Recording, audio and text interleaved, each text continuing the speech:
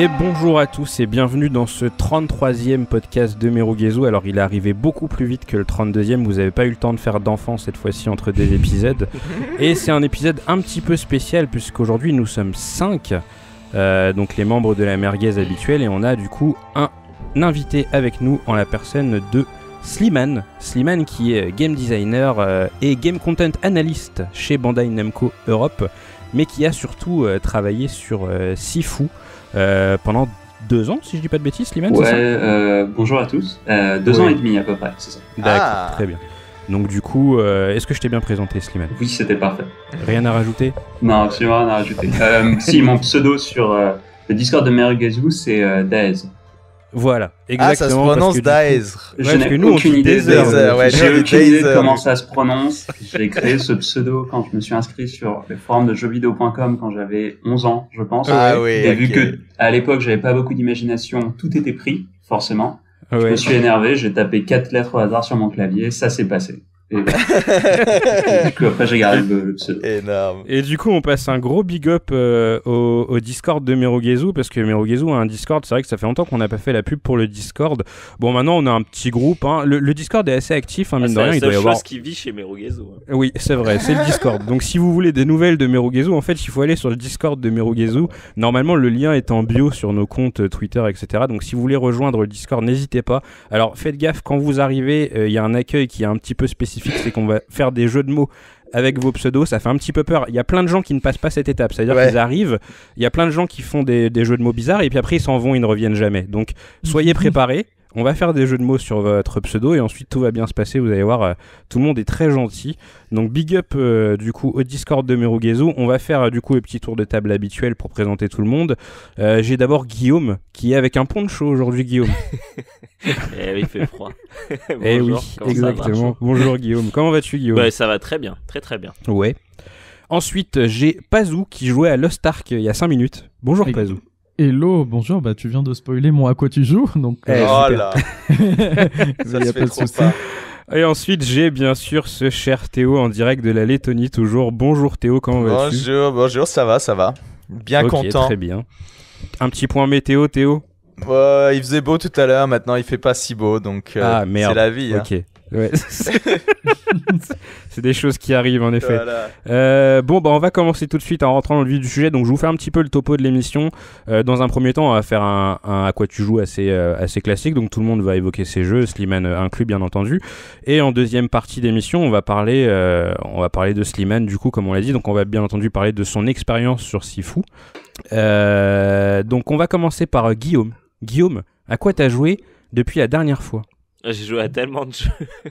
Euh, non, euh, mais plus précisément, en fait, euh, j'ai joué à Yakuza 7 et à Ouais. Dying Light 2.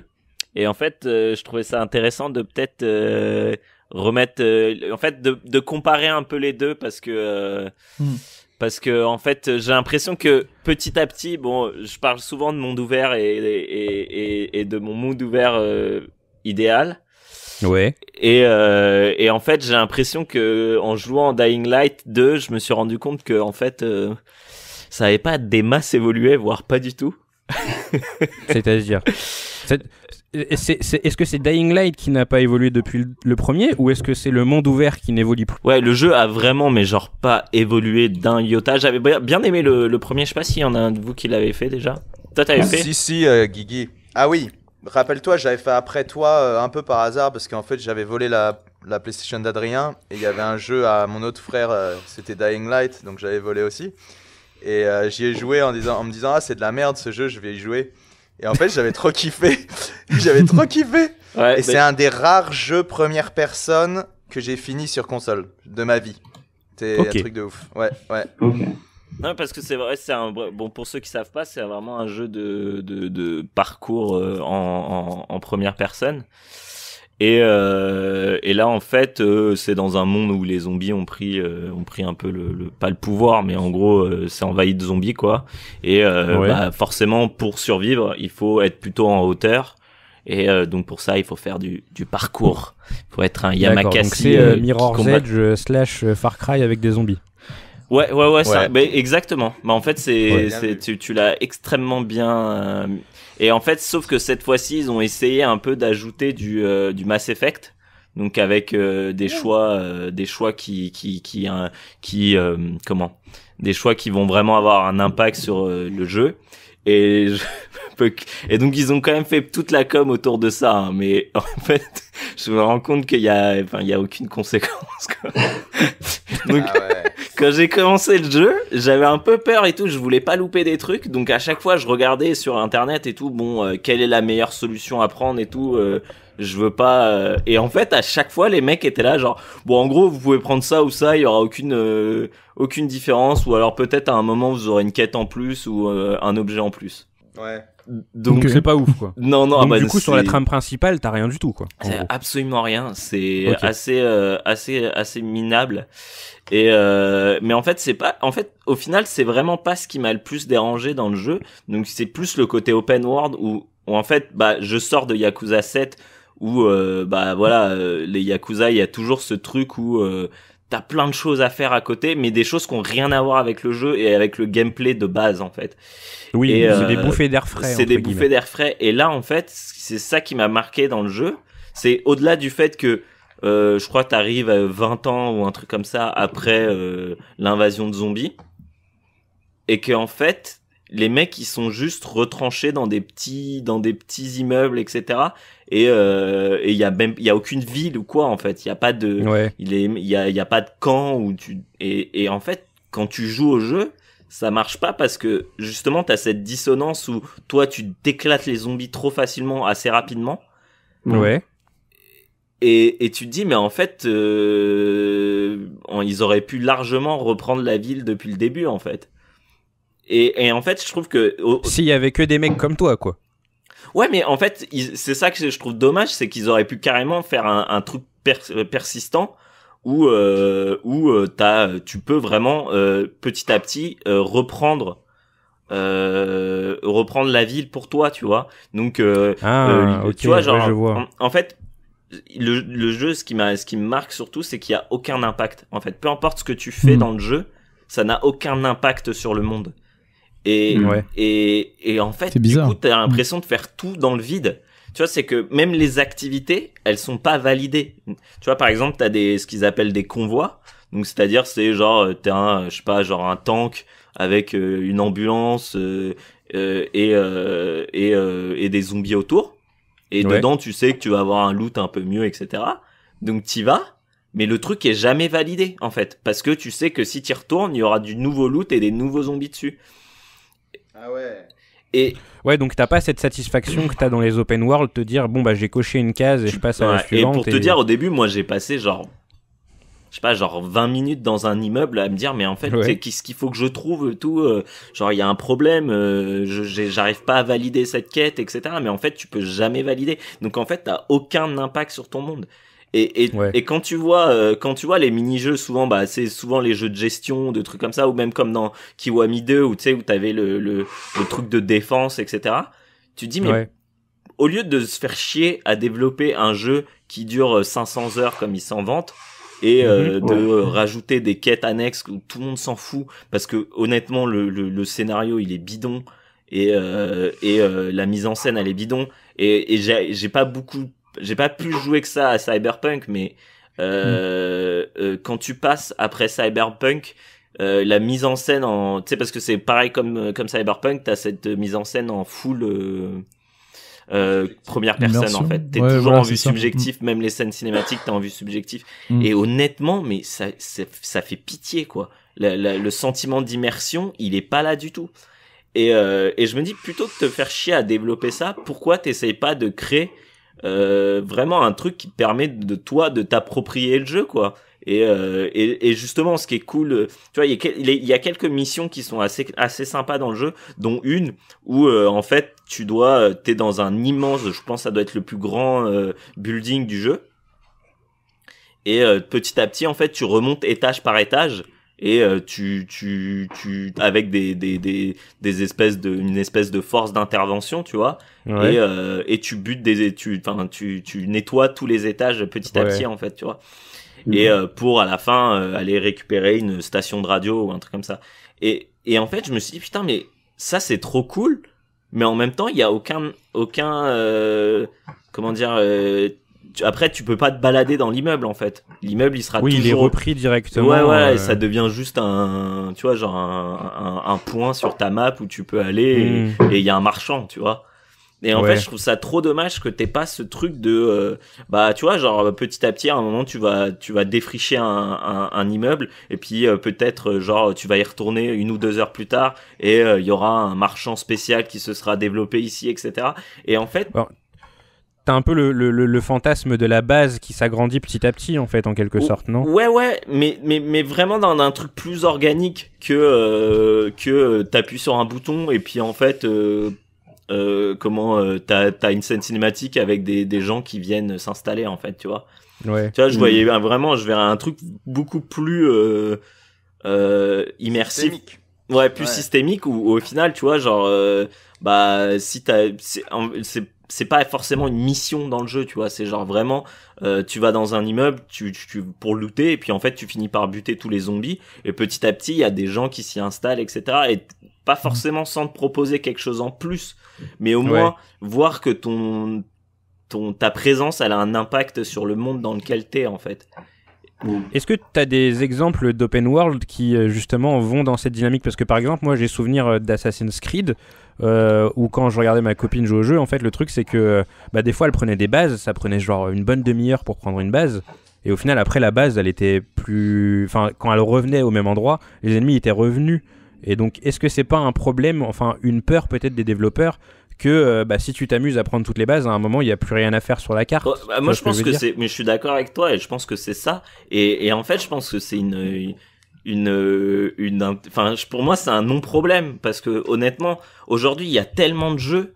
T'as pas 500 heures à passer sur un jeu en fait. Ouais. Et, et, Ouais. et, et même moi, je me rends compte que que j'ai pas, enfin ça c'est quelque chose dont on parle souvent, mais euh, j'ai pas ce temps à donner à un jeu Bien en sûr. fait, tu vois. Ouais, ouais. Et en fait, je me dis que bah si euh, si j'avais en fait si tu réduis ton monde, tu réduis ton jeu, bah en fait t'as un tu tu tu peux te permettre d'aller alors après je sais pas peut-être Slimane il dira non non c'est pas possible parce que je sais pas mais j'ai l'impression que si tu passes moins de temps à faire euh, le monde euh, qui euh, est l'équivalent de Barcelone à Varsovie ou je sais pas quoi Ouais. euh, tu vois t'as déjà moi je trouve que Concentrer les centres d'intérêt sur une ouais, zone plus et, petite. et en fait, je trouve que Bah. par exemple, si tu vois, je voulais reprendre l'exemple de Yakuza 7 et on en parlait avec Théo, et je me dis, mais en fait, ce genre de jeu, tu t'appropries réellement le, le, le monde ouvert parce qu'il est, il est à taille humaine en fait, il est à échelle oui, humaine. bien sûr. Donc Ouais, du coup, à la clairement. fin, tu le connais par cœur. Et donc, on te parle juste d'un quartier, tu sais où aller.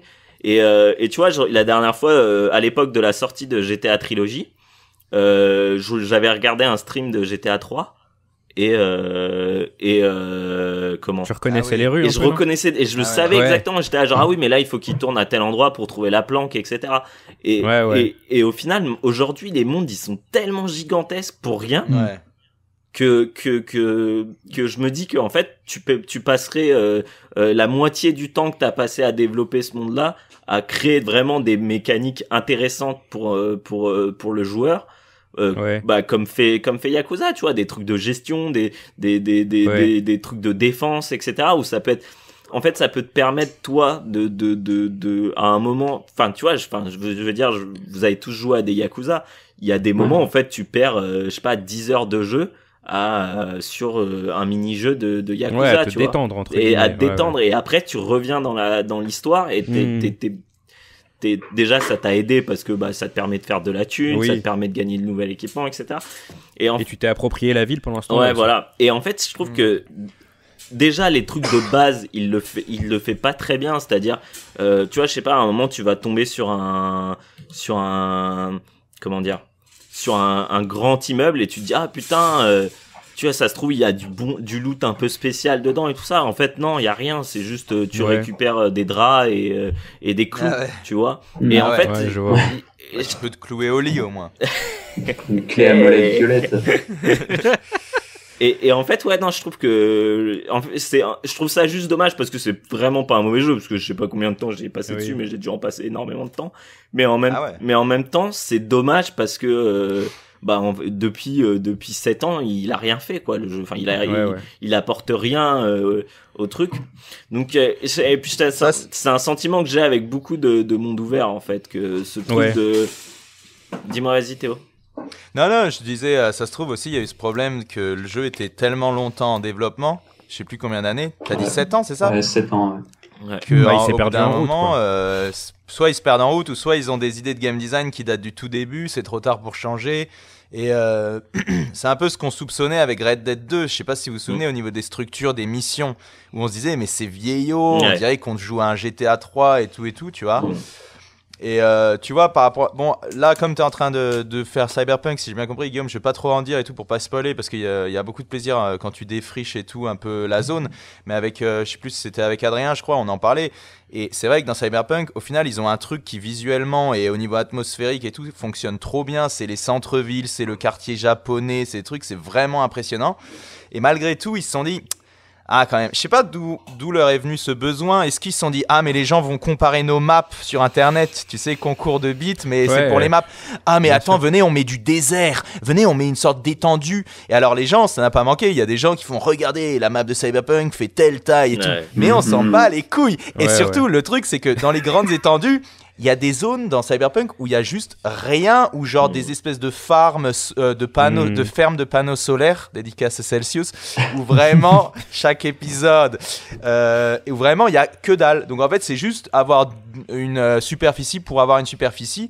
Et Ouais. je me dis, mais au final, vous vous souvenez, euh, ça- dans Blade Runner, t'avais la fin, la première fin, la fin, comment dire, theatrical cut, où en fait, euh, euh, Harrison Ford, il partait à la campagne et il faisait Ah, c'est quand même vachement bien d'être à la campagne. Et il conduisait une automobile. Et les gens disaient, et ça, c'était les producteurs qui avaient demandé Oh, mettez de la campagne et tout. Et alors que euh, Ridley Scott, il voulait pas, tu vois. Ah, tout le truc, c'est fait- des, des paysés les gens, donc forcément. Et le truc, c'est te dire, mais et on se disait, mais mais s'il y a, les gens se disaient, mais s'il y a de la campagne, pourquoi t'es pas parti tout de suite au lieu de vivre Mais dans oui. une ville Ouais, non, poubelle ouais, clairement. Et là, dans, et là, dans, ok, dans, dans, dans Cyberpunk, c'est mieux géré parce que euh, euh, hors de la ville, c'est un peu comme dans Gun, Alita et tout. C'est qu'hors de la ville, c'est un putain de désert un peu à la Mad Max, tu vois. Donc tu Mm. veux pas non plus y vivre. Mais en vrai, ça aurait été pas si mal qu'ils se focus, pour revenir à ce que Guillaume disait, qu'ils se focus sur vraiment les meilleurs quartiers de la ville. Quitte à ce que, tu sais, au bout d'un moment, la ville continue, mais toi, t'as un mur invisible et on te dit, bah non, euh, tu peux pas aller par là.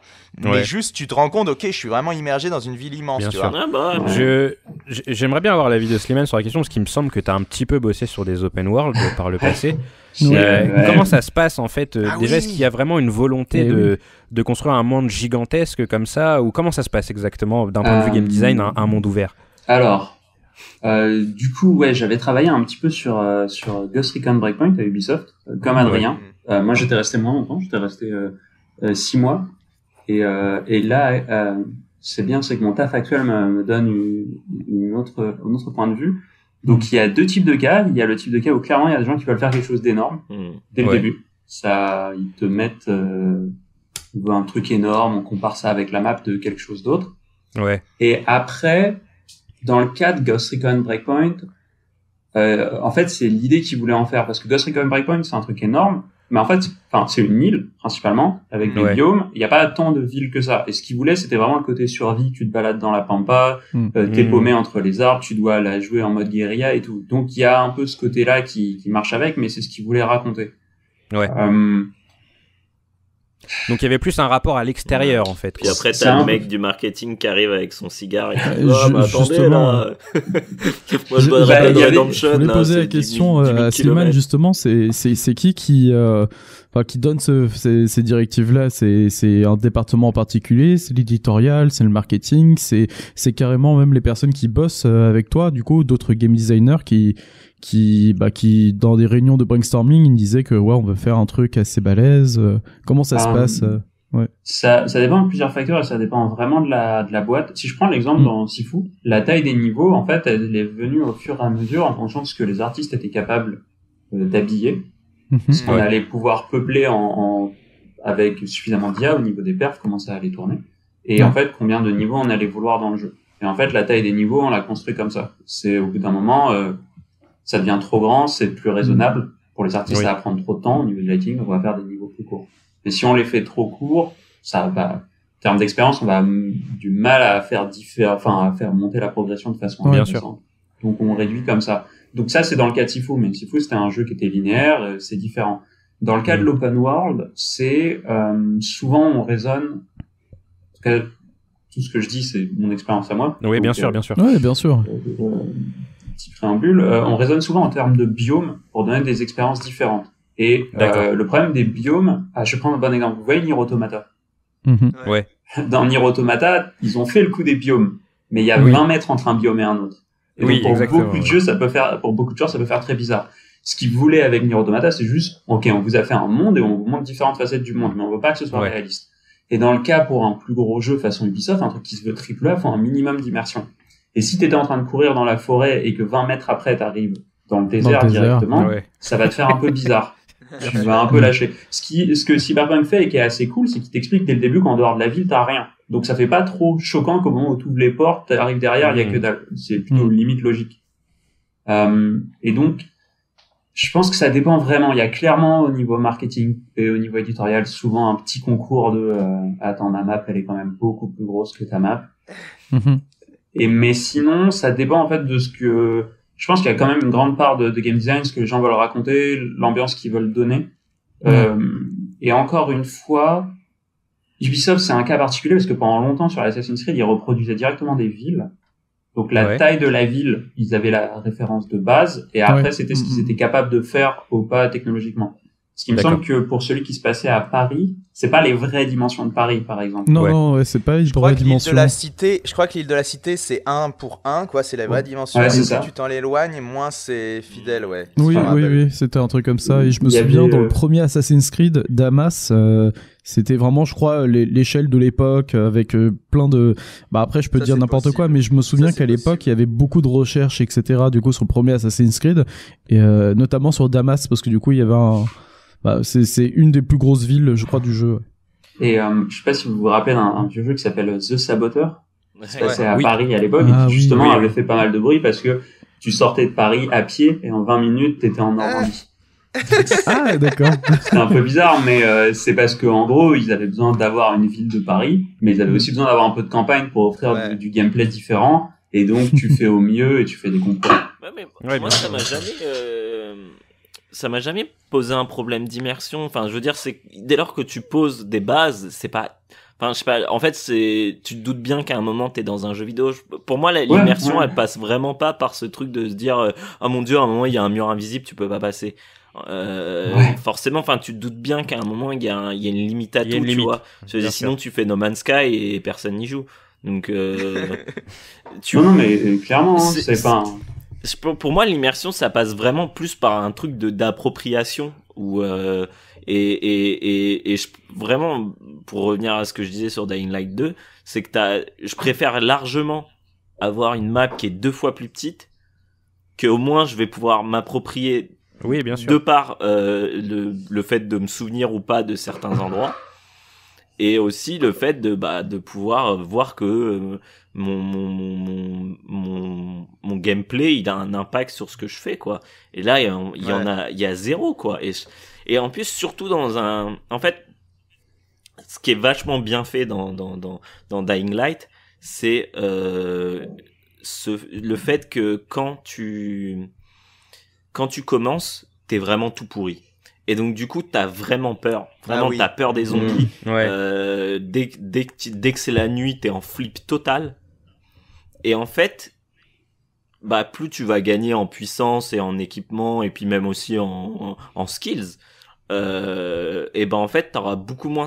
Enfin cette peur elle va disparaître et j'aurais trouvé ça cool que que ça s'accompagne aussi par un par vraiment euh, bah, en fait entre guillemets l'espoir qui renaît en toi de, de pouvoir t'en sortir dans ce monde il soit associé avec Mhm. euh, avec euh, bah, l'espoir qui renaît chez les gens en fait tu vois Ouais, ou là, au bout d'un Ouais. très rapidement, c'est plus crédible en fait dans l'évolution. non bah ouais Ah. parce que les gens en fait toi t'as toi tu te balades dans le jeu euh, comme comme comme dans dans dans dans enfin dans n'importe quel Hmm?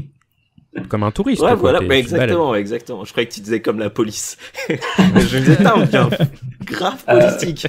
Après, pour Dying Light 2, il faut pas oublier que la mécanique principale du jeu, c'est de faire du parcours, c'est de courir et tout. Donc, Ouais. de base, les gars, ils ont besoin d'avoir de la distance pour que tu puisses kiffer courir dans une ville. Oui, Parce que s'ils faisaient Oui, un truc tout aussi, ouais. petit avec un quartier euh, façon Yakuza, bah, au bout d'un moment, ouais, tu, tu sautes du même, enfin, tu le connais, l'immeuble. Ouais, ou- Ouais. Non, non, bien sûr, mais honnêtement, là, et le, et le, là, euh, j'en suis à, je sais pas, je dois être à 60, euh, 70 heures de jeu. Ah ouais. Ah, quand même. Ouais, quand même. Euh, Je pense que honnêtement, il y a, il y a une grosse partie que tu peux enlever euh, facilement, quoi. Ouais. Mais je suis Ouais. d'accord avec toi que c'est peut-être pas forcément le meilleur exemple quand il s'agit de la taille d'un d'un d'un d'un open world. Mais Non, pas, pas forcément. mais il y a vraiment ce truc de de de ouais, je trouve que vraiment euh, c'est c'est trop dommage en fait, c'est ce ce ce ce, ce manque de de de de continuité dans le dans le jeu quoi.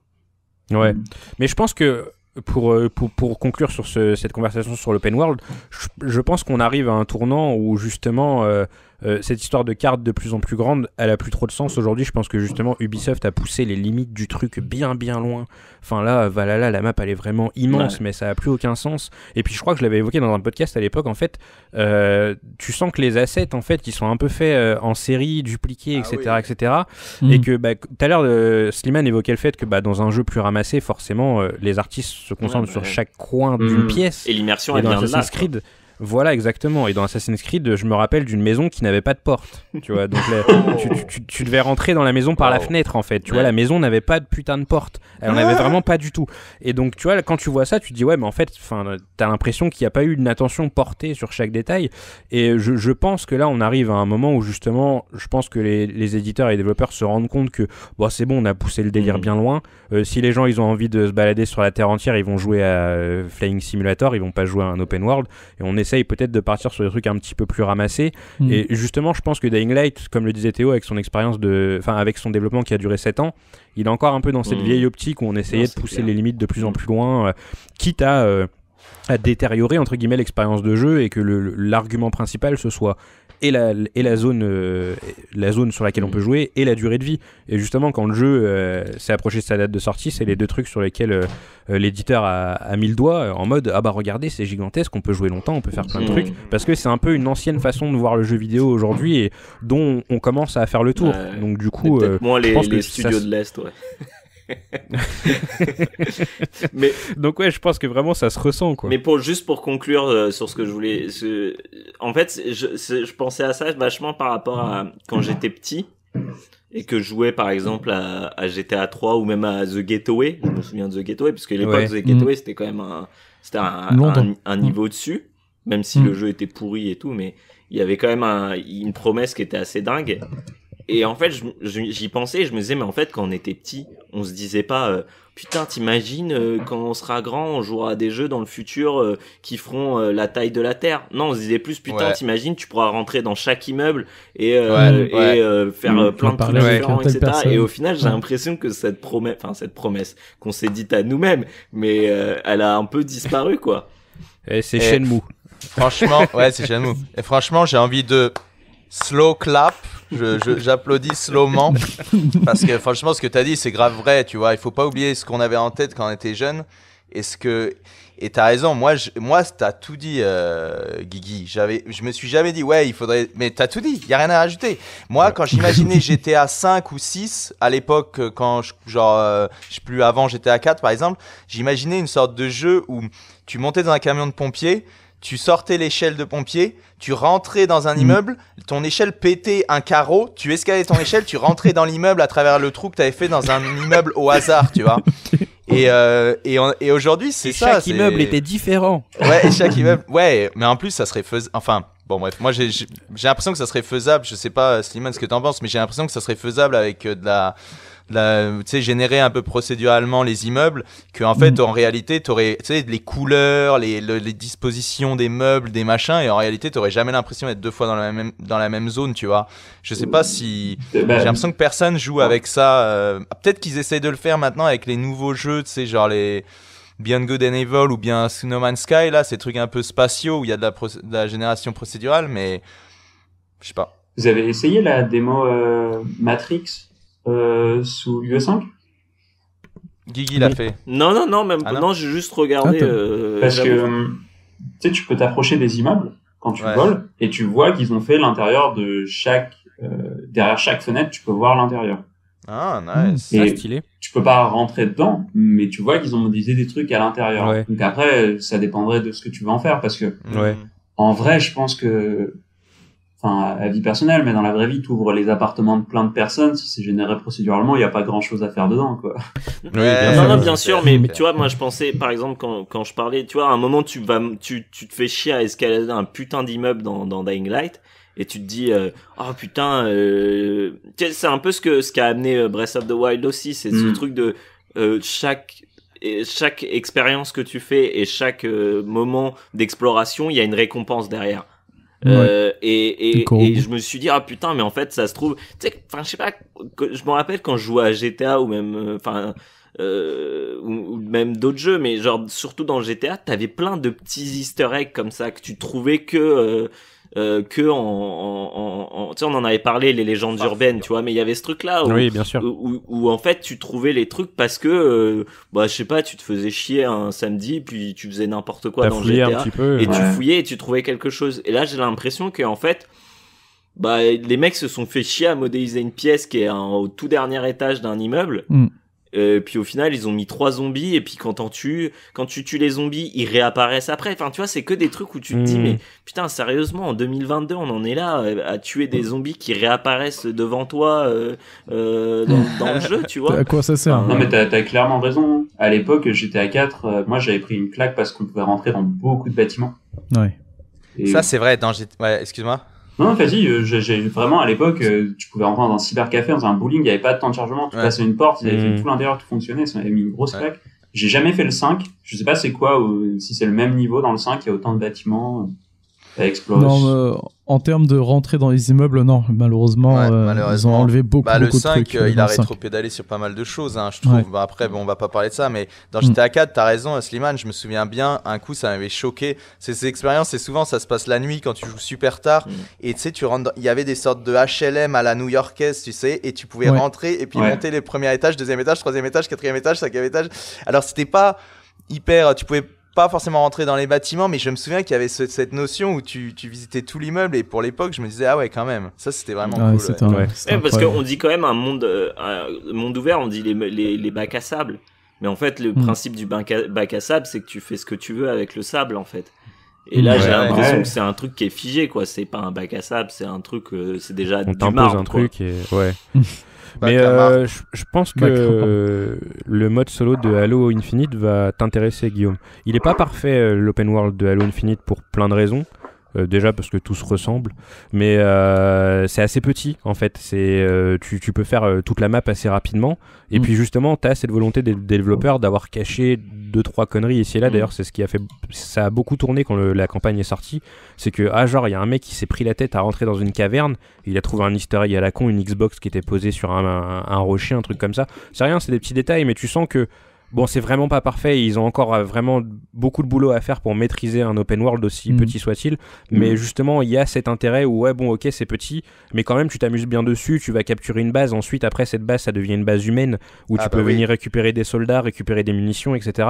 Euh, je pense que tu vas t'y retrouver. Et puis t'as aussi le côté un petit peu bac à sable parce que la physique du jeu permet de de faire pas mal de trucs assez marrants mine de rien avec le grappin, euh, etc. Donc euh, je pense que quand tu le feras, tu vas, euh, tu vas passer un bon moment parce que c'est un peu, de ce que tu me dis, euh, l'anti-Dying Light, quoi. Trop bien. Euh, on va passer à Pazou, qui va nous parler de Lost Ark, du coup. Euh, Pazou, Yes. c'est un peu le mec des tendances euh, du jeu PC. À chaque Toujours fois dans la tendance. Exactement.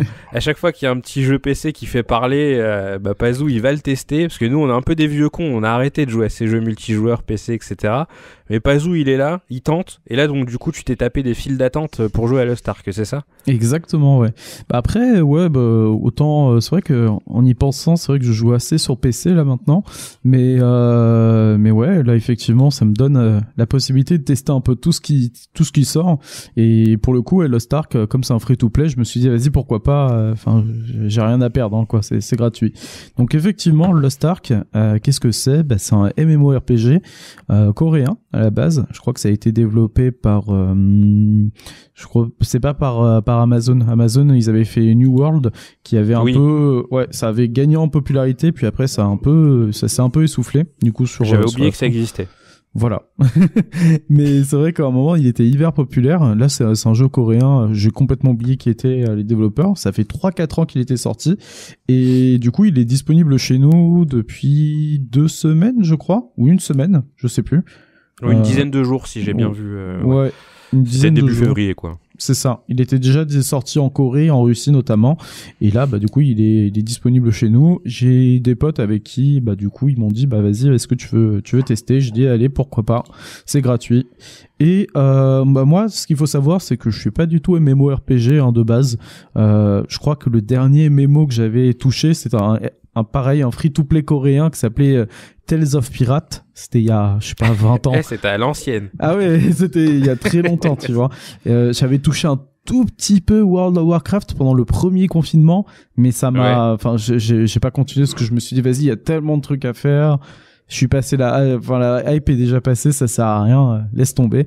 Et euh, et ça en fait, ben c'est une très bonne surprise parce que ben ok il est il est free to play, mais en fait il a beaucoup beaucoup beaucoup de similitudes avec euh, un hack and slash type euh, Diablo. La, c'est hyper dynamique en fait. C'est hyper dynamique. La vue, elle est euh, dans euh, sur le côté en fait un peu isométrique et t'as plein de classes de personnages. Moi personnellement, je joue euh, je joue aux Et c'est cool. En fait, c'est vraiment cool. Je, je, t'as pas mal en fait de, de trucs à faire, donc c'est intéressant. Et pour les personnes qui sont comme moi euh, nouveaux dans le genre du MMORPG, t'es au départ en fait vraiment guidé sur des rails. Euh, donc t'es c'est assez euh, c'est assez on te prend vraiment par la main l'histoire elle est assez plaisante du coup c'est c'est pas un niveau d'écriture exceptionnel hein. c'est pas c'est pas FF14 comme je peux le voir un peu partout donc j'ai jamais joué à FF14 tu vois mais j'ai vu quelques extraits j'ai vu des, des personnes en parler notamment sur Ouais. Twitter qui disaient que ouais c'était exceptionnel Euh, j'ai vu quelques vidéos je fais ouais ça a l'air quand même euh, ça a l'air intéressant quand même tu vois là c'est pas du tout le cas c'est vraiment anecdotique hein. Euh, Ouais. l'histoire euh, de la Stark elle est intéressante elle est plaisante mais c'est un peu anecdotique bon après j'ai j'ai pas fini l'histoire principale mais ce qui est intéressant c'est que tu as ce système un peu de, de, de biome qui a été euh, qui a été évoqué du coup euh, tout à l'heure c'est Ouais, que on y là, revient. en fait dans Lost Ark c'est un peu un pot pourri de tout ce qui est bien tu vois donc euh, finalement en fait tu t'amuses. Qu'est-ce qui est bien bah du coup c'est qu'au départ bah du coup tu fais ton tu fais ton personnage etc tu vas dans un monde un peu féerique. Puis après un peu plus tard tu vas dans un monde un peu cauchemardesque et tout ça un peu à la Diablo. Puis là tout à l'heure j'étais euh, j'étais du coup dans une zone en mode euh, Seigneur des Anneaux les deux tours en gr- grosse bataille contre euh, contre contre plein plein plein d'ennemis une centaine d'ennemis trucs comme ça. Puis après j'ai battu un boss c'est c'est vraiment c'est vraiment marrant quoi. Et t'as t'as pas mal de trucs euh, de trucs à faire. Ça passe le temps. C'est c'est vraiment pas mal. Après je sais pas si du coup en fait euh, tout seul tu pourrais bien t'amuser. Parce que comme je l'ai dit du coup moi je, je joue avec des potes euh, essentiellement du pote du taf. Donc c'est marrant tu vois parce que du coup euh, j'essaye de passer level 50 en fait le, le niveau maximal c'est 60 t'as un, Ouais. un- t'as un cap du coup euh, qui est au niveau 50 où tu peux débloquer le endgame. Je suis pas Ouais. encore euh, dessus mais pareil hein, mes potes Mais, là mais ils- ça arrive assez vite du coup. ça arrive très vite. Franchement là Ouais, je... c'est pas euh, comme World of Warcraft à l'ancienne où tu devais jouer euh, déjà, je ne sais pas combien, une centaine d'heures pour arriver niveau 60 et commencer à t'amuser quoi. Ouais, c'est ça. Et Ok. c'est pas le cas parce que franchement, mes potes, ils ont euh, ils ont vraiment, je crois, ils doivent avoir euh, une quarantaine d'heures, je crois, ou peut-être une cinquantaine d'heures pour certains. Ils ont vraiment geeké. Ils sont euh, ils sont niveau 50 et à la fin, en fait, pour le endgame, ils te donnent des items pour augmenter d'autres personnages. Euh, tu crées des d'autres personnages directement au niveau 50. Donc, euh, donc tu peux avoir trois personnages au niveau 50. euh, Donc, tu peux assez expérimenter d'autres classes, tout ça, tout ça. c'est ça. T'as as beaucoup de systèmes et de sous-systèmes qui sont hyper intéressantes et franchement je m'attendais pas en fait à, à un gameplay aussi profond pour un free-to-play. Et c'est bête à dire, hein, tu vois, mais moi mon, mon seuil de référence c'était les free-to-play, la Tales of Pirates, c'était assez basique, tu vois. Tu, tu Ouais. prenais tu prenais ton navire, tu allais là-bas et tout ça. Bon, bah, du coup c'est tellement basique que je trouvais pas du tout l'intérêt en fait d'y jouer. Je trouvais que c'était un, un jeu de farm. euh, à, à, me, plus savoir qu'en faire. Et après bon bah c'est c'est jusqu'à que tu sois dégoûté tu vois. Bah là en fait t'as Mhm. beaucoup beaucoup de trucs à faire euh, que ce soit pour ta guilde pour toi-même pour euh, explorer ben et avoir en fait ben le meilleur loot possible. Parce que bon bah ouais le, le truc c'est c'est un MMORPG mais c'est quand même plus un hack and slash donc oui faut que tu faut que tu lootes les ennemis tu les farmes quelques-uns tu avances dans la, dans, la quête principale et bah du coup tu as les meilleurs équipements pour ensuite après aller défoncer toute personne en PVE euh, pardon en PVP parce que du coup le PVE ouais il, il est assez cool mais c'est ça reste quand même le tuto. Un peu comme Monster Hunter. Tu fais l'histoire c'est le c'est le mode entraînement. Après le vrai jeu commence en game euh, quand t'es en mode expert et que là tu débloques euh, les vrais équipements etc etc T'as- Est-ce que t'as tu même- penses que c'est un jeu Ouais. qui va tenir dans la durée euh, du fait du coup de, de, de ses possibilités endgame entre guillemets euh, Est-ce que toi tu penses y jouer Ouais. longtemps par exemple? Alors moi, je sais pas si je vais y jouer longtemps. C'est un deuxième sujet que- qu'on voulait traiter avec Guillaume à un moment donné, mais bon là, on n'aura pas trop le temps. On va le garder pour un autre podcast. Mais euh, je suis confiant que, enfin comment dire, euh, Lost Ark, c'est un jeu qui a été développé il y a 4 ans euh, et qui est toujours joué en fait, que ce soit en Corée, en Russie et dans d'autres territoires. Tu vois, en, je crois en Chine exact, et, euh, aussi, et au Japon. Au Japon aussi, il est sorti depuis deux ans, je crois. Et c'est un jeu en fait qui est assez populaire euh, dans le sens où il y a une, il y a de l'e-sport. Il y a de l'e-sport en fait, il y a des, il y a des tournois en LAN euh, qui sont aussi streamés de PVP du coup sur Lost. Ark. Ouais, et c'est assez marrant à regarder du coup parce que une fois que t'es dedans et que tu comprends un peu plus euh, les mécaniques, etc. Tu, tu te dis ouais c'est c'est intéressant du coup à voir et de faire des petits combats entre potes ou contre des inconnus, etc. Et c'est c'est plutôt cool. Donc je pense que c'est un jeu qui va durer, notamment parce que d'un d'un point de vue économique, c'est un free to play, mais c'est pas un play to, enfin c'est pas un pay to win. Un pay to win. Non, Mm. non, non, mais absolument pas.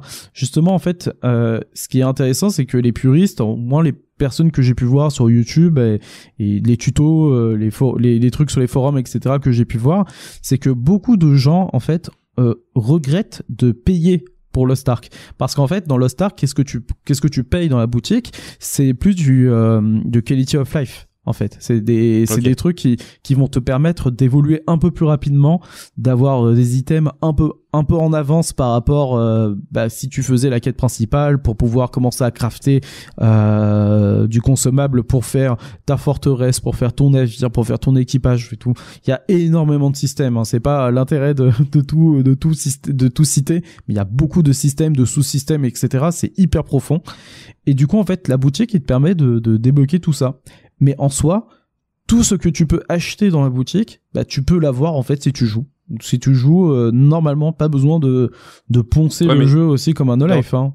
Du coup, est-ce que ça, ça s'applique uniquement au, à la partie euh, avant le endgame ou ça s'applique aussi au endgame? Parce que dans ce cas-là, c'est la définition même d'un pay to win. Si tu peux avoir des trucs plus rapidement en payant. Bah non, en fait, parce que même en endgame, après, je suis pas encore euh, du coup en endgame, mais d'après ce que j'ai vu avec mes, euh, enfin d'après ce que mes potes m'ont dit plutôt et ce que j'ai vu après sur le sur le net, en endgame, t'as encore plus en fait de trucs à faire. Tu vois, enfin t'as as encore plus en fait d'items, beaucoup plus en fait de choses à crafter, etc. Après, hum, tu peux quand même, il y a quand même un intérêt, tu vois, quand même à payer, tu vois, si si tu veux avoir certains items pour avancer encore plus rapidement ou même Oui. avancer en fait sur ta sur euh, ta progression, ton ton obtention en fait de de euh, de loot et de d'équipements euh, particuliers, tu vois, Ouais. de stuff plutôt. Mais euh, mais non, franchement, je pense que c'est un jeu qui va durer. Hein. euh, il a l'air intéressant. Après, je sais pas si moi je vais jouer très très très longtemps, mais je me suis dit vas-y, si- on peut aller facilement en fait au niveau euh, au niveau euh, 50. Là, par exemple, je suis au niveau 30 déjà, alors que ça fait je crois 40 heures que je joue et ça se joue facilement en fait. Je- c'est- Ouais. C'est très ça va très vite en fait. Ça va vite Ouais. t'enchaînes les quêtes etc et, et bizarrement au départ je, je passais les cinématiques puis après j'ai commencé à les regarder. C'est assez plaisant. Ouais c'est vraiment plaisant. Du coup euh, c'est marrant quoi. Ça raconte des petits trucs et tout. Tout est doublé en français. C'est euh, Ouais. aussi drôle. Euh, tu vois un peu le la, la, la cache machine d'Amazon je pense qu'ils ont dû aider à localiser Mais du coup, jeu, Amazon. etc bah je pense qu'Amazon a plus en fait euh, édité le jeu chez nous. Ok. Mais le jeu, il est pas développé par Amazon. Il est développé en Corée, etc. Je sais plus, euh, je sais plus par euh, par quel Paymang, je crois. Ou je crois, je crois que ça c'est le distributeur, un distributeur de bah, justement de, de free to play coréen, etc. Mais euh, ouais, franchement, bonne surprise. Hein. Du coup, si si vous voulez jouer, moi je je suis là et je m'amuse. non mais Moi, en vrai, je m'amuse. Hein. C'est c'est assez c'est J'ai un peu drôle. de mal avec euh, ces Mm. jeux euh, multi-dépendants, on va dire, entre guillemets, où en Ouais. fait, euh, t'as la bande de potes qui va tous se chauffer en même temps sur le jeu, faut que tu prennes le train en marche, et si tu le prends pas au bout de trois semaines, Ouais, tant pis pour toi, t'es ouais. déjà passé à côté, Ouais. parce que je préfère faire mes jeux à mon rythme, etc. Et c'est vrai que toi, t'aimes bien, toi, les jeux, comme t'es très volatile, Pazou. C'est genre, euh, Ouais. ah bah tiens, il y a quatre mecs qui sont sur ce jeu, vas-y, je vais les rejoindre, et puis le mois d'après, quatre mecs sont sur ce jeu, je vais les rejoindre. Tu passes un peu de jeu en jeu comme ça, j'ai l'impression. Ouais, bah j'aime bien. Pazou, il est dans la hype. Ah, non, même C'est pas. le plus. mec de la hype. Non, je suis juste euh, touche à tout. Enfin, j'ai envie de voir un peu. Ouais. euh, Non, ce mais il que- faut, c'est bien. y a, ouais, Ouais, j'ai envie de voir un peu ce que ce que ça donnait.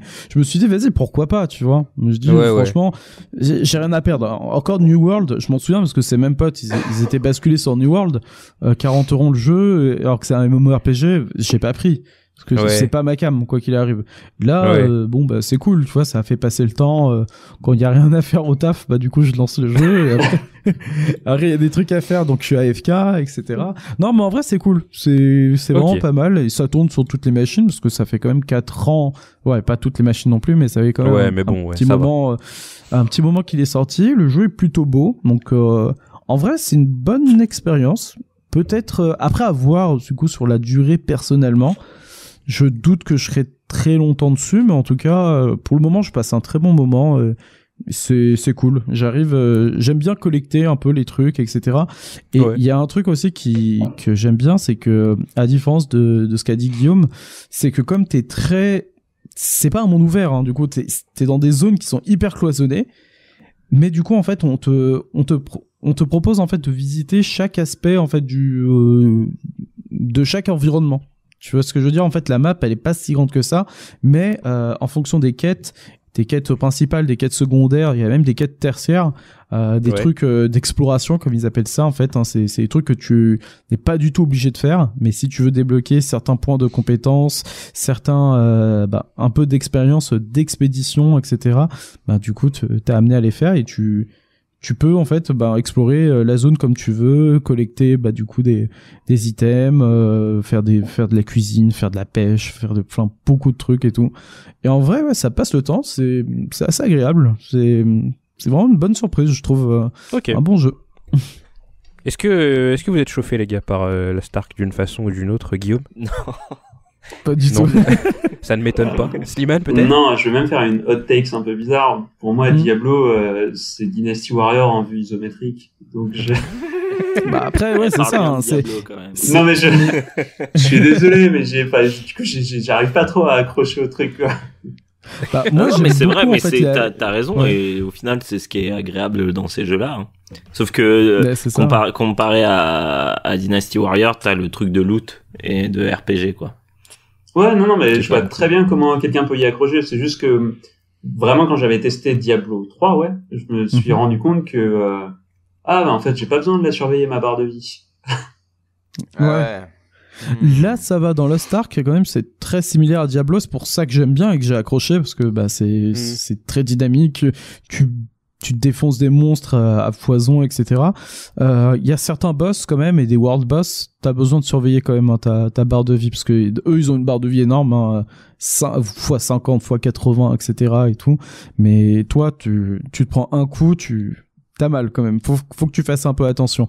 C'est pas aussi compliqué qu'un qu'un WoW parce que genre je m'en souviens WoW la barre de compétences en bas elle est énorme etc. Faut faut compter les, faut surveiller tes cooldowns, euh, tes compétences qui cooldown etc. Là t'en as un peu moins euh, dans ta barre de compétences, mais c'est ça reste euh, ça reste gérable en fait tu vois. Je pense qu'ils ont fait un beau compromis entre le hack and slash et le MMO RPG pur tu vois. D'accord. Et c'est ça qui, qui est assez addictif, parce que du coup, les serveurs, comme tu as dit, ils sont remplis. Hein. T'as des files d'attente ouais. de ouais, ouais, j'ai euh. vu, ouais, que c'était galère euh, pour Quoique maintenant ça va, c'est calme, tu vois. Ouais. Mais euh, il y a, il y a euh, Aono Shiro, la Chirac de GK. Euh, J'en ai, euh, j'avais vu un peu euh, du coup euh, dans l'émission, il en parlait. Euh, c'est un des, euh, c'est un des, euh, des lancements de MMO les plus propres qu'il ait pu assister. Lui qui kiffe en fait justement tout ça. D'accord. Ben ouais, franchement c'est c'est pas mal parce que là j'ai il y a moins de temps les, les temps de les temps d'attente là dans les files dans les serveurs c'est plutôt le soir si tu joues en journée ou un peu tard la nuit euh, il y a personne tu vois donc enfin il y a Ouais. du monde bien sûr c'est toujours écrit saturé mais tu peux au moins rentrer dans le serveur euh, t'attends pas euh, et tu tu joues et c'est tout le monde parle euh, enfin c'est assez ça- c'est bizarrement en fait euh, comparé à LoL ou à, ou à Valorant, c'est pas trop toxique. ça va. Il y a pas Je des. me demandais quand ça allait arriver. Toxique. Ça va, mais- On y est. des- Non, mais c'est vrai parce que du coup, tu vois le chat euh, dans ces jeux-là, dans les jeux Riot. Euh, c'est compliqué, hein, tu vois, c'est Ouais. connu pour être des communautés assez toxiques. Ouais, mais ça t'apprendra aussi à jouer à des jeux de la hype. euh. Bah, euh, Plus il y a de gens, plus il y a de connards, pas où ça, ça va bah, te je me disais, est-ce que c'est le fait que les free-to-play attirent des connards, comme tu dis, des Bah, gens toxiques les enfants. Ouais. Et les enfants, sont des connards. Ah, y a pas tiens que des enfants qui jouent, mais c'est est vrai dit. que t'as une, t'as une, euh, t'as une barrière d'entrée, mais bon, non, mais là ça va, tu vois, là ça. Bon, après, il y a pas de chat, vo- enfin, s'il y a un chat vocal, mais je l'active pas. Ouais. Hmm, ok. Euh, Théo, je te demande pas si ça te dit, parce que toi tu joues à des abandonware euh, slovéniens sortis en 2004, donc Ouais. du coup c'est pas trop ta cam, je suppose, les RPG, Bah, les MMORPG Tu coréens. sais que j'avais joué à un jeu qui avant avant World of Warcraft. Je veux que mes, les auditeurs entendent bien. Je suis Ouais. tard à l'ancienne. Non, je rigole. euh, en gros, c'était mon cousin. Il avait un abonnement à un jeu. C'était à l'époque de Dark Age of Camelot et tout. Et du coup, ce jeu-là, il s'appelait Horizon. C'est une sorte de jeu de à la WoW, mais avant avant WoW quoi. Ah, rien à Ouais. voir Et, avec euh, le dernier en fait, jeu j'avais commencé PS5, à jouer, là. j'étais hypé de ouf. Et après, mais en fait, moi, j'étais con. Je pensais que role-playing game, c'était genre qu'on jouait un rôle. Je pensais que, tu sais, de nos jours, maintenant, il y a des serveurs RP. Les serveurs. RP, bien sûr, sur GTA. Voilà, mais moi, je pensais que c'était que ça, en fait, jouer online. Je pensais qu'il fallait, euh, tu sais, euh, faire du RP dans, la, dans la barre de chat et tout. Et quand Mm. j'ai réalisé que c'était pas ça, ça m'a turn off euh, à vie, en fait. Je fais, ah, mais en fait, c'est juste des gogoles qui se réunissent pour, euh, pour tuer des, des monstres dans des jeux qui sont plus nuls que les jeux solo. Parce qu'objectivement, c'est toujours plus nul. Tu vois, c'est ça aussi qui m'a toujours choqué. Non, je, j'ai vraiment du mal avec euh, les jeux comme ça. Théo jouait à terrible. Merci pour cet avis. Théo jouait à Persona avant que les gens jouaient à Persona, mais il jouait à WoW avant que WoW existe. Ah, voilà. existait. C'est ça. Bon, écoute, merci Pazou pour cet avis sur le Stark. Rendez-vous au prochain podcast pour un nouveau jeu de la hype. Je me demande ce que ça va être. Ouais, ce Ah sera ouais. Sunbreak euh, Monster Hunter, je pense. Ah oui, bah oui, c'est Bah, bientôt là en plus là. Et oui, Can't c'est bientôt bah, été. Donc euh, je pense que été, on aura refait un podcast d'ici là. Il y a peut-être Ouais. moyen que. Voilà quoi. On va passer à Slimane. Du coup, Slimane, c'est quoi ton jeu du coup euh, du moment? Euh, ouais. Euh, alors moi, les, les deux derniers jeux que j'avais finis, c'est des jeux qui avaient été euh, traités déjà dans Merugezu. C'était It Takes Two et Deathloop. Ah ouais. Donc je me suis dit, oh, ne relançons pas des, des débats qui pourraient être Ouais. un petit peu agressifs ou autres. Non, t'as pas dit Plague Tale, donc ça devrait aller. Ah, voilà. Et euh, non, mais du coup, en fait, euh, j'ai j'ai pris euh, deux autres jeux que j'ai fini euh, récemment. Euh, le premier, c'était Shin Megami euh, Tensei 5, Mm. qui était Ah, intéressant. qui était euh, très très cool. Et en fait, l'autre que j'avais pris, c'était euh, Les Gardiens de la Galaxie, euh, qui était euh, Mm. j'avais fini aussi il y a pas longtemps. C'est juste parce que je trouvais qu'il y avait un, un parallèle un, un peu étrange entre les deux jeux. Mais euh, D'accord. en gros, euh, Les Gardiens de la Galaxie, pour commencer, c'est un jeu qui n'a à offrir que sa trame na- narrative. Ça dure 15 heures, tu vas en ligne droite. Moi, j'ai vraiment passé un super moment de jeu. C'était très cool. Et honnêtement, même après avoir lu quelques comics des Gardiens de la Galaxie, c'est la meilleure euh, équipe des Gardiens de la Galaxie que j'ai vue. Bien meilleur Ouais. que les films. Je suis Ah ouais, beaucoup plus attaché Ah à eux. oui. Ouais, il n'y a Mm. pas de, il y a pas de romance, euh, Mm. pas nécessaire entre les personnages. T'as pas des personnages Ouais. qui sont rendus trop stupides. Mhm. Gardien Galaxy 2, ça forçait un petit peu quand même. Ouais, ouais, dire. Ouais. de ouf. Et, euh, Mm. et c'était vraiment cool, ça se suit très bien. C'est un jeu où les choix que tu fais ont de l'importance, ça, ils ont des conséquences à la fin. L'action, elle est plutôt cool. Euh, et c'est vraiment un jeu qui, tu le suis pendant 15 heures, ça offre ce que ça a à offrir et c'est vraiment très cool. Il y a quasiment, il y a rien à faire autour. Les seuls, euh, les seuls trucs que tu peux obtenir autour, c'est les costumes. Ouais. Hmm. Euh, pour le coup, tu as même une barre d'expérience. Et en fait, ta barre d'expérience, tu, tu, réussis à obtenir toutes les capacités des, les- toutes les capacités des personnages avant d'avoir euh, atteint le niveau max. Et donc, à partir du moment où tu as toutes les capacités des personnages, ta barre d'expérience disparaît. Il y en a plus. Tu gagnes plus d'expérience. Hmm. Donc, en fait, c'est juste un moyen de te faire débloquer les compétences dans le sens que tu veux, mais il y a, il y a rien d'autre à ça. Et vraiment, tu, tu suis le jeu, ça dure euh, 15 à 20 heures. euh, J'ai vraiment trouvé ça très agréable et il y a rien autour et la narration elle est à fond. Et à côté t'as Shin Megami Tensei 5. Lui il m'en a pris 80 et Ouais. sur les 80 il y a 5 heures de narration. Ah ouais.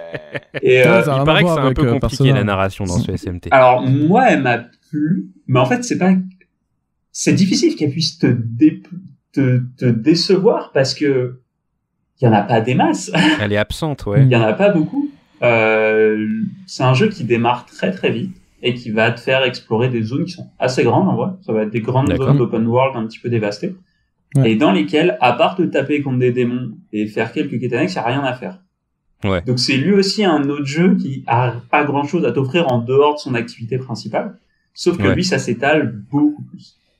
Et pour Ouais. le coup, euh, j'ai j'ai vraiment beaucoup aimé aussi. Vraiment, le, je trouvais que le Ouais. système de combat, il est top. euh, ça, ça pousse les systèmes euh, assez loin. Tu peux faire un peu ce que tu veux avec tes démons. Il y a des combats qui sont vraiment cool. Ça faisait longtemps que j'avais pas euh, joué à un RPG qui faisait que je me prenais beaucoup de game over. Ouais. Mais c'était plutôt cool. Et, euh, et c'est aussi l'un l'un des rares. Ça, ça faisait très longtemps aussi que j'avais pas sué à ce point-là pour battre un, un boss dans, dans un RPG qui t'a vraiment devoir pousser à fond pour reprendre le système qu'on m'a qu'on m'a expliqué, euh, Ouais. trouver les failles et tout. Et en fait, c'était assez cool d'enchaîner un jeu qui était à ce point-là. euh, en fait, deux jeux qui sont à ce point-là centrés sur leur essentiel et qui l'offrent pas du tout de la même manière. Car un Galaxy, Ouais, c'est- c'est- l'opposé total euh, des, des open world qu'on évoquait tout à l'heure. Ouais, c'est ça. C'est c'est vraiment l'opposé total. Et il y en a un qui est un open world techniquement, Oui, mais t'as rien à faire dans l'open world. Ouais. C'est euh, tu tu peux il y a il y a des bestioles cachées que tu peux choper, ça va te donner des bonus, mais sinon tu vas aller te taper contre des démons. euh, tu vas tu peux sauter de plateforme en plateforme. euh, Enfin, pour essayer d'atteindre un démon plus fort pour le taper, mais c'est tout. Tu tu tu tapes des démons, t'avances, t'avances de plus en plus vers la fin. Et Mais, mais tu Non. penses que c'est une pour euh, pour Shin, Shin Megami Tensei, tu penses que c'est un, un un véritable parti pris ou que c'est juste un problème technique ou même un problème euh, financier quoi. J'avais ils avaient ils avaient pas que ils avaient pas grand chose à mettre euh, ils avaient pas le temps ou ils avaient pas l'argent de mettre quoi que ce soit dans leur monde euh, monde ouvert ou c'est juste un parti pris de Euh, difficile à dire. Je suis loin d'être un expert sur la série, mais j'avais fait le, le 3, le, le remaster du 3 qui avait été euh, bah, porté euh, l'année dernière. Ouais, sur PS4. Et pour le coup, bah, c'était déjà un grand désert en fait. Euh, tu te balades pas dans des plaines, mais tu vas dans des bâtiments désaffectés ou des vieux trucs ouverts. Et finalement, là, il, c'est pas hyper différent. Donc, je sais pas s'ils ont une vision un jour de pouvoir faire un, un magnifique Tokyo luxuriant avec plein de choses, euh, des villes à voir, mais ça avait l'air d'être souvent les déserts qui les faisaient kiffer quand même. Ouais, le côté vraiment post-apo. Ouais, euh, c'est ça, euh, très dépouillé, il n'y a pas grand chose, c'est un grand désert. Euh, apparemment, l'épisode 4 sur 3DS était un peu différent. Ouais, c'est ce que j'allais dire. Ouais. Euh, il y avait une ville, t'avais pas mal de monde avec qui parler. tout. Tokyo, ouais. Hmm.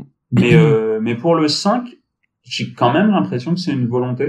Je crois que ce qu'ils voulaient offrir avec l'open world, euh, c'est un moyen d'aborder ta progression différemment. Hmm.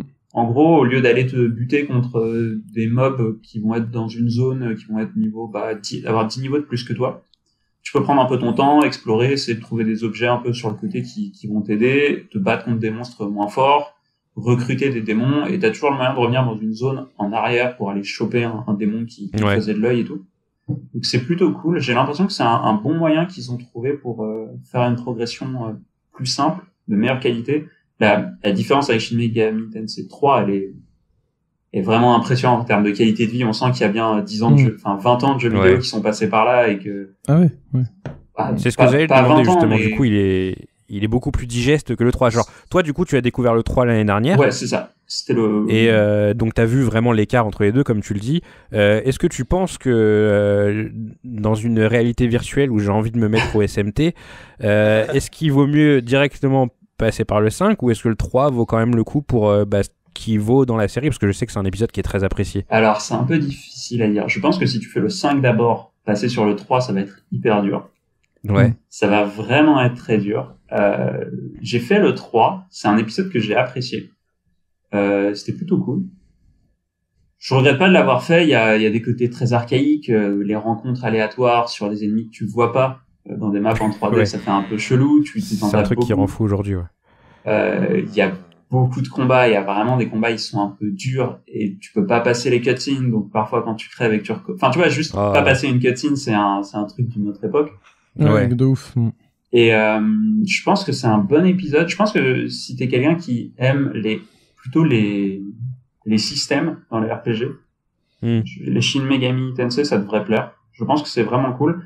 Euh, Il y a peu de narration, donc t'auras pas des masses de dialogues si les dialogues te Ouais. ou si le côté euh, le côté trop animé de certaines euh, bah tu vois c'est l'antithèse d'un personnage complètement. Ouais, il y a, c'est ce il y a pas de j'allais dire. dialogue, tu vas pas euh, tu vas pas au stand de hot dog après l'école pour passer un peu de temps avec tes potes. Enfin, Ouais, il y a, il y a plus rien. Il y a, il y, a, il y a un désert, il y a des monstres à taper et t'avances et, et on te pose des questions métaphysiques sur la voie que tu veux choisir.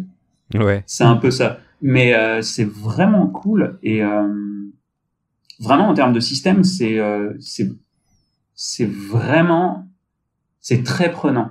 Ça faisait longtemps que parce que souvent dans un RPG, tu, tu peux avoir le côté où d'un moment, tu appuies sur le combat auto parce que tu tapes juste très fort ou Bien sûr. tu envoies tes plus grosses attaques et tu sais que tu avances comme ça. Et là, pour le coup, avec leur système des press turns, de taper les faiblesses, de, de devoir te buffer, de débuffer, ça marche vraiment bien et il y a vraiment un côté, tu te prends à faire les combats. Et finalement, la fin du jeu Mm. arrive, t'as pas eu beaucoup de narration, mais t'étais pas mal suffisamment investi dans les combats pour pas que ça te gêne. Pour Ouais. que Ouais. tu sois là pour te taper et tout.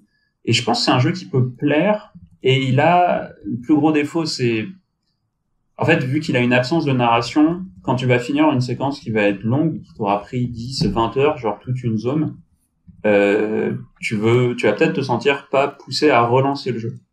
Parce Ouais. que t'as plus ton fil rouge. Euh, récemment, j'avais fait Control qui me faisait un peu le même effet. C'était un jeu très cool, Mhm. Control, mais vu qu'il avait une narration qui était pas très, enfin, c'est pas des enjeux clairs, des choses comme ça. Quand tu finis Oui. un chapitre, y a pas forcément quelque chose qui te pousse à relancer le jeu pour découvrir la suite. En fait, t'es es plutôt satisfait déjà de ce que t'as vécu et y a rien qui t'accroche à aller plus loin.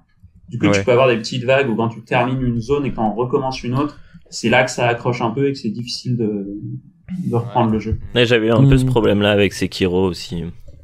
Ouais, c'est un bon Et même avec les, même avec les, les mangas et les animés, il y a plein de mangas que j'ai arrêté à la fin d'une sorte d'un Mm. arc narratif Ouais. de ouf. Et ensuite, tous les, tous les enjeux sont, sont réglés, quoi. Et t'es là, genre, euh, bon, ok, tu vois. Et ça m'est arrivé, euh, même avec Berserk, tu vois. Mm. Quand il y a l'espèce de, le truc, euh, je sais plus comment, l'éclipse, je sais plus quoi, ça continue après. Et après, je me forçais un peu à lire, mais c'était plus pareil et tout. Euh, des trucs comme ça, quoi. Ouais, donc je vois bien ce que tu veux dire. Mais euh, vraiment, pour peu qu'on accroche au système, c'est vraiment cool. Et du coup, j'en remets une pour les Gardiens de la Galaxie, qui lui, je pense, ça suit parfaitement pour n'importe qui. C'est le jeu qui a eu la campagne marketing la plus la plus éclatée du monde. Enfin, il passait après Avenger, le pauvre, quoi. C'est, tu vois, Ouais, c'est un peu le, le gamin qui arrive dans une salle de classe. On lui demande c'est qui son frère. Et en fonction de son frère, bah, il va devoir s'asseoir devant, quoi. Ça va être compliqué pour lui au niveau de l'année. Et bah, Gardien de la. Galaxie, c'est un peu pareil. Son frère, c'est Avenger. euh, les gens, Ouais, c'est ce que je me disais quand tu parlais du jeu. En fait, j'ai l'impression que c'est un peu l'antithèse de, de- d'Avengers, dans le sens où euh, Avengers a vraiment eu du mal à se séparer de, du Marvel Cinematic Universe et le fait Mhm. que les personnages soient pas les persos du, des films, ça lui a desservi directement. Alors que là, tu nous dis qu'en fait, Guardian of the Galaxy, c'est une force, Ouais. le fait que ce soit des personnages différents. Et puis il y a aussi ce fait que bah, là, c'est un jeu qui est quand même bien. euh, qui, qui se tient en lui-même, qui est un jeu solo, Ouais. etc. Là où l'autre Ouais. c'est un jeu service, donc un petit peu compliqué, etc. Donc Et- c'est vrai que c'est intéressant de comparer ces deux jeux. Ouais. Mais on en avait parlé la dernière fois déjà, mais Gardien de la Galaxie, c'est Eidos Montréal. Oui, oui, bien sûr, c'est pas. euh, donc, oui, oui. donc, voilà, c'est une équipe qui a du talent quand même. Non, non, mais. Euh, Crystal Dynamics, c'est plus compliqué. Ah. J'allais c'est dire, Tu vois Crystal Dynamics, ça va, mais bon. C'était à l'époque. Non, non, mais Eidos Montréal, euh, ils ont fait des trucs. Enfin bon, bref. Mais du coup, les, les Gardiens de la Galaxie, euh, le système de combat est un petit peu rude au début. C'est un peu brouillon. S'ils font une suite, c'est là-dessus clairement qu'ils pourront taffer. Mais c'est un jeu Ouais. qui, c'est, euh, ça, ça, franchement, ça se conseille à n'importe qui. Ça se suit très très bien et euh, et c'est aussi un jeu qui a pas de superflu. C'est vraiment, euh, il y a son expérience, tu l'as fait. Tu... Je pense que. Je... Bah, Guillaume avait déjà chauffé sur le Ouais. jeu. Et tu me chauffes encore plus, Mais- euh, Slimane, donc euh, je suis tenté. Je- ouais. Bah, si tu veux, je te le prêterai, Ken. Euh, Ah, c'est gentil. je pense que, je pense que même, euh, en fait, je pense que c'est le genre de jeu à, conseiller durant des soldes ou des trucs comme ça. S'il est en Mm. promo, genre de truc. Je, je- je pense que si t'étais pas non plus méga chaud pour le faire à la base, euh, c'est bien d'attendre qu'il soit à 20, 25 balles. Là-dessus, il Oui, vaut, il oui, vaut oui. largement le coup, quoi. Ouais. Ok. Du coup, Il peut être Et- fait sans, sans avoir vu les films. oh, il a Ah aucun rapport avec rien à voir. Moi, je n'ai vu que Aquaman hein, dans le MCU. donc, euh, Aquaman, c'est DC. euh, ouais, je sais. Mais euh, non, il a aucun rapport avec les films, et c'est d'ailleurs euh, très bien qu'il en ait euh, aucun. Parce que t'as pas l'effet Ouais. Avenger où tu dis euh, ah ouais, c'est presque Captain America. tu vois. Ah ouais. Mm. ouais, non, c'est clair, c'est clair. et euh, ouais, voilà, du coup, euh, Shin Megami, Guardian Galaxy, c'est deux jeux complètement différents, mais deux jeux qui font aucun superflu et qui se concentrent sur ce qu'ils veulent offrir. Mais tu m'as chauffé sur les Nice. deux parce qu'en fait, même SMT. Alors, euh, vous connaissez euh, mon rapport au JRPG qui est plutôt euh, compliqué. Grandissant, Et en fait, j'aurais euh, dit, moi. Comment? Grandissant, j'aurais dit. Oui, c'est vrai, grandissant aussi. Et en fait, bah, justement, en fait, j'ai fait FF7 euh, l'année dernière. Et euh, bah, ce qui m'avait chauffé sur FF7, c'était les matérias. Et euh, quand euh, SMT5 est sorti, on m'a rapporté plusieurs fois Ah Ken, tu kiffes les systèmes, euh, peut-être que du coup SMT5, il y a moyen que t'accroches. Et là, tu, vas encore dans cette direction, Slimane, en me disant vraiment les systèmes du jeu démontent. Et j'ai limite envie de m'y mettre juste pour les systèmes, pour les combats, parce que j'ai vu que tu pouvais vraiment pousser le truc assez loin, Ouais, ouais. personnaliser à mort ton équipe, les attaques, les machins. Et je me dis, si jamais je me bute le crâne dessus, il y a moyen que je passe un super moment. Euh, D'autant qu'en plus, le jeu est pas, est pas dégueulasse, artistiquement, il me plaît beaucoup. Donc, euh, ouais, euh, tu m'as chauffé, ouais. Ouais, non, vraiment, il y, y aurait beaucoup à dire sur les systèmes de, de SMT5 et j'ai pas envie de prendre trop de temps là-dessus, mais tu peux vraiment faire beaucoup de choses avec tes personnages. Et c'est Ouais. d'ailleurs nécessaire si tu veux réussir à tacler les, les plus gros challenges du jeu. Puis j'aime bien le fait que, comme tu le dis, enfin, les boss, euh, il y a de la résistance. Ouais. Après, je sais pas si t'avais beaucoup. euh, Est-ce que tu peux farmer pour aller à, à l'encontre de ça ou c'est compliqué? Tu peux farmer, mais alors pour l'exemple, euh, tu peux tu peux toujours farmer pour aller à, à l'encontre de ça, mais euh, en gros le jeu te donne assez peu d'XP à partir du moment où tu farmes des mobs du, du même niveau que le tien. Et vu que c'est découpé par euh, zone, ça va être rare de réussir à surclasser le boss. Ok, d'accord. Euh, et d'ailleurs, il est le, il y a le super boss du jeu pour le coup, il est quasiment au niveau max, donc tu peux pas vraiment le. Et c'est, c'est d'ailleurs, enfin, j'ai, je l'ai fini euh, il y a deux semaines et ça reste l'un des combats les plus durs que j'ai pu faire dans un RPG. C'est trop cool. J'ai passé près 45 minutes sur le combat.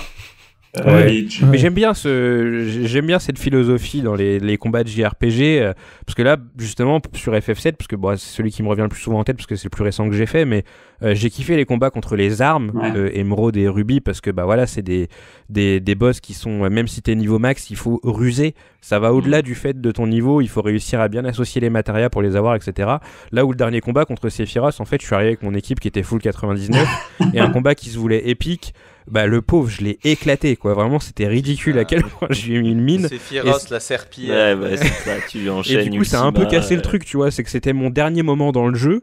Mais le truc c'est que comme j'avais fait beaucoup de endgame j'avais pas eu ce truc euh, genre le dernier combat euh, la musique était trop bien et tout. Mais bon je- enfin je réfléchissais même pas quoi. Je sortais des trucs je lui foutais des coups de malade dans la gueule. Et c'est vrai que ça m'a un peu manqué. Donc si tu me dis que le dernier boss malgré tout il faut euh, Tu vois il faut un peu ruser façon arme ça peut être sympa Ouais, alors euh, justement, moi j'ai tapé le, le super boss avant d'aller finir l'histoire parce que je voulais avoir D'accord. une, une fin secrète et je me suis un peu retrouvé dans la même situation que toi. ah Je d'accord suis un peu arrivé sur, même si j'ai fait un peu le con, il a failli m'avoir, mais je suis un peu arrivé sur le dernier boss en disant allez, écoute, Ouais, moi j'ai une Mm. matinée chargée, il faut que je me dépêche, donc d'avance. Mais euh, je pense que si tu mets vraiment, par contre, je pense que si tu mets le jeu en, en difficile, parce que c'est vraiment un jeu qui a un mode assez difficile, tu peux avoir des, Ouais. des trucs très très cool. Et pour le coup, c'est pas que de la, c'est pas de la statistique qui va gérer tes victoires et tes défaites.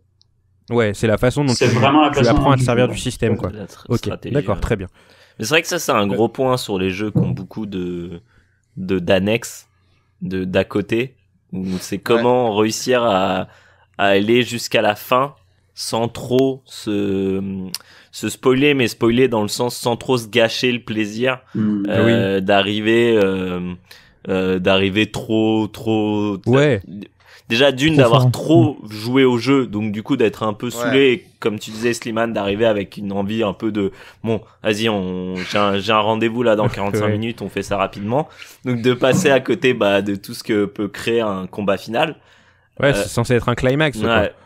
Et euh, ça, c'est assez compliqué à gérer, ouais. Euh, c'est ce besoin de- d'aller voir à côté de- pour faire plein de trucs et, et, ré- et récupérer. euh, Ça m'est arrivé. Dans sur- Yakuza aussi, c'est assez compliqué. Ouais, bah ouais. Mais ça m'est arrivé sur Mm. plein de jeux comme ça que j'ai jamais fini parce que j'allais, j'allais trop loin dans les quêtes annexes. Par exemple, oui. euh, comment il s'appelle ce jeu de Ubisoft là, euh, Breath of the Wild par Ubisoft. Ah, Phoenix Euh, Rising. Euh, j'ai tellement, j'ai tellement poncé le jeu à côté que j'ai jamais fini le jeu. Je suis devant le dernier boss et je l'ai jamais fait quoi. Ouais. Comme Skyrim, Ah ouais. comme plein d'autres jeux quoi. Intéressant. Ouais. Je pense qu'on en parlera dans un prochain podcast, Guillaume, de, ce genre de choses. Euh, petit point ancien. Euh, Théo, euh, ton premier euh, RPG Atlus, euh, est-ce que c'était Megami Tensei sur NES Ah, non, non, non, c'était le jeu du cré- le premier jeu du créateur de, de C'était, SMT. c'était voilà, c'était son Dragon jeu qu'il avait fait en, jeu qui en a- classe d'art plastique, en, classe, en classe de techno, il avait fait. Non, c'était Persona FES, hein, Persona 3, mais Ah oui, ok. mais Nocturne, je l'avais fait. Euh, enfin, Shin Megami Tensei 3, T'avais je l'avais commencé fait et j'avais trop kiffé l'ambiance Ouais. parce que ça m'avait permis de faire une super sieste. mais c'est vrai, mais c'est pas une blague. Mais je crois que je l'ai déjà dit dans un podcast. Je pense que je radote. J'y avais joué une après-midi, euh, dimanche après-midi, comme ça, comme aujourd'hui. Tiens, j'ai envie de faire une sieste en plus là. Non, je rigole. mais et vraiment, il y avait une ambiance, mais c'est pas pour critiquer, c'est vraiment le, la vibe. Et comme t'as dit, c'est tout le contraire d'un personnage parce que ça, ça parlait très peu, c'était très euh, tamisé, je sais pas comment dire. Ouais. Comme ambiance. Feutré, Ah mais moi personnage, je m'endormais tout le temps devant. Oh my god. Parce que c'est très vers. euh, Enfin, il parle beaucoup hein, dans Persona. Je m'endormais Ce tout qui le est temps bien, Ouais, c'est devant que les dans SMT, c'est que bah, ça parle moins. C'est c'est ça bon, qui est cool aussi. Et que c'est plus le système, ouais, carrément. Moi, je me suis pris le SMT euh, 3, là, le remaster, là, sur euh, PS4. Euh, Il faut que je le fasse avant le 5. Je me suis dit, parce qu'en fait, comme tu l'as dit, hein, Slimane, euh, si je fais le 5, euh, d'abord, euh, c'est fini, j'y toucherai jamais, en fait, au 3. Ça va trop me saouler. Ouais. Du coup, euh, vas-y, faudrait que je le fasse, mais, mais clairement, euh, c'est un jeu que je voulais faire depuis un moment et j'attendais aussi euh, SMT 5. Ouais, c'est lourd, hein, franchement, les, les Yes. jeux à système. hein. Le, le seul problème pour SMT5, c'est que jeu Switch et jeu Nintendo oblige, euh, au niveau du tarot, ça va pas baisser beaucoup. Si Oui, jamais, ouais. euh, Hmm. c'est difficile de le conseiller parce que tu risques surtout de l'avoir au prix fort pendant longtemps. Ouais. donc, euh, Ouais, ça craint. C'est du 60 balles ou rien, quoi. ça Oui, peut bah, descendre à un 45 grand maximum, mais ouais, ça va être. Pikmin Ouais, de parce luxe, que je c'est l'ai vrai acheté que- hier, il est à 60 balles quoi. Ouais, c'est bah lequel ouais, voilà. celui-là? C'est lequel t'as montré? Le Pikmin. Pikmin. Ah, Pikmin ouais. 3. Ouais. Ah, un ouais, jeu bah, Wii U à 60 euros, ça fait Ouais. plaisir. Non, il y a plein de jeux, il y a plein de jeux sur Switch que j'aurais envie de faire, mais pas pour ce prix-là en fait. Mhm. Ouais. Et euh, dédicace à. Magid, il m'avait donné une clé pour craquer la Switch, mais vu que je suis une merde, j'ai pas réussi et puis je suis passé à autre chose. Mais tu sais que, euh, allez, plongeons dans la piraterie. Euh, Il y a un émulateur Switch maintenant qui tourne sur PC, qui Ouais, s'appelle ouais. Yuzu. Yuzu. Ouais, non, non, mais attends, euh, les jeux que j'ai envie de faire sur Switch, c'est des jeux que j'aurais envie de faire en portable. Ouais. Sur PC, Ah, d'accord, euh, c'est bien spécifique. j'ai envie de faire autre Sur chose, Steam Deck quoi. Steam Deck, mec. Bah, Steam Deck, ça a l'air intéressant, hein, euh, en vrai. Si t'as une bonne préco, collection moi. Steam. Mm. Ah, tu l'as préco, Ouais. beau gosse Pour, Ah, là d'accord, ok. pour, pour en avoir tenu un de Steam Deck, euh, c'est quand même un peu lourd, quoi. Ouais. C'est trois, deux fois ou trois fois plus lourd qu'une Switch. Je crois que c'est, c'est au moins deux ou trois. J'ai vu tous les prix, j'ai vu tous les poids récemment affichés et la, et ouais, le Steam Deck, je crois que c'est deux, trois fois plus lourd qu'une Switch, quoi. C'est vraiment genre, Ah oui, j'ai pas tenu entre les mains. Ça, ça, ça a l'air, ça, franchement, ça a l'air très cool. Enfin, quand tu lances un, j'ai vu tourner euh, quoi dessus Bah justement, j'avais vu tourner Control dessus euh, et Ace Combat. Ouais. Justement, Ace Combat 7, quand tu le vois tourner sur un Steam Deck, tu fais wow, quand même, c'est dingue, Ouais, que ce ouais, soit dans ouais. la main. Ouais. Mais après, si tu Là. joues sur ton lit avec au-dessus de ta tête, enfin, le Ouais. fais pas tomber. Ah, c'est mort. Et voilà, tu meurs, quoi. En gros, c'est la game, la Game Gear euh, de 2022, quoi. Voilà. C'est ça. C'est- Elle est énorme. Mais tu sais elle qu'elle est belle, encore mais- plus grosse qu'une Game Gear, je crois. Ah ouais, non. Ah, c'est vraiment fat, hein, mon gars. La Game Gear. De nos jours, c'est c'est marrant la Game Gear parce que en fait elle est fat mais l'écran il est quand même assez Oui, petit. de quand quand j'ai repris ma Vita, euh, je ça m'a ça m'a surpris. La chanteuse 1000. Non, non, pas la Ouais. chanteuse. Rien à voir avec euh, les R&B français. Mais Rien à euh, voir avec ouais, Slimane et Vita. Ok, j'ai compris. ok,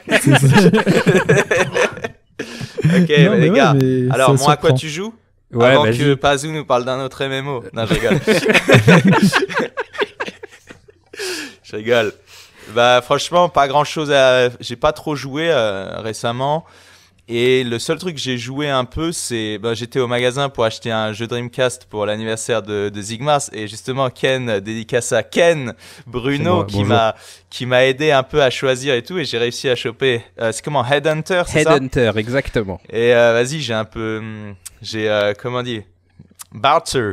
J'ai négocié, tu vois, j'ai troqué, tu vois. et du coup, euh, et du coup, je lui ai dit, eh, je prends ce jeu-là et je prends celui-là et vous me faites un prix.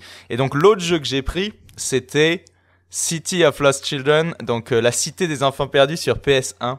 Oh, Et euh, donc je suis arrivé à la maison avec euh, un CD PS1, j'étais très content avant de me, rendre compte que je n'avais pas de PS1 ah, évidemment. merde. donc j'ai téléchargé l'ISO Et comme t'as le jeu original, ça passe. Et franchement, euh, non, mais en plus, c'est un jeu que j'avais découvert. euh, Non, c'est un film, pardon, qui, euh, qui est connu. C'est un film français, c'est Jean-Pierre Mm. Jeunet. Jean-Pierre Jeunet, ouais. Donc, Oui. pour les gens, euh, il avait fait Delicatessen avant. Après ça, il a fait directement Alien 4, je crois. C'est une carrière un peu spéciale, hein. Mm. Alien 4. Et ensuite, il revient en France et il fait Amélie Poulain. C'est Yes. pas mal comme Mm. carrière, quand même. Et là, il vient de sortir son franchement- nouveau film Ouais. sur Netflix. Ouais, voilà. Ouais, Exactement, j'ai- c'est pas le truc avec les, les les robots androïdes là aussi. Ouais, Ouais, c'est ouais. ça. J'ai pas regardé encore. Yes. Mais toujours est-il que non, c'est quand même, euh, ouais, c'est quand même du patrimoine, tu vois. Et le film, il est bien, tu vois. Et c'est Alice qui me l'avait montré pour la première fois. Je connaissais le nom, mais j'avais jamais vu. Hmm. Et j'avais vraiment kiffé euh, le film. Et d'ailleurs, si vous kiffez Bioshock, amusez-vous à regarder le film et réaliser que, en fait, Bioshock, c'est c'est super créatif et tout. Mais ça, je sais d'où ils ont piqué les, i- enfin, pas piqué les idées, mais je sais d'où ils ont tiré certaines Ouais. idées. Parce que t'as des scènes littéralement, genre t'as un scaphandrier, un gros scaphandrier Ouais. qui récupère une petite fille. Ouais. Euh, t'as des scènes, t'as plein Oh. de trucs comme ça. Regardez-le. J'ai plus le film en tête et tout, mais regardez-le et vous verrez plein de similarités avec Bioshock. Mais en fait, euh, elle- Alice, elle aime euh, ce qui est français et un peu spécial, quoi. Ouais, ouais, mais tu sais, elle kiffe, euh, quand je l'ai Ouais, rencontrée, elle parlait, elle me parlait d'Enki Bilal, trucs comme ça, donc elle Mm. kiffe euh, ces trucs-là, ouais. Et du coup, euh, ça c'est trop bien. Et du coup, vous vous souvenez, j'avais fait, euh, bon, parmi tous mes projets avortés dans ma vie, euh, il y avait, euh, bon, il y en a des centaines de milliards, mais il y avait aussi, euh, j'avais, j'avais fait euh, une vidéo sur YouTube, c'était euh, le jeu Renault, sur Renault. Oui, J'avais une sûr. idée de faire une série comme ça avec des jeux bizarres, un peu euh, inconnus ou un peu Ouais. bizarres et tout. Et justement, le jeu de la Cité des Enfants Perdus, je- il était genre, je- limite c'était l'épisode 2, je crois que je voulais le faire déjà. Ouais. Et justement, je voulais parler de ce rapport avec Bioshock et tout, avec le film. Bon, bref. Bah moi je suis chaud, ça m'intéresse. Hein. Ouais, pareil, hein, parce que en vrai, c'est un jeu qui m'a toujours intrigué sur PS1, parce que le film, euh, il- je l'avais vu quand j'étais jeune et tout, c'était euh, Ouais. assez impressionnant. Mais le jeu, je- il avait l'air intéressant parce que il- je crois il est en mode caméra fixe et tout, non? Ouais, c'est ça, en fait, tu, Ouais. tu, tu peux de temps en temps switcher entre deux caméras, donc Ouais. c'est. En fait, on pourrait dire que ça fait un peu ambiance euh, point and click, mais sur Ouais. PS1. Donc en fait, c'est vraiment le mec qui imagine si c'est ton jeu préféré. Bon courage pour trouver d'autres jeux de ce type parce qu'en fait, ça existe pas en fait Ouais, dans le sens exactement. où tu contrôles euh, un personnage de, de façon trois dimensionnelle euh, comme euh, sur un vieux Resident Evil, tu vois, avec Ouais. des plans un peu fixes. C'est ça. Euh, c'est du précalculé, c'est de l'image synthèse, mais c'est du précalculé, donc t'as que les personnages qui sont, voilà, qui sont en, En temps 3D. réel, on va dire. Mm. Et euh, tu, cal- tu déplaces, tu sais, avec ce système bizarre où, genre, à chaque fois que tu pousses euh, la croix ou le joystick vers le haut, ton personnage va toujours tout droit. Donc, euh, il- ça va être- dépendre de, de dans quelle orientation. Quelle Genre est ton comme, euh, Ouais, c'est orientation ça, Resident euh, Evil. en mode Resident Ouais, Evil. c'est comme Resident, Ouais. ouais, c'est ça, c'est comme Resident Evil en fait. Et sauf qu'en fait, c'est là où le, où le jeu, voilà, je, je vais pas, en- je vais pas vous le vendre en disant ouais c'est un chef-d'œuvre et tout, parce qu'en fait le jeu il est, le gameplay il est assez spé en fait, c'est, c'est vraiment juste, t'as des sortes d'objets qui sont dans la map, cachés, enfin dans la map, dans, dans les environnements. Parfois tu les vois à l'écran, parfois tu les vois même pas, donc il faut se rapprocher. Ensuite t'as une fenêtre qui affiche euh, euh, l'objet en question. Donc des fois faut un peu, tu sais, comme dans certains jeux et tout, faut, vraiment euh, un peu frôler les couloirs, Mm. euh, genre Ah. frôler les murs, tous les murs, jusqu'à se dire ah mais peut-être que dans cet interstice dans le mur il y a un objet. Donc c'est Je pas le game, c'est pas le game design du siècle. J'en suis même venu à penser qu'ils avaient caché les objets de façon un peu bête pour justement ag- agrandir la durée de vie qui est vraiment assez courte. Par exemple, là, je check, euh, j'ai checké le, le, le walkthrough, tu vois. Mhm. D'ailleurs, j'ai checké parce que sinon, autrement, j'aurais pas fini le jeu. Parce qu'il y a Ouais, des objets qui sont cachés, tu Mhm. comprends pas ce qu'il faut faire. Et le walkthrough sur, Google- sur YouTube, pardon, il faisait genre 55 minutes pour finir le jeu. Ah ouais. Donc, euh, t'as tout le moment où, en gros, tu te balades dans la ville. On sent que les, les, les designers de l'époque, donc c'est quand même, c'est un jeu de 95, non, 95, ouais, je crois que c'est un, Putain, c'est vieux. Je crois que c'est Ah, c'est un 95 vieux ou jeu. 97. Faudra vérifier. 97, 98 même. Ah ok 97 ok Mm. et du coup euh, en tout cas ce qui est ce qui est admirable c'est qu'ils ont reproduit la ville et euh, enfin une partie de la ville et tout avec euh, de manière cohérente tu vois c'est-à-dire que euh, tu peux quand même te promener pas mal selon le chapitre tu peux te promener dans différents quartiers mais, mais ils sont quand même assez connectés entre eux et Alice tu vois qui elle elle est toujours assez sensible au au visuel et au à la direction artistique malgré que ce soit un jeu euh, PS1 et tout, elle disait ah mais c'est beau, c'est beau, c'est beau et c'est vrai que c'est assez bien fait, tu vois, ils ont vraiment Mhm. ils ont vraiment été fidèles au, au film en fait, Ouais. à la direction euh, artistique de Caro Genet, enfin j'ai envie de dire euh, voilà, un classique. et du coup euh, et du coup c'est cool et du coup ça, ça vaut le coup pour pour les fans du film, voilà, pour les gens qui kiffent le film, ouais, ça vaut le coup, ça s'émule euh, facilement par exemple, euh, même l'ISO, il fait genre 200 mégas ou un truc comme ça. Ouais. Et vous, ça va vous permettre de vous promener dans les environnements, euh, de retrouver l'ambiance du film et tout. Ça serait pas un jeu que je conseillerais aux autres gens euh, qui sont ou qui sont pas forcément sensibles à ça, parce qu'en réalité, euh, voilà, c'est surtout tu vas te prendre la tête sur des énigmes qui sont pas toujours hyper logiques. Par exemple, il y a une caisse enregistreuse. ça c'est assez drôle, je vais le raconter. En fait, il y a une caisse enregistreuse quand elle s'ouvre. Ouais. Elle coupe l'électricité. d'un- Il y a un coffre-fort avec des, de l'électricité, donc tu peux pas atteindre le coffre-fort. Quand tu ouvres la caisse enregistreuse, l'électricité se coupe. Il y a plus D'accord. d'électricité. Sauf que la caisse enregistreuse, elle se referme. Elle a un système, elle est montée sur ressort. D'accord. Donc, le temps que tu ouvres la caisse et que tu te diriges vers le coffre, l'électricité est déjà revenue. Est-ce que je suis, je suis compréhensible Ouais, ouais. jusque-là Ouais, ouais. Alors, comment on va régler ce problème, les amis? Eh bien, il faut récupérer une brosse. Alors, tu récupères une brosse et il faut, faut penser au fait que il faut mettre la brosse dans la caisse. Que- Quelle est la meilleure façon d'empêcher une caisse enregistreuse de se fermer? C'est d'avoir une brosse. Oui, avec une brosse, mais pas avec n'importe quel autre objet. Il faut que ça Il soit faut une que ce brosse. soit absolument ce important. truc. euh. Mais, Ça sera mais une ça, brosse uniquement. Donc ce genre de truc. Et aussi, je vais peut-être, euh, je crois que j'en ai déjà dit pas mal. Je vais quand même finir en disant attention, ça peut être déceptif vers la fin parce qu'une fois qu'on quitte la ville dans le bateau pour rejoindre là où les enfants sont sont capturés, donc une sorte de de big shell, tu vois, un peu une sorte de, de station un peu pétrolière au milieu de la mer. Et bien en fait à ce moment-là, euh, ce n'est plus que de la cinématique. Sympathique somme toute mais euh, tu joueras plus euh, elle va juste ton personnage va rentrer libérer les enfants et partir et c'est la fin. Ok. mais voilà, petit petit jeu qui a le mérite qui a le mérite d'exister mais sans euh, vraiment tu vois, c'est-à-dire c'est cool que ça existe, tu vois, tu te rends compte que c'était des petites équipes, genre dans le Ouais. générique il y a quatre noms. Quand le jeu il commence, t'as quatre noms dans le générique, genre en gros t'avais un mec qui faisait euh, je sais pas les modèles, un autre qui faisait la- l'animation, un autre qui faisait le programmation et puis c'était à une époque où tu pouvais faire un jeu comme ça euh, Ouais. adapté d'un film et le commercialiser alors que c'était des tout petites équipes, ça c'est Ouais. sympa quoi. Aujourd'hui ça serait autre un époque, hein. Ouais, aujourd'hui, ce serait un tout petit jeu indé, quoi. Ça serait un jeu. Itch.io, en fait.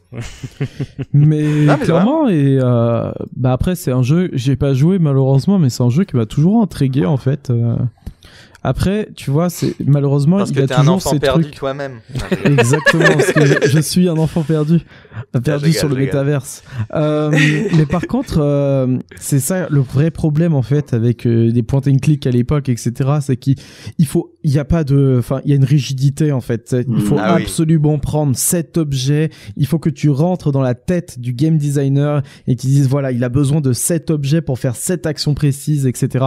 Ça c'est c'est difficile. Mais à l'époque. euh, bah, c'était comme ça quoi et c'est C'était compliqué la hein. jungle à l'époque. hein. Et même par rapport au boulot euh, de Slimane et tout, c'est hyper intéressant parce Ouais, qu'aujourd'hui, parler. les, je- Mm. les, les jeunes, nos jeunes, ils sont éduqués, tu vois, ils connaissent tout. Ils connaissent, euh, ils savent comment. Et c'est comme ça qu'on arrive. on- je vais un peu, euh, tu vois, partir sur le sujet suivant, mais on arrive à des jeux qui sont hyper bien conçus. Ouais. comme euh, celui dont on va parler tout à l'heure. Mm. Mais à l'époque, c'était juste la jungle en fait. Personne n'avait trop d'idées de qu'est-ce qu'on fait, les gars. Bon, alors, euh, ah, il est en 3D le jeu. Ok, ouais, ouais, il est en 3D. Ok, c'est bon, on le vend, mec. Et, et le reste, euh, le gameplay, on s'en bat les couilles d'une façon, tu vois. C'est ça. Ah, Et les gosses, ils recevaient ces jeux-là, tu vois. Ils étaient contents, wesh. Ouais, j'étais Et d'ailleurs, content, moi. dédicace au jeu de Fifth Element, du cinquième élément. Je sais pas si vous y avez, Ouais, avez j'ai joué. joué et c'est un jeu qui me, qui euh, il me donne des cauchemars. Il est horrible ce jeu. Horrible. T'as à l'ancienne, hein, le jeu quand même. Ça, Ah, c'est pareil. C'était un jeu euh, un peu Corben alambiqué, Dallas, mais bon. euh, Comme le jeu, euh, moi ça me fait penser au jeu Die Hard. Ah ouais, Ah, mais là, il y, en ouais. a- il y en a pas mal des il jeux était, Die il quand même ouais. plus drôle, celui-là Die Hard. Alors que euh, Ouais. le cinquième élément, c'est chaud. Hein. Bah, après, je trouve que ce que ce que tu reproches, le côté point and click avec euh, sa propre logique, c'était un peu aussi ce qu'on avait reproché à 12 minutes euh, pendant quand on en avait parlé, quoi. Exactement. le jeu, il veut que tu fasses les choses au moment où il faut que tu les fasses, quoi. Il y a pas de façon. Bah, c'est ça. Tu peux pas avancer plus vite que lui, quoi. Bah, et, comme tu, euh, comme tu, pardon, euh, pardon Théo, mais comme je disais, mais comme tu l'as très justement dit dans le podcast, euh, Guillaume, ça a plus sa place en fait en 2022. Enfin, je, je trouve que c'est, c'est hors propos en fait. Tu vois, c'est un peu hors période, etc. Alors que tu vois, si tu prends un vieux jeu, euh, euh là c'est les enfants perdus, ou là je pense notamment à Broken Sword, là les, les chevaliers de Baphomet, etc. Bah je sais pas en fait, comme personnellement, comme je me dis, vas-y ça c'est un jeu, je me je me replace enfin un jeu à, l'ancienne, je me replace dans le hmm. contexte de l'époque, ça va moins me déranger de me dire bon bah écoute, dans ce jeu vidéo là, bah, il faut que je prends cet objet précisément pour que je fasse cette action, etc. Euh, parce qu'à l'époque c'était comme ça. Pareil quand quand j'ai quand j'ai commencé à refaire la mer zone, euh, bah putain quand même c'est vieux, hein, c'est. Ah oui. Il faut absolument faire ce truc, etc., etc. Alors que alors que quand tu joues, tu te dis, vas-y, mais en fait, si je fais ça, euh, ça passe, je vais gagner du temps. Non, il faut d'abord que tu parle avec le vieux, puis après il canne, puis après tu vas en bas et ensuite tu vas au phare, etc. Non mais tu peux pas juste aller au phare, aller euh, changer l'ampoule, etc. pour ensuite tu vas, parler au vieux et tout. Non non, faut que tu fasses tout dans dans cet ordre-là. Et ça, bah ouais, en 2022 c'est c'est compliqué quand même hein de. Enfin, c'est compliqué avec tout tous les jeux là qui sont sortis, les Minecraft, etc. mais euh, non, c'est toujours sympa d'avoir des, des, jeux tirés de films dans le sens où, parce que justement, Guillaume, il parlait de Die Hard. Mm. Et récemment, j'ai fait le jeu, je l'ai même fini. S'il est pas très long, c'est Die Hard Nakatomi Plaza. Donc, c'est un FPS du tournant des années 2000, en gros. Mm. Et en fait, en tant que jeu, en fait, tu t'en bats les couilles, en fait. Comme tu te dis, bon, euh, si tu prends le jeu en tant que tel à part, on s'en fout. Mais en fait, quand t'aimes bien le film original, ça donne vraiment un supplément d'âme euh, à bas coût, tu vois. C'est-à-dire que, bah, toi, tu kiffes le film, tu joues au jeu. Et tu fais, ah, mais c'est cool, je suis John McClane, tu vois. Euh, je suis. C'est pas John McClane Non, non, non, pardon, je, regardais juste le, le jeu en me disant, mais ça date de quand? Parce que c'est plutôt bien fait, mais je sais pas l'époque. ouais, ouais. Euh, faut regarder la date, mais euh, c'est pas 2002 quand même. Donc c'est à l'époque où les FPS PC ils commençaient à être quand même assez propres, tu vois, 2002, 2003, 2004. Et du coup, euh, ça fait plaisir. T'es dans l'environnement de euh, Nakatomi Plaza. Mais que demande le peuple Attends, attends, simple question sur le, le, le jeu Die parce que donc c'est un jeu qui est basé sur le premier film Die Ouais, ouais, ouais, c'est un FPS où t'es en 2002. T'es Bruce Willis quoi.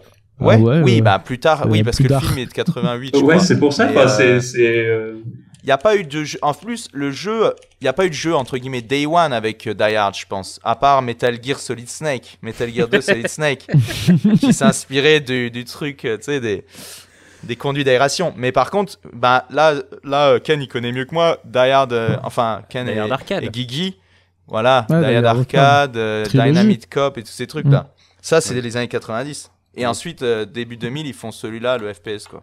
Euh, bah merci Théo. Alors, euh, si jamais vous voulez chauffer Théo pour qu'il fasse sa vidéo sur euh, les parallèles entre la cité des enfants perdus et Bioshock, bah spammez, ok? Spammez dans les commentaires. Spammez et, commentaires dans tous les commentaires seront remontés à Théo et ça lui donnera la force, l'énergie solaire qui lui permettra de concevoir cette vidéo. Sachant que la vidéo sur le jeu vidéo Renault a été trop bien. J'avais trop ri, donc euh, franchement, euh, moi je suis chaud. Ah, c'était la meilleure, hein. c'est une des meilleures vidéos Merugen. C'est clair. Franchement, elle, très, très, bien. Théo, elle très, très bien. Elle a obtenu le buzz, mon gars. Je sais plus combien de vues elle a fait. J'ai ri et j'ai appris beaucoup de choses. Oui, exactement. que demande le un très bon moment. Ah, Simer, euh, je, je, vais prendre. Comment Non, j'allais dire avec maintenant Renault, ça fait encore plus bizarre, mais c'est encore plus intéressant. c'est vrai. Euh, je vais prendre la main du coup pour évoquer euh, le dernier jeu du à quoi tu joues, euh, sur lequel on va pas mal s'attarder, c'est Sifu. Alors, je peux pas trop dire de la merde parce qu'il y a Slimane. Non, vas-y, vas-y. Non, mais t'inquiète. pas si ouf. Ah, bah, moi, tu me connais. Enfin, je vais, je vais dire ce que je pense honnêtement du jeu. Alors déjà, il faut savoir que moi, Sifu, c'est pas un jeu qui m'avait chauffé de ouf à la base parce que euh, on en avait parlé sur le Discord de Merugezu, euh, parce que très vite on m'a dit ouais Ken ne s'y fout machin et tout ça va être ta cam. Et j'avais dit bah en fait j'ai très peur. Parce que euh, quand un jeu part sur, sur un terrain qui m'est aussi cher que le beat'em up j'y vais toujours avec beaucoup de défensive. C'est une réaction que j'ai par défaut euh, que j'ai pas eu avec Street of Rage 4 euh, parce qu'il y avait le fanboyisme, mais je l'avais quand même un petit peu au fond de moi. Et, et là, du coup, bah, euh, j'avais pas une réaction de rejet envers le jeu, mais je me disais, bon, ça viendra quand ça viendra. Et donc euh, les trailers passants, etc., j'en entendais parler, euh, euh, je lui reconnaissais des, qualités visuelles évidentes, mais je me disais, bon, on verra et tout machin, parce que manette en main, je, je sais pas ce que ça va donner, donc je vais attendre un petit peu. Et en fait, ce qui s'est passé, c'est que, je crois deux jours avant que le jeu sorte, en fait, les, vidéastes avaient une, comment on appelle ça, une, euh, version, un copie. NDA qui s'arrêtait Ah. le dimanche à, à midi, je crois, un truc comme ça. C'était pour en fait la, la sortie de la version anticipée euh, de luxe qui était là dispo euh, deux jours avant. Et donc Gotos a fait une vidéo et euh, pour être parfaitement honnête avec vous, j'étais en train de chier et je me suis dit tiens, je vais mettre la vidéo euh, pendant que je fais mon petit travail. Et donc j'ai regardé la vidéo. Et en fait, euh, déjà, ce que j'ai apprécié dans l'avis de Gotos, qui dit lui-même que c'est un avis, c'est que, bon, en gros, il te file tout- tous les, éléments qu'il a repérés sur le jeu, et il te les file un peu comme ça en disant, bon, bah, moi, euh, je le vis comme ça parce que je suis tel joueur, mais bah, peut-être que les autres gens le vivront, différemment. Et en fait, à chaque fois qu'il évoquait un truc qu'il l'avait freiné, moi, je me disais, oh, ça a l'air intéressant quand même. Le fait que, voilà, le jeu, euh, tu dois le recommencer plusieurs fois pour le maîtriser petit à petit, etc. euh, ça m'a chauffé en fait, ça m'a chauffé de ouf et il s'avère que j'étais un peu dans un trou au niveau jeu, j'avais pas grand chose à faire. Je me suis dit vas-y, tu sais quoi, je vais prendre Sifu. euh. J'avais remballé ma PS4 hein, pour être honnête, je l'avais rangé dans un carton parce que je suis en plein déménagement, je l'ai ressorti pour euh, du coup euh, choper Sifu. Et donc me voilà sur le jeu. Et euh, au début, je garde cette posture assez défensive par rapport au jeu où euh, j'essaye un petit peu les choses, etc. Et euh, forcément, il y a un petit peu de frustration. Mais je pars avec cet état d'esprit que si le jeu est vraiment cool, c'est normal qu'il me délivre pas directement toutes les clés qui me permettent de passer un bon moment en fait. Et c'est quelque chose d'assez important pour moi quand je joue à un jeu, c'est que j'aime ressentir que la progression vient de moi et qu'elle vient pas du game design et de quelconques statistiques qui vont faire que quand je vais retourner dans la première zone, euh, bah, je vais tout éclater. Ça, ça m'intéresse vraiment pas. Euh, récemment, j'ai fait un petit euh, beat'em up qui s'appelle Fight and Rage, qui est fait par euh, un mec, un espagnol. Et euh, au début, le jeu m'a pas mal frustré parce que je me disais, il- ça va pas. Et, mais il y a un truc que je comprends pas. Et en fait, à un moment, j'ai commencé à comprendre le jeu. Et là, je me suis mis à rouler sur le jeu. Et, moi, j'adore ça. Vraiment, c'est important pour moi. Euh, quand j'ai joué à Street of Rage 4, pareil, euh, tu joues à Street of Rage 4 lors de ta première partie ou lors de ta 500e partie. Quand tu commences ta partie, t'as le même personnage que lors de ta première partie. Et ça, c'est important.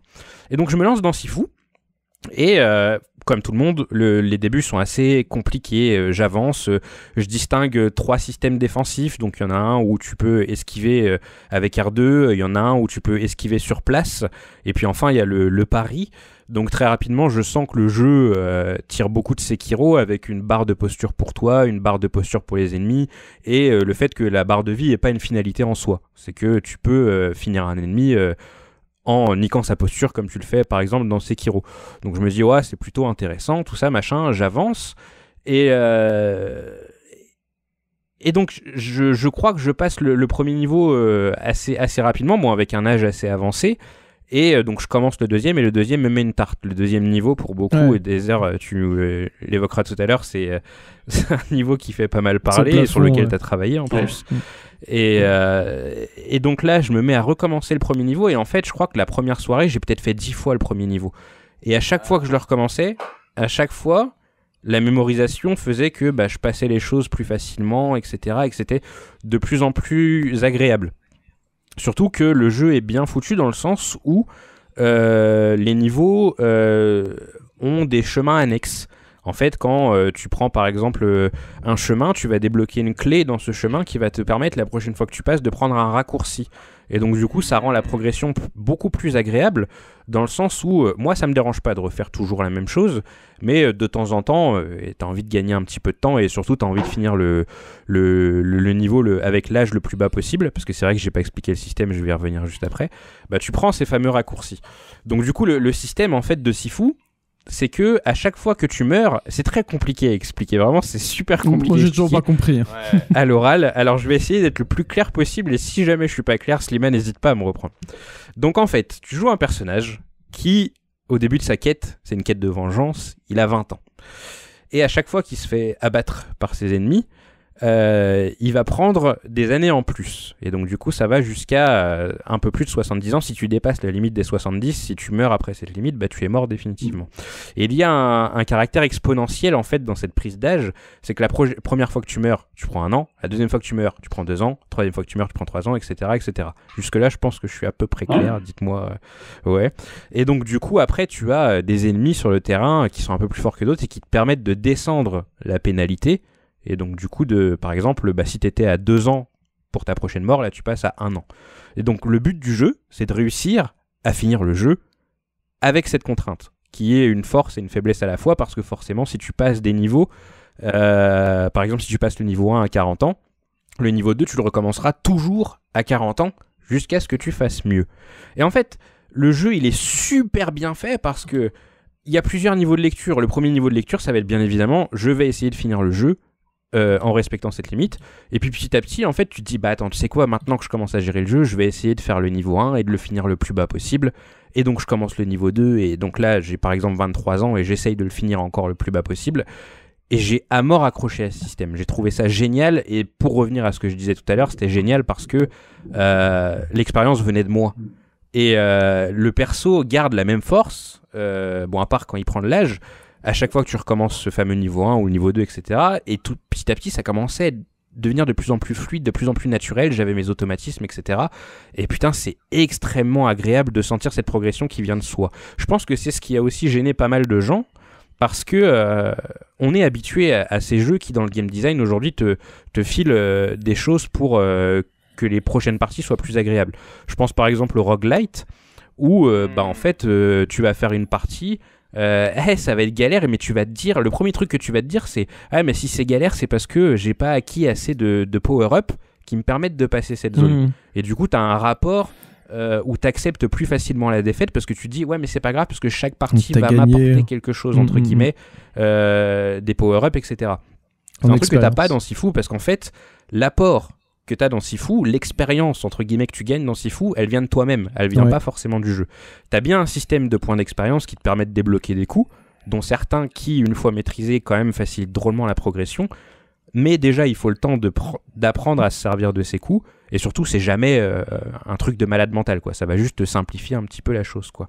Et je pense que c'est ce qui a causé souci avec le jeu, c'est que du coup, les gens sont aujourd'hui habitués à une formule euh, qui euh, est pas celle de Sifu. C'est que tu sens que ça emprunte un petit peu du roguelite sur cet aspect d'expérience, de coup que tu gardes sur tes parties, mais le, le, le, le, le but premier du jeu, c'est de progresser soi-même, c'est d'apprendre les patterns des ennemis, c'est d'apprendre euh, à quel moment tu vas utiliser telle arme, etc. etc. C'est vraiment un jeu à l'ancienne, entre guillemets, même si je trouve le mot un petit peu, un petit peu chelou. Et euh, donc voilà, j'ai torché le jeu, j'y ai joué pendant 4 soirs, je crois, de façon assez intensive. Et en fait, on arrive doucement à, ce qui m'a gêné dans, dans Sifu, c'est que euh, voilà, j'ai passé 4 soirs sur le jeu, j'ai passé un excellent moment, j'ai adoré refaire les niveaux parce qu'il faut savoir aussi que, par exemple, tu vas aller chercher un objet caché dans le niveau 4 qui va te servir dans le niveau 2 et il va te débloquer par exemple une nouvelle porte etc ah. t'as des indices à récupérer. Et c'est super intéressant parce que tu te dis attends mais je pensais avoir tout vu. Et ça se trouve il y a une porte je l'ai ratée je m'en rappelle plus je vais y revenir il y a un nouveau truc. Bon des fois il y a pas grand chose derrière en vrai hein. t'ouvres une porte et il va y avoir un objet et pas plus. T'es un peu déçu mais bon c'est pas grave tu vois. Et donc voilà je, Comment, Pazou? Les statuettes euh, dans le niveau 1. Tu, tu, quand t'as la clé, tu refais le niveau 1, tu passes par un certain truc, t'as une statuette du coup. Oui, par exemple, ouais, c'est des petits objets, en fait qui servent pour, euh, pour l'histoire du jeu, pour euh, mieux comprendre les différents ennemis, etc. Et en fait, du coup, je, je, passe du temps sur le jeu, je fais les niveaux plusieurs fois, je, je réussis à finir le jeu à 20 ans. J'étais très content. Ah ouais. Euh, vraiment, j'ai kiffé le jeu, quoi. Et en fait. À 20 ans, 20 ans, ça veut dire que t'es pas mort du tout. Ouais, c'est ça, Voilà, c'est ça. Mais en fait, le système, le système est assez cool dans le sens où t'as pas une partie à faire d'une traite Hmm. Euh, même si ça, j'aurais bien aimé qu'on puisse le faire, je vais y revenir. Mais en gros, tu vois, genre, je faisais le niveau 1 sans mourir, hop, niveau 2 sans mourir, niveau 3 sans mourir. En fait, petit à petit, j'y arrivais. Ah, Surtout que t'as les, raccourcis qui te le permettent. Hein. Par exemple, hmm. le niveau 3, t'as un raccourci qui t'emmène directement au boss. Et, euh, et voilà. Et donc, du coup, je, je, je finis si fou. Euh, je fais tout, tout, tout. Hein. Je, je platine le jeu, je récupère tous les objets, etc. Et en fait, là, à ce moment-là, je me suis dit, maintenant, je fais quoi? Et en fait, je fais rien. Et du coup, j'ai éteint le jeu. J'ai rangé ma PS4 dans son carton. et fin de l'histoire. Et j'ai déménagé. et en fait, quand on connaît mon rapport au jeu, vous savez que j'ai passé 300 heures sur Street of Rage 4. En fait, il m'a manqué quelques petits trucs qui me permettaient de rester sur le jeu. C'est que j'ai trouvé que le jeu, en fait, il était conçu euh, comme, un, comme un jeu solo Sony. Vous voyez ce que je veux dire? Ça veut dire que vous avez euh, une trame bah principale, un début, une fin, et une fois que vous êtes arrivé au bout de cette trame principale, bon, vous pouvez encore un petit peu creuser parce qu'il y a une vraie fin, etc. Mais une fois que tu as fait tout ça, euh, le jeu t'incite pas à, aller creuser davantage. Alors je me doute bien qu'il y a des gens, des speedrunners, etc., qui vont essayer de fouiller le truc, mais moi j'avais aucun élément de, game design, aucun chiffre, aucune récompense, rien du tout qui me poussait à aller encore plus loin. quoi. Et par exemple, j'avais décelé que, certes, tu peux faire les niveaux avec des raccourcis, mais tu peux aussi essayer de faire euh, des runs euh, optimisés, parce que sur le niveau, en fait, tu as trois statuts de jade et ces statuts de jade, elles te donnent des power-ups selon euh, ton expérience, ton âge euh, et euh, ton score. Ton score, intéressant. Et donc du coup, tu peux essayer de faire des parties en chopant toutes les statuts de jade pour avoir le personnage le plus fort au, dernier niveau. Mais le problème, c'est que rien ne me poussait dans cette direction. Mmh. Et, et pareil, le scoring, il est là, il existe. Le système est super bien foutu dans le sens où tu perds du multiplicateur mmh. quand, tu te fais, quand tu te fais attaquer. Et donc du coup, au début, je commençais à jouer, je me dis ouais putain, attends, il y a peut-être moyen d'optimiser à mort le score et tout machin, essayer de garder son x5 pendant toute la partie, tu sais avoir ces pics d'adrénaline que t'as quand mm. tu essayes de faire des, performances sur un niveau. Et en fait, ton score à la fin du niveau, on te le donne même pas. Tu vois, c'est qu'il est là pour ces fameuses statues de Jade, mais à la fin du niveau, t'as battu le boss et tu sais même pas quel score t'avais quand t'as fini le niveau. Et donc t'as pas ce côté scoring euh, t'as pas de difficulté supplémentaire qui fait que. Euh, parce qu'il faut savoir que Sifu paraît très dur, mais une fois que t'as tout mémorisé, euh, en fait, le jeu marche très peu au réflexe. Il marche énormément à la mémorisation. tu peux inciter les ennemis à faire des, coups. Très souvent, parce que le dernier boss, par exemple, tu peux faire en sorte qu'il sorte toujours le même combo. Hmm. Et en fait, le combo, tu sais le, comment le contrer, et donc tu le défonces un peu comme ça. Et donc, une fois que tu as vraiment maîtrisé le jeu, eh ben, en fait, tu roules dessus tu connais les patterns de tous les ennemis. Et euh, mais tu dis, mais à quoi bon aller plus loin en fait? Et, c'est ça qui est triste, c'est que j'ai adoré Sifu, mais euh, le, plus gros défaut que j'ai avec le jeu au final, c'est que je l'ai tellement adoré qu'il m'a d'autant plus frustré quand je l'ai fini, parce que rien ne m'incitait à y revenir. Et euh, c'est le seul souci que j'ai avec le jeu au final aujourd'hui. Et je sais pas du coup, euh, et c'est là où Slimane, du coup, ton avis m'intéresse beaucoup. Je sais pas si ce jeu a été conçu pour être une expérience avec un début et une fin, ou s'il a été conçu pour qu'on revienne dessus et qu'on essaye de s'améliorer petit à petit, en fait. Hmm. Ou un peu des deux. Euh, alors, il a clairement été conçu dans ce que tu disais, c'est le côté faut que tu deviennes meilleur par toi-même. Euh, toute l'idée, c'est le kung-fu, ça prend toute une vie d'apprendre le kung-fu, et donc tu, tu progresses et tu deviens meilleur par toi-même. Euh, J'espère pas me tromper, mais à la base, non, c'était vraiment pensé comme une expérience avec un début et une fin. Ouais. Donc euh, c'était, euh, c'est oui, c'est vraiment le côté, tu vas avoir un, un, début et tu vas avoir une fin. Et en tant que joueur, tu peux toujours t'améliorer, devenir meilleur, à essayer de faire des runs optimisés, mais il n'y a pas, il y, y a pas de système annexe pour te pousser à, forcément à euh, du score ou un boss rush, ce genre de choses. C'était pas, c'était pas prévu tel quel. Après, encore une fois, euh, il y a les impératifs de production. Je sais pas quels sont les plans futurs pour le projet, et c'est pas impossible que des, choses arrivent. Je, je, suis pas au courant de ça, mais il y a aussi le fait qu'il faut, faut le concevoir comme une expérience qui a un début et qui a une fin. Slow Club, mm. c'était un studio, on était entre 40 et 60 personnes pour tout le jeu. Tu peux, ah tu peux pas imaginer. Euh, ouais, on est allé de 20 à 60 et on a fait une bonne partie à 40. Si t'imagines un jeu qui n'a pas de fin, en fait, c'est, enfin, je, je je sais pas vraiment, mais je sais que Sifu avait été vraiment quand même construit comme une expérience. Il y avait des choses mm. qui étaient à raconter à travers l'histoire, à travers euh, les niveaux et tout. donc c'était bien fait pour que ça dure sur une expérience. Ouais.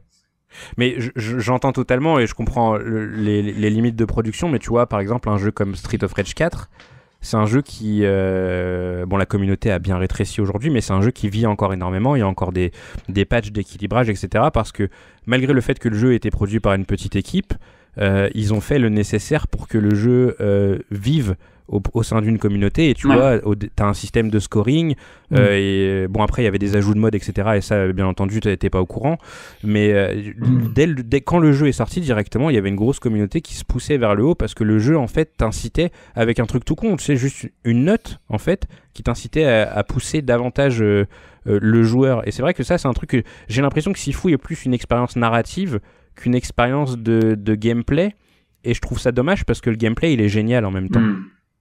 Tu vois ce que je veux dire Je vois ce que tu veux dire. Je ce que tu veux dire. Et, et, et je sais que là, je suis en train de, je suis en train de faire un, un, postulat qui est très personnel par rapport au jeu, parce que, euh, et je pense que c'est important quand on parle d'un jeu d'avoir le background de la personne, euh, et, c'est pour ça que je vous dis pas, bon, si fou, c'est bien, c'est mal, etc. Je vous dis juste que moi j'ai kiffé de ouf en tant que joueur de beat'em up. Et donc du coup, je bloque sur un détail. Enfin là, honnêtement, je suis en train de pinailler parce que euh, j'ai passé un excellent moment. C'est juste que j'ai regretté le fait que le jeu, j'y ai passé 15 heures où j'étais vraiment à fond dedans, j'y pensais tout le temps, tu sais, genre tu, tu penses au pattern et tout machin. Et euh, en fait, passer, euh, passer ces 15 heures, je me suis retrouvé face à un espèce de grand vide et je me suis dit putain, bah en fait, j'ai le jeu, il me pousse pas à continuer à kiffer dessus. Et donc du coup, euh, bah, j'ai un peu arrêté. Après, du coup, j'ai appris, alors je sais pas si c'est vrai, je sais pas si tu en as entendu parler, Slimane, que le jeu allait avoir une mise à jour pour avoir d'autres modes de difficulté. Ouais, tout à fait, ça a été annoncé dans, une, dans une interview. Ouais, donc ça, ça pourra être l'occasion, je pense, euh, d'y revenir. Ils ont aussi tweeté, euh, pardon, je te, je te la parole, ils ont tweeté récemment qu'il y avait du nouveau contenu qui allait arriver justement pour les, les possesseurs de la Deluxe, ainsi que le doublage chinois, par exemple. Donc oui, Sifu a encore, euh, encore des choses de prévues, ils, ont tweet et tout. Ouais, il va encore avoir une petite vie Il y a, y a des choses qui sont encore prévues et je pense qu'il y a encore de beaux moments qui attendent euh, les, les joueurs de Sifu. Surtout que le jeu a eu euh, un, beau succès. Euh, oui, tout à fait. ouais. C'est qu'il est sorti au bon moment, je pense. Il est sorti euh, juste avant Horizon et Elden Ring. Je pense qu'ils ont fait de l'ombre. ouais. Où ça va être assez compliqué, je pense, d'exister pendant qu'Elden Ring est là. Mais sinon, ouais, avant du coup de parler plus de, de, de la partie de ton travail qu'on fera juste après, euh, Sifu, c'est un jeu que je conseille moi malgré tout un peu à tout le monde. Après voilà, je pense que je pense à Guillaume par exemple.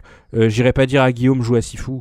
Tu vois, parce que euh, j'ai vu Guillaume jouer à Dark Souls 1, euh, j'ai vu comment ça a pas fini. Beau à voir. Tu vois, c'est que en fait il a pas ce truc du euh, allez vas-y je, je tryhard je persévère. Si jamais le jeu il est pas sympa avec lui et eh ben Guillaume il est pas sympa avec le jeu. Et c'est vrai que Sifu est pas toujours sympa.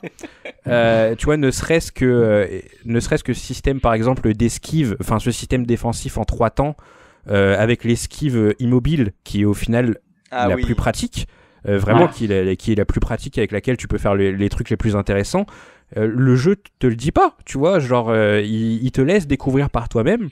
Et c'est vrai que ça peut être un petit peu rude, je pense, euh, pour les gens. moi j'ai kiffé, tu vois, au début être face à ce mur, à me dire ouais attends il y a trois esquives, c'est casse-couille, il y en a une elle est plus pratique que les autres, pourquoi je me fatiguerais à faire les autres? Et puis à la fin en fait tu connais les combos des ennemis et l'esquive la plus difficile à placer, et bah c'est la plus pratique mm. parce que tu sais comment euh, tu vois tu sais passer en dessous au dessus machin et tout. Mm. et, et c'est trop bien mais c'est vrai que à aucun moment ou alors je me rappelle plus le jeu te pousse à te dire eh vas-y euh, essaye l'esquive vers le bas euh, pour voir ce que ça fait tu vas voir c'est très pratique et il te le montre dans le tuto. Il te le montre dans le tuto? Putain j'ai oublié. Le tuto au début où tu t'affrontes les quatre les fantômes. ah, boss et si je dis pas de bêtises il te le montre notamment contre le boss du niveau 2 petit peu de foreshadowing. Ah ouais, ouais. Je l'ai fait tout à l'heure. là. Et il te demande de faire un avoid, tu recules, tu sautes, et tu te baisses et tu vas sur les côtés. Ouais, c'est ça. Mais c'est vrai que au moment de ce tuto, en fait, tu chopes le jeu. Euh, ça, c'est un reproche que j'ai avec les tutos en général, en fait. C'est que tu, tu, tu, commences le jeu et en fait, c'est vrai que le jeu te, te, te, file toutes les informations, du coup, euh, différents types d'esquives, etc. Mais le truc, c'est que t'es pas encore dans le jeu et c'est vrai que moi, à chaque fois avec les tutos, j'ai ce truc en deux temps où euh, bah, on me balance des infos, j'en filtre 50%. Preuve en est, j'avais oublié qu'on parlait de Le Void. Et, euh, et, après, je me retrouve en jeu et je me dis, bon, bah maintenant, j'apprends par moi-même. En fait, je, je, marche plus à la pratique qu'à la théorie, je pense aussi. Hmm. Mais euh, alors, Pazou et Théo, vous avez un petit peu joué à Sifu. Euh, mhm. Qu'est-ce que vous en avez pensé? Vas-y, Théo, tu, veux, que je commence ou... ouais, vas-y, bah, commence. En gros, déjà, l'intro qui nous rappelle un certain jeu. Hein Shenmue, Voilà, Ouais. c'est comme dans Shenmue, voilà. Donc euh, plagiat. Non, je rigole. Bah non, mais c'est vrai, tu vois, le dojo, euh, le fait que voilà le, le papa est assassiné devant les yeux de son fils, ce qui va motiver le fils à devenir un maître des arts martiaux. fils donc ou la c'est fille tout à fait Shenmue. Comment? Le fils ou la fille? Oui. Ah, le fille ou la fille? Ouais, le fils ou la fille, t'as raison. Mm.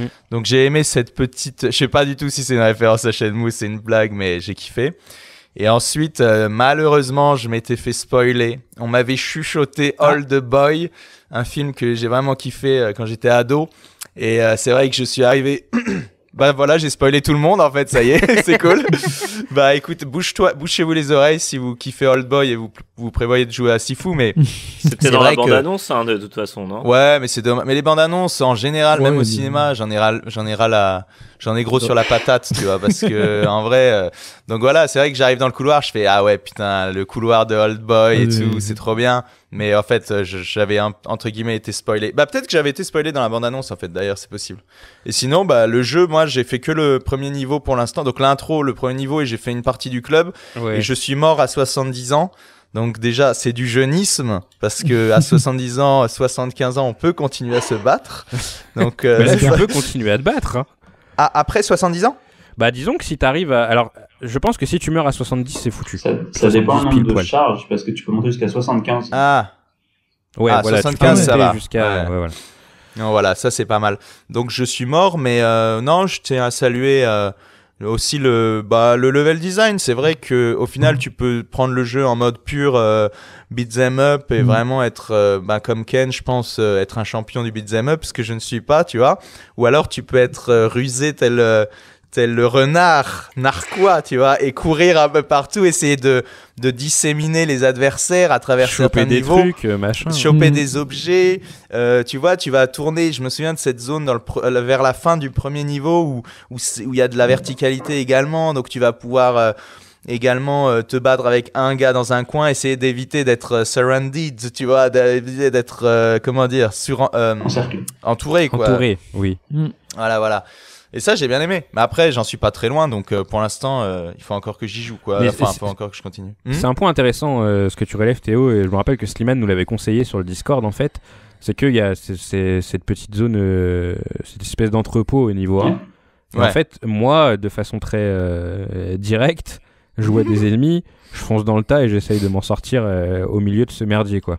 Et en fait, Ouais. Slimane nous a dit, euh, mais en fait la, la zone est grande, il y a un étage et vous Ouais. pouvez aller choper des trucs et leur lancer, etc. Et j'ai fait genre ah ouais, c'est vrai, tu vois genre ça m'était pas venu, c'est vrai que j'étais très renfermé sur moi-même et, et, et en parlant avec des gens en fait très souvent, j'étais là à me dire euh, ouais vas-y cette zone elle est relou quand même, tu vois, elle est pas évidente à passer et tout. Et puis là on me disait euh, ouais mais attends il y a des bouteilles qui sont là et en fait tu peux leur lancer les bouteilles dans la gueule. Ouais, Et je fais, ouais, ah ouais. putain Pas mais oui, que, mais en c'est- plus, C'est hein. des trucs auxquels je pensais pas. Et ça je trouve que c'est assez réussi sur le jeu ouais d'un point de vue level design. Mais moi, ouais, j'aime bien ces, j'aime bien ces jeux. J'aime bien moi les jeux où t'as de l'interaction avec l'environnement et tout. Hein. Euh, donc ça, ça m'a plu également. Et le coup des tabourets là, euh, un peu Mm. comme dans Dr- Drunken euh, Master. Exactement. Je crois que c'était dans. Oui, oui, Tu oui, vois, c'est dans Euh, t'as le coup en fait à la. Jackie Chan, tu vois, Ouais. tu, tu lèves un tabouret, tu le balances dans la gueule avec un coup de pied et tout. C'est ça. C'est génial, tu vois. Et Jackie Chan déclarait d'ailleurs, euh, vous me voyez faire ça, vous pensez que c'est facile parce Mm. que je le réussis dans le film, mais en fait parfois c'est c'est une centaine de prises. Exact. Il y a un truc où euh, c'est une centaine de prises pour réussir à, à faire le bon coup de pied bien cadré avec le tabouret qui part dans la bonne gueule du bon gars, tu vois. Donc euh, respect, respect à Slow Clap et à, et à toute l'équipe. Bon, on va y revenir en deuxième partie parce que du coup Slimane va nous parler un peu plus de comment Ouais. s'est passé le projet, en tout cas pendant qu'il était là, parce que Hmm. t'as pas été là jusqu'à Ouais, la fin, euh, à la fin du développement. Euh, Guillaume, t'as un petit quiz pour nous avant qu'on passe à la deuxième partie. Mais Ouais, Pazou, alors- Pazou, il voulait pas dire. euh, ah, Pazou, excuse-moi, oui, t'as Ah oui, voulez vrai parler de Sifu peut-être Oui. euh. Ouais, ouais. Sifu online, après, lui. vas-y, y a pas de souci. Uniquement Sifu online. non, non, mais euh, bon, Il a je vais joué une vite, version, hein, en fait, c'est parce pas que du vrai- tout C'est vrai Sifu, que là, au niveau du, euh, au niveau du timing, c'est serré. Non, bah, je, je, je rejoins Ken euh, sur euh, sur le jeu. Moi, moi, j'ai kiffé. hein. Du coup, j'ai pas encore terminé le jeu, par contre, mais je kiffe. Je rejoins un truc, c'est que, en tout cas, Ken et moi, nous, on est des mecs de de l'arcade, euh, du scoring et tout ça et tout. Moi, c'est c'est c'est ce que je kiffe. Effectivement, en fait, t'avais pas euh, t'as pas en fait cet aspect scoring euh, dans dans le jeu parce que à la fin du jeu, enfin à la fin du niveau, on te donne pas en fait tout ça. Mais ce que j'aime bien aussi, c'est aussi bah, un peu les, les, expériences un peu jeu solo Sony, tu vois. Et je trouve que Sifu, il a vraiment une très bonne, euh, un très bon équilibre entre hmm. l'expérience arcade pure qui ou finir le jeu ou finir un combat de façon propre le plus jeune possible etc ça se mérite. Ça il faut il faut il faut vouloir il faut vraiment en vouloir et ça je kiffe. Et en plus de ça le level design euh, la narration le, le les combats euh, le, le, comment on appelle ça le l'environnement euh, le, ah l'interface utilisateur. Hmm. Tout ça est épuré et je trouve ça dingue en fait. Il est trop bien le jeu. C'est vraiment euh, comme je l'avais dit sur Twitter il y avait un label Mirugezu je le mettrais alors je prenais mon tampon, je dis hop, c'est fou la belle En fait, ce qui, est, ce qui est ouf, c'est que on compare beaucoup à des jeux solo Sony, alors que c'est pas du tout la même, euh, le même nombre de personnes au sein d'une équipe. Je ah pense, non, mais pas du tout. Mais, mais, pour moi, ouais, voilà. Mais pour moi, en fait, c'est vrai que ce jeu a, ses, a cette patte et à se cacher un peu de, des, des, des grands jeux solo où vraiment quand tu joues, tu en mm. prends plein la gueule. Quoi. Mais même la mise en scène même la mise en scène, juste pour dire ça, après je finis, mais la mise en scène, je l'ai trouvé super aussi et c'est vraiment cool. Et vraiment, je reviens un peu sur ce qu'on a dit euh, un peu au cours de l'année et tout. C'est que là, en fait, on arrive à une époque où il y a, on arrive dans l'ère du savoir-faire. Tu vois ce que je veux dire? C'est-à-dire que les gens maintenant sont qualifiés. Tu lances des jeux comme ça, ça se prend en main super bien. Tu sens que derrière, il y a des gens qui ont euh, soit euh, étudier le jeu vidéo comme c'est le cas avec Slimane, soit ils ont de l'expérience et tout, mm. et on est bien loin du jeu de la cité des enfants perdus, tu vois. mais pour en revenir à là, mais c'est vraiment, je kiffe, je kiffe en ce moment, je kiffe lancer des jeux, des nouveaux jeux, parce qu'à chaque fois c'est genre putain, c'est bien foutu quoi. Ouais. Bah, c'est vrai que en fait c'est pertinent ce que tu viens de dire Théo, parce que clairement euh, si tu regardes euh, des interviews de, de Paul Cuiset, créateur de jeux vidéo notamment Motor Racer, enfin il a fait un autre jeu hyper connu aussi, mais je je l'ai pas, je Exactement, flashback, etc. Lui, il le dit ouvertement. En fait, à l'époque, euh, ils, essayaient de faire des trucs, etc. Ils voyaient ça marchait, ça marchait pas. Et même euh, Frédéric Rénal aussi, hein, il disait clairement, euh, avant, ils n'avaient aucune idée de comment, de ce qu'ils allaient faire. Juste, ils avaient une nouvelle technologie, ils, étaient motivés, ils y allaient. Pareil pour l'équipe. Là, j'ai vu une petite vidéo là de l'équipe du le journal l'équipe. non, pas du journal l'équipe, de l'équipe derrière le, le reboot d'Adibou. Adibou 2. Là, ils vont faire un reboot, ah là, etc. Pareil, quand ils disaient, bah ouais, du coup, c'est nos, c'est, je crois, c'est leur daron, leur oncle, leur tante et tout qui ont fait le jeu. Bah, ils, ils parlaient avec eux, ils disaient, bah, je sais pas, nous, on avait des technologies, on voulait faire des trucs pour que ça vous plaise à vous, tu vois. Et clairement, maintenant, avec euh, cette nouvelle génération, euh, qui connaît, en fait, et qui sait où ils vont aller, après, on peut adhérer ou ne pas adhérer. C'est en fonction des, des aspirations de chacun, tu vois.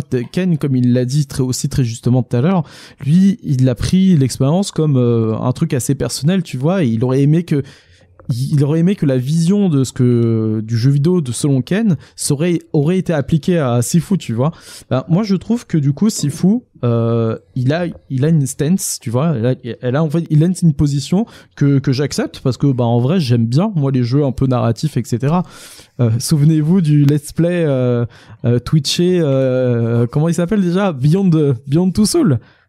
C'est ça, le, le pire jeu vidéo que j'ai jamais quand joué. Quand même, t'as parlé d'Adibou. Je voulais quand même faire une dédicace à Muriel Tramis. Ah bah oui, Muriel Tramis, si jamais elle Et je voulais aussi dédicacer euh, mon ancienneté, puisque... Non, je rigole. Mais en vrai, euh, l'Adibou, je crois que j'avais le tout premier Adibou. Et, ah euh, et, je crois que c'est celui-ci sur lequel euh, le tout premier Muriel... sorti de l'usine. ouais, mais je sais pas, je sais même pas de quand il date, mais c'était celui qui était vraiment avec les pixels et tout. C'était sale, c'était pas celui qui est clean et tout. C'était la version de travail. Il a bossé dessus en fait. il était testeur sur Adibou. Il avait un white Adibou euh, en CD-ROM. C'est le premier de chez premier. Bon les gars, on va un petit peu avancer parce que on J'avais juste une question pour toi, Ken, par rapport à ce que tu disais sur sur le endgame, etc. Mais pour une fois, ça t'a pas fait du bien de finir un jeu et de dire ah ouais, c'est bon, C'est bon, j'ai fini, ouais, clairement. non, parce que je suis pas, tu vois, genre, moi, les moments où je kiffe le plus, en fait, c'est quand on m'ordonne derrière. Et en fait, je pense aussi que ce travers, il me vient de, euh, du beat'em up 3D euh, japonais, Exact. où en fait, très souvent, la première partie, c'est une, euh, une mise en bouche, tu vois. Mm. Où genre, je prends DMC5, euh, tu débloques euh, un tiers des coups de Nero à la fin du jeu, et en fait, tout t'incite à y retourner. Et c'est vrai que la Mm. Sifu, en fait, il t'incite à y retourner parce que t'as un, un petit twist que je vais pas spoiler, euh, qui te dit bon bah vas-y, euh, va te retaper le jeu parce que voilà. Mais le truc c'est que ça change pas, des masses le jeu, tu vois. Donc tu le refais une deuxième fois. En effet, c'est un petit peu plus, euh, un petit peu plus fluide, on va dire.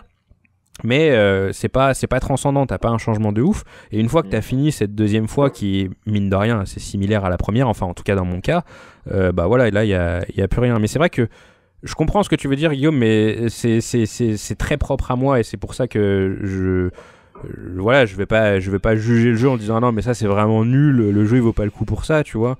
Mais, euh, Mais c'est kiffe. propre à toi, mais au final, j'ai l'impression que c'est quand même quelque chose qui est de plus en plus répandu dans le jeu vidéo. Et à un moment, j'ai envie de dire, mais vous avez pas juste envie de finir des jeux et de passer à autre chose? Enfin, je sais pas, moi. Oui. bah, après, je sais que je suis, moi, je suis très comme ça, et même Mm, des ouais. jeux qui euh, qui demandent, euh, euh, comment, qui demandent de les refaire après, etc. Moi, je, Ouais. moi, je sais que je pourrais pas parce que, Mm. en fait, il y a un truc qui se déclenche dans mon cerveau et j'ai plus envie d'y jouer, quoi. Bah en fait, moi non. Et en fait, tu vois, euh, c'est marrant parce que c'est le sujet qu'on qu'on devait faire aujourd'hui, mais euh, euh, j'ai j'ai ce rapport aux jeux vidéo où en fait, c'est l'action de jouer qui me procure du plaisir, c'est pas l'action de finir un jeu. Et euh, à partir du moment où je suis en train de prendre v'là le plaisir et qu'en fait le jeu, il, entre guillemets, il me ferme ses portes alors que je suis en plein dans le truc, tu vois ce que Mm. je veux dire Et ben je me sens Ouais, un peu je coupé. dirais, je dirais pas que on, on va, je dirais pas que j'ai un plaisir fou à finir les jeux, mais c'est juste que. Euh, alors après, c'est peut-être lié aussi au type de jeu que je joue, auquel je joue plus. Mais euh, j'ai l'impression qu'après, moi, j'ai plus plus rien à voir. En fait, c'est bon. Enfin, j'ai fait ce que j'avais à faire. En fait, j'ai l'impression que tout ce que je peux faire à côté, ça a pour seul but de m'aider à finir le jeu. Ouais. Donc dès que j'ai fini le jeu, en fait, ces choses-là, elles m'intéressent plus. parce Ah que ouais, non, moi j'ai vraiment ce rapport juste à, à kiffer en fait, tu vois. C'est que, enfin, quand tu joues à des jeux de combat, le jeu sur le papier il a pas de fin. Et en fait, tu peux y passer des centaines d'heures juste parce que tu as cette adrénaline, cette, cette progression euh, qui vient de toi-même. Et puis, euh, tu vois, genre, tu, tu joues et en fait, juste ton expérience de jeu elle vient, et ton kiff vient juste du fait que bah, tu, tu prends plaisir à jouer en fait, tu vois.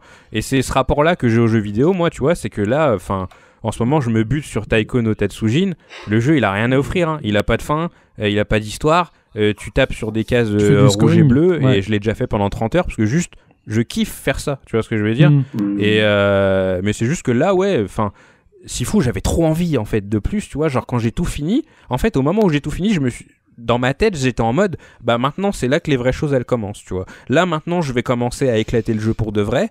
Et en fait, euh, bah non, gros, tu fais rien du Mais- tout, tu fermes ton jeu Mais- et tu rentres chez toi. mais c'est marrant parce qu'au final, dans un sens, c'est marrant parce que euh, j'ai l'impression que même si t'as ce besoin-là, t'as pas ce réflexe de te lancer des défis, par exemple. J'ai l'impression, en fait, t'as besoin que le jeu te lance des Oui. défis. Parce que tu pourrais clairement te dire, bah vas-y, je vais essayer de finir Oui, euh, Bah, je euh, vais, je vais en fermant un œil, etc. ou, euh, émergent. je suis en jouant totalement avec les d'accord avec pieds, ou tu Ouais. vois, tu pourrais te lancer des Je défis suis, comme je suis comme totalement font les speedrunners, etc. Mais t'as besoin que le jeu te mette une petite note à la fin et te dise oui là c'est bien, t'as vraiment fait, t'as fait un. S, c'est bien, caresse sur la bravo. tête. Non, non, mais t'as totalement raison, Guillaume. Mais c'est vrai, après, enfin, je, je peux passer ce cap, tu vois, genre sur Street of Rage 4.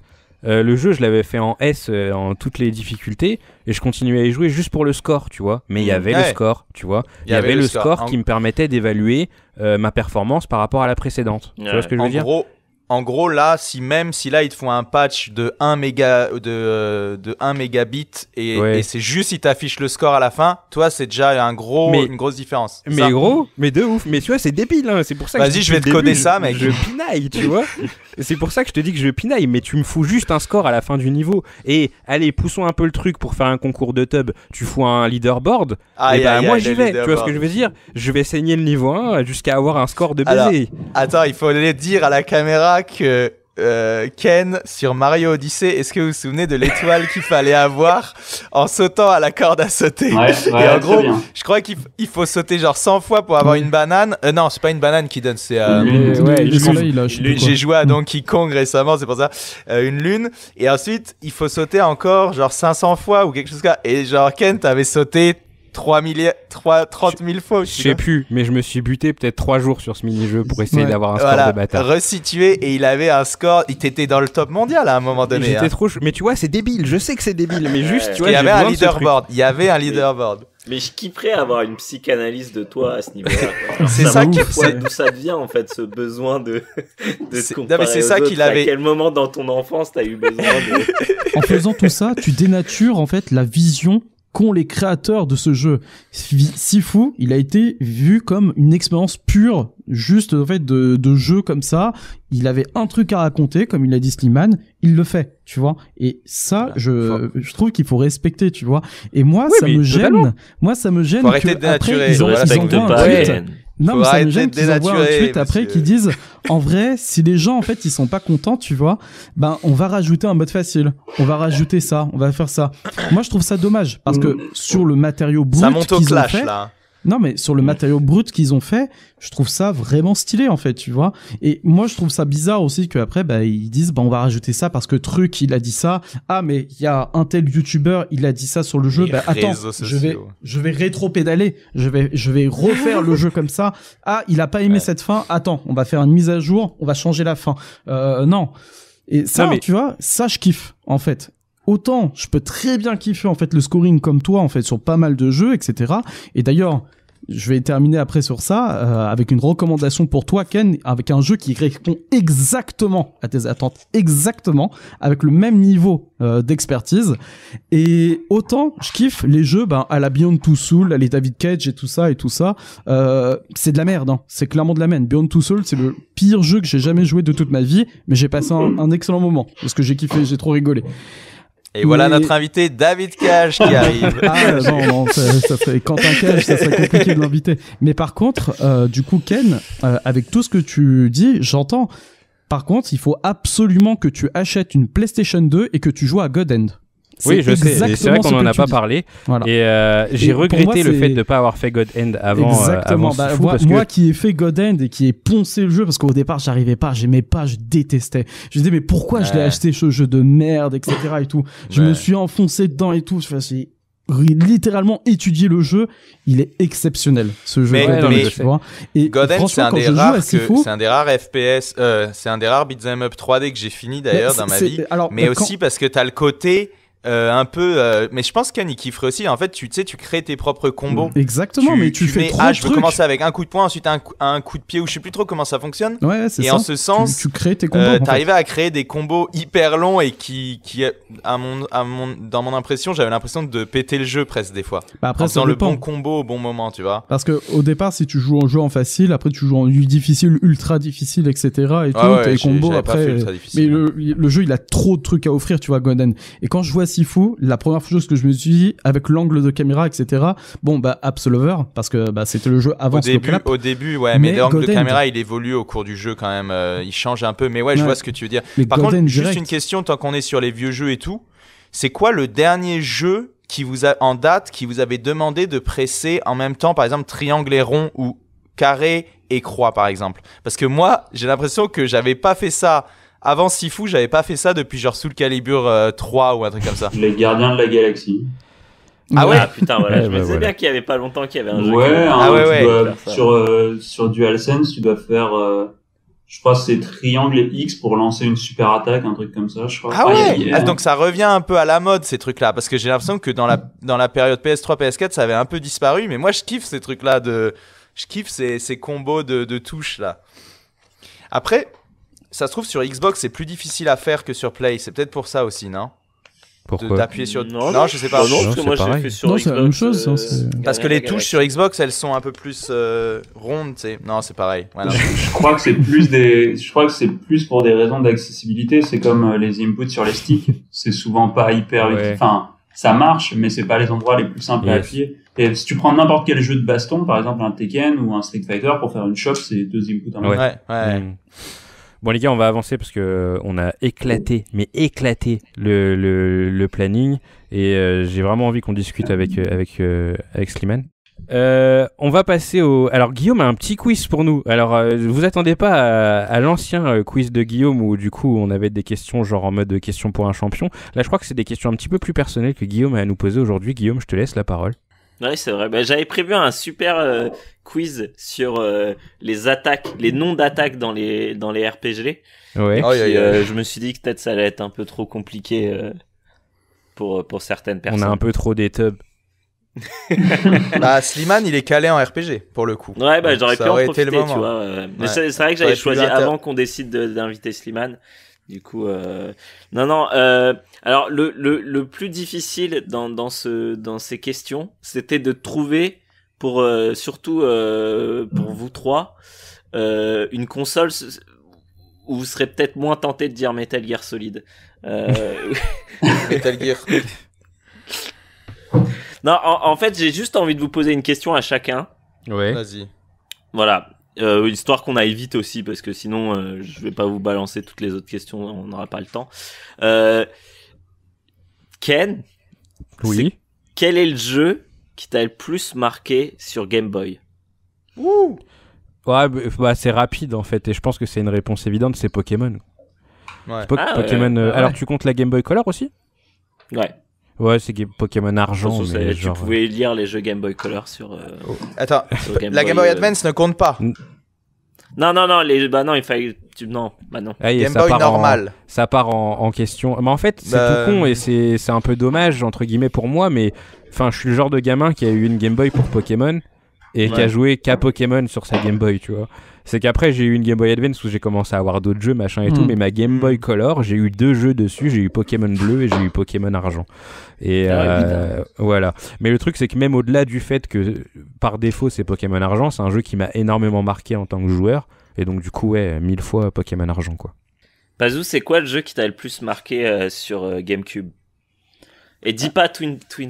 Ah mince, j'ai cru qu'on était tous, j'ai cru qu'on était tous sur Game Boy parce que je voulais Non. faire la blague Metal Gear Ghost Babel sur Game Boy. je voulais faire la blague Twin Snake. Euh, ah, c'est une bonne question. Je dirais euh, sur GameCube. J'hésite entre deux, euh, mais je dois en citer qu'un seul, j'imagine. Hmm, Ouais, bon, vas-y. Smash Bros Melee. Euh, le jeu que j'ai plus joué, je pense, euh, avec mes frères. Ouais, c'est incroyable. Pourtant, euh, je suis nul hein, sur Melee, mais c'est surtout en fait tout ce qu'il y a autour du jeu et tout ce qui m'a apporté en, en termes de connaissances, etc. Je pense notamment au trophée. C'est bah c'est c'est notamment en fait Ah oui. c'est notamment grâce à Melee euh, en fait et avec ces systèmes de trophées que j'ai découvert Earthbound Mother. Earthbound, ouais. et qui est qui est bah, une de mes c'est un de mes jeux préférés de tous les temps enfin au moins une série Après NES, il était, il était depuis le début, hein, NES. il était dans le 64 ok. sauf que je pense pas qu'il y avait en fait de trophées hein, sur 64 Non, non, il y avait pas de ouais, il y avait rien non. c'était juste du C'était quoi l'autre jeu que tu voulais dire, euh, juste pour savoir Sur GameCube? Je dis je j'hésitais aussi avec Wind Waker Ah ouais, voilà. Ouais, moi, ce serait, je pense, parce que celui-là, quand même. en vrai euh, ouais il a un peu boudé euh, par des fans en tout cas c'est ce que j'ai vu sur internet par tu vois. Bah, Ouais, je, pas Il je- était je- boudé, je sais euh, pas. Wind Waker, il était boudé à l'époque parce que Ouais. les gens étaient. Boudé Ouais. par des beaufs. Boudé par des beaufs. Mais ouais, j'ai ouais. des super souvenirs de Wind Waker. Hein. Euh. Enfin, en vrai, la Game Cult, euh, la GameCube, pardon, c'est une console culte. Oh le lapsus. Et Les brainwashed. Ouais, non, mais c'est très. euh, Il y, a, il y a peu de jeux, on va dire, qui, qui, qui sont sortis, tu vois. Enfin, j'en ai largement moins sur GameCube que de jeux PS2, mais Ah c'est bah, toujours des souvenirs, euh, des souvenirs en fait, ouais, assez, euh, assez intenses. Donc euh, Smash Bros Melee, moi, pour moi. Slimane, euh, quel jeu t'as le plus marqué sur PlayStation? Ok, celle-là, elle est pas facile parce que euh, déjà, je suis peut-être un, un petit peu plus jeune que vous. Mhm. Mais du coup, moi, on m'a filé que des consoles Nintendo. Ah. Donc la première PlayStation que j'ai eue, c'était une PlayStation 4. Mais par contre, Mais ça peut être un jeu auquel à- t'as pas joué, hein. tu sais, ça peut être un jeu qui t'a marqué. euh, Mhm. Tu vois, moi j'aurais été tenté vu de dire Tobal numéro 1 parce que quand j'étais petit ça me faisait phaser, mais j'y ai jamais joué de ma vie en fait. Ok, alors sur PlayStation, sur PlayStation 1, ok, j'ai des souvenirs d'avoir joué chez un oncle à euh, Crash Bandicoot sur PlayStation 1. Ah ouais. Et le seul souvenir que je me disais, c'était, waouh, c'est quand même pas beau. Mais c'est parce que, mais c'est parce qu'en fait, ce qui est bizarre, c'est qu'à l'époque, j'avais déjà une GameCube. Ah, Avec Ah mes oui, souvenirs. ouais, ouais, d'accord, ouais. C'est-à-dire que je rentrais chez moi et je jouais à Mario Sunshine, et j'allais chez mon oncle et je jouais à Crash Ah, Bandicoot Sunshine, 3. ouais. Et je faisais quand même, euh, c'est non, et le, si, le seul souvenir que j'avais, c'est quand on courait face à, les- face à la caméra. Ouais, avec et je la me disais juste, mais pourquoi la caméra est de ce côté-là? Tu jugeais le game design Voilà, déjà. game designer en devenir. C'était pas vraiment un jugement. Je pense que même n'importe quelle personne a dû se dire la même chose à l'époque en y jouant. C'est mais pourquoi la caméra So- Sonic As, comme il disait. quand la Mais euh, en boule, elle plus, Crash Band- là. ça va, à Crash Bandicoot 3, il y avait déjà la DualShock à l'époque. Parce que je me dis que si tu dois, Oui, si, ouais, ça. si la, ce que t'as de la console, c'est la GameCube et que tu découvres, euh, genre, le, le premier Crash Bandicoot où Avec tu la joues avec croix. le stick. Euh, ouais, avec le, la croix, ça doit être hyper, euh, hyper euh, déroutant. Rude. Je- Et je crois que j'ai des flashs de driver. Je crois que c'était sur PS1 Ah ouais. Driver. Ouais, le c'était 1, sur PS1, ouais. Et ouais. sa, et sa Ouais, VF, J'ai des flashs de la driver. VF de Driver. Incroyable. Alors attention, ça va être l'instant, l'instant ancien. Ouais, Alors. de ouf. Ouais, dis-moi. Ça va partir en couille, je le sais. Non, mais Quel est le jeu, Théo, qui t'a le plus marqué sur PC Ouais, ça va qui m'a le plus marqué de tous les temps sur Ouais, PC pas le droit de sortir un émulateur. Oh bah. Ah, je, je sais ce qu'il va te dire. Alors peut-être, peut-être que, peut-être que cet homme est Moi, conditionné. le jeu qui m'a qui m'a vraiment euh, vers 12-13 ans. euh, bon, alors à l'époque, le temps passe super lentement. Donc Ouais. à l'époque, tel Pazou, j'avais arrêté les jeux vidéo. et le jeu qui m'a fait euh, qui m'a mis une claque et qui m'a fait retomber à fond dans vraiment la passion euh, du jeu vidéo comme un ouf, c'était vraiment euh, Deus Ex le premier. Mais. Mais euh, par contre, quand j'étais petit, euh, c'est chaud, mec. hein. Même euh, des vieux Quake, etc., etc. Mais tu sais, il y a un truc qui m'est arrivé récemment. Je crois que je me suis rappelé du premier jeu auquel j'ai joué de tous les temps. Et justement parce que pas parlait de. Fla- de Flash. Quoi? T'étais pas encore né quand il y a joué. Non, c'est pas ça. C'est que en fait, un des plus vieux Flash de, de jeux vidéo, je crois que c'est chez un oncle, chez un cousin qui avait la NES avec de Mario Bros. C'est le premier. Et je me suis dit putain ah ouais c'est chaud quand même parce qu'au final Mm. j'ai un souvenir genre de où je suis un nourrisson tu vois limite Euh, je sais même pas vous si je dit que ça allait partir en couille. mais je me rappelle vraiment du de, de la première cave tu sais avec les petits euh, les petits euh, comment champignons euh, quand ils sont bleus Les et tout. Truc de ouf ouais Goomba ouais Ouais. et euh, voilà, bah sur PC, ouais, c'est plutôt ça. Après, euh, mec, là j'aurais dû avoir la question avant parce que y a, la PC, c'est toute, Mais ouais, euh, mais le toute but une- c'est justement ma que vie tu quasiment. sortes le premier truc qui te, Ouais. qui te Ouais, passe par bien la sûr. tête. Le PC, c'est quasiment toute ma vie, donc euh, ça fait presque peur, mec. Je passe ma vie sur un PC depuis que je suis né, quasiment. Mec, c'est flippant, non? Warren Ouais, tes Spector. travails, il tes tra- matrixé. tes- même tes travails, tes travails. euh, Ouais, même quand, ouais, maintenant, ouais. Ouais. En partie, ouais. Tu, tu vas bientôt devenir un PC, Théo. Euh, Guillaume, on peut te poser la PC. question, nous aussi? Bah si tu veux. Euh, C'est quoi le jeu qui t'a le plus marqué sur la première Xbox? Aïe. Ah oh. Euh... Bah Halo, je pense. Ouais. Ouais. Halo, c'était le premier Halo quand bah c'est le, c'est le premier jeu auquel j'ai joué et ça m'a ça m'a retourné le cerveau quoi. Ouais. Je me rappelle regarder la les, les bras- le, la texture de l'herbe et là, genre Ah putain, ouais. mais c'est c'est dingue. Genre mais on pourra jamais faire plus beau quoi. Eh C'est oui, bah oui. Photoréaliste. Mais j'ai encore souvent ce truc aujourd'hui quand je joue à un jeu et que je me dis, waouh, on pourra pas faire plus beau. Ouais. Et je me rappelle du mois il y a 20 ans qui disait pareil et je me disais, allez, on va faire plus beau, c'est obligé. Ouais, mais moi- Bon, Mais c'est- je- je- ça me manque d'avoir ce genre de discours parce que j'ai l'impression d'être un vieux con maintenant. Tu vois, tout à l'heure j'ai lancé euh, le nouveau Horizon. J'étais là genre ouais, enfin quand même l'animation des, des cheveux ils sont ils sont pas fait chier quand même. ah, puis Putain, toi avec ton beau. animation, Tu vois, tu je- casses les couilles. Ouais, là il y a du clipping et tout. Franchement, euh, la bravo la next gen, hein, bravo. ah bravo. Hein, hein. Euh, pour la, par contre, j'ai, j'ai une anecdote du coup sur exactement pourquoi j'ai eu une GameCube au lieu d'une PlayStation 2. Ouais. Euh, en gros, j'avais atteint l'âge où ça y est, on allait enfin m'acheter une console Mm. après des années à mendier. Ouais. Le matin même, on va pour s'acheter une PS2. Simple, la raison est simple. Mon père, il sait qu'il peut la craquer dans tous les sens et qu'il peut m'avoir des jeux Ah. dessus. Hmm. Donc l'idée, c'était la PS2. Ouais. C'était- Mais ton Le- père c'est Théo ou pas? on va apprendre le truc genre tout, Mais euh, le fils Et caché. du coup, le, le, le matin même, je suis prêt, je m'assois dans le canapé du salon, j'attends, et à la télé, juste avant qu'on parte euh, à la Fnac, il y a une pub de deux samouraïs qui sont en train de se battre dans un cube en verre. Oh oui, je vois la au pub. milieu d'un centre commercial. Et après, ça passe sur les images du jeu qui est Smash Bros. Oui. En gros, tout simplement, Ah. avec des gens qui se tapent et je fais ouh. Et du coup, on va dans le magasin, on va à la Fnac. Mon père me demande bon, tu veux quoi? Et je demande au vendeur, c'est quoi le jeu avec des gens qui se tapent à quatre? Ouais. Et le gars m'a envoyé vers Melee. Et c'est comme ça que j'ai eu une GameCube. Ah Mon putain. père a un peu tiré, un peu tiré la tronche quand il a ouvert la boîte du premier jeu et qu'il a vu les mini DVD comme ça et qu'il a dit Oh, Les G des ROM. Ah, c'est putain. foutu pour aller les craquer. Ouais, bah oui. Et mais voilà, c'est comme ça. Et du coup, je suis pas allé sur PlayStation avant très longtemps. Euh, j'ai eu une 3.6 après parce que c'était moins cher. Ouais. Ah, les coups du Ouais. destin comme ça, mais c'est là que on se rend compte de la puissance de la publicité quand même. Ah bah ouais. que, euh, il suffit d'un rien. Enfin, moi, mon souvenir le plus marquant, c'est que j'ai euh, demandé Tales of Symphonia à Noël, alors que dans la pub, t'avais que des images de l'intro euh, en animé là. Tu voyais pas une image du jeu, tu vois. C'est-à-dire que j'étais grave chaud et en plus, je crois à l'époque, j'avais même pas internet, donc du coup, j'ai dit ouais, je veux Tales of Symphonia à Noël. La première fois que j'ai vu une image du jeu, c'est quand je l'ai mis dans ma console et je me suis dit Ah mais ouais. eh mais c'est tout pourri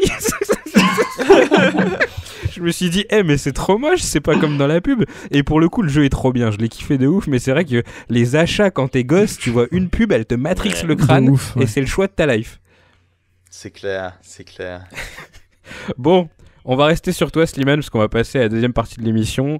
Euh, on s'attendait à ce que ce soit beaucoup plus tôt, hein, parce qu'on là, on est déjà à Ah, pas 2h20. trop, désolé. Mais bah non, mais t'excuses pas, c'est nous. Mais moi, ce que j'aime le plus, c'est qu'à chaque fois, on, est, on, on se dit, ouais, non, bon, cette fois-ci, on fait pas trop de digressions. Ouais, là j'ai commencé le brief avant le podcast, j'ai dit bon les gars ça devrait durer 2h30. Au moment où je vous parle là, l'enregistrement il est à 2h22. Donc bon, advienne que pourra. Euh, donc ouais, on va parler de toi Slimane, du coup on va parler un petit peu, euh, parce que là tout à l'heure tu nous voyais un peu parler de Sifu, euh, je voyais que t'étais un peu genre, tu nous regardais parler, t'en regardais un petit peu pour la suite et t'as bien fait. Donc du coup moi ça m'intéresse à mort de savoir déjà à la base comment t'es arrivé chez Slow Clap, ce que t'avais fait un petit peu avant et genre parce que tu sais c'est un petit studio donc du coup est-ce que c'est toi qui es allé toi-même vers le studio ou est-ce que c'était suite à une candidature? Vraiment j'aim- j'aimerais savoir comment ça s'est passé dans ton processus professionnel pour en arriver à ce moment précis Euh, alors en gros, à la base, je- j'étais en donc moi je, je venais de finir euh, les, euh, mon école, j'étais à Super Info Game Rubicam ouais avec comme comme Adrien, le frère de Théo, Ouais. et j'ai je commençais, je faisais un stage chez Ubisoft. Euh, j'étais sur Ghost Recon Breakpoint, ouais et entre temps j'avais un, un ami qui était en animation et qui travaillait à Slowclap lui. ok Ah. Et, euh, et en fait, euh, bah, quand tu cherches un stage en même temps que voir comment est la boîte, bah, tu te renseignes sur les boîtes autour.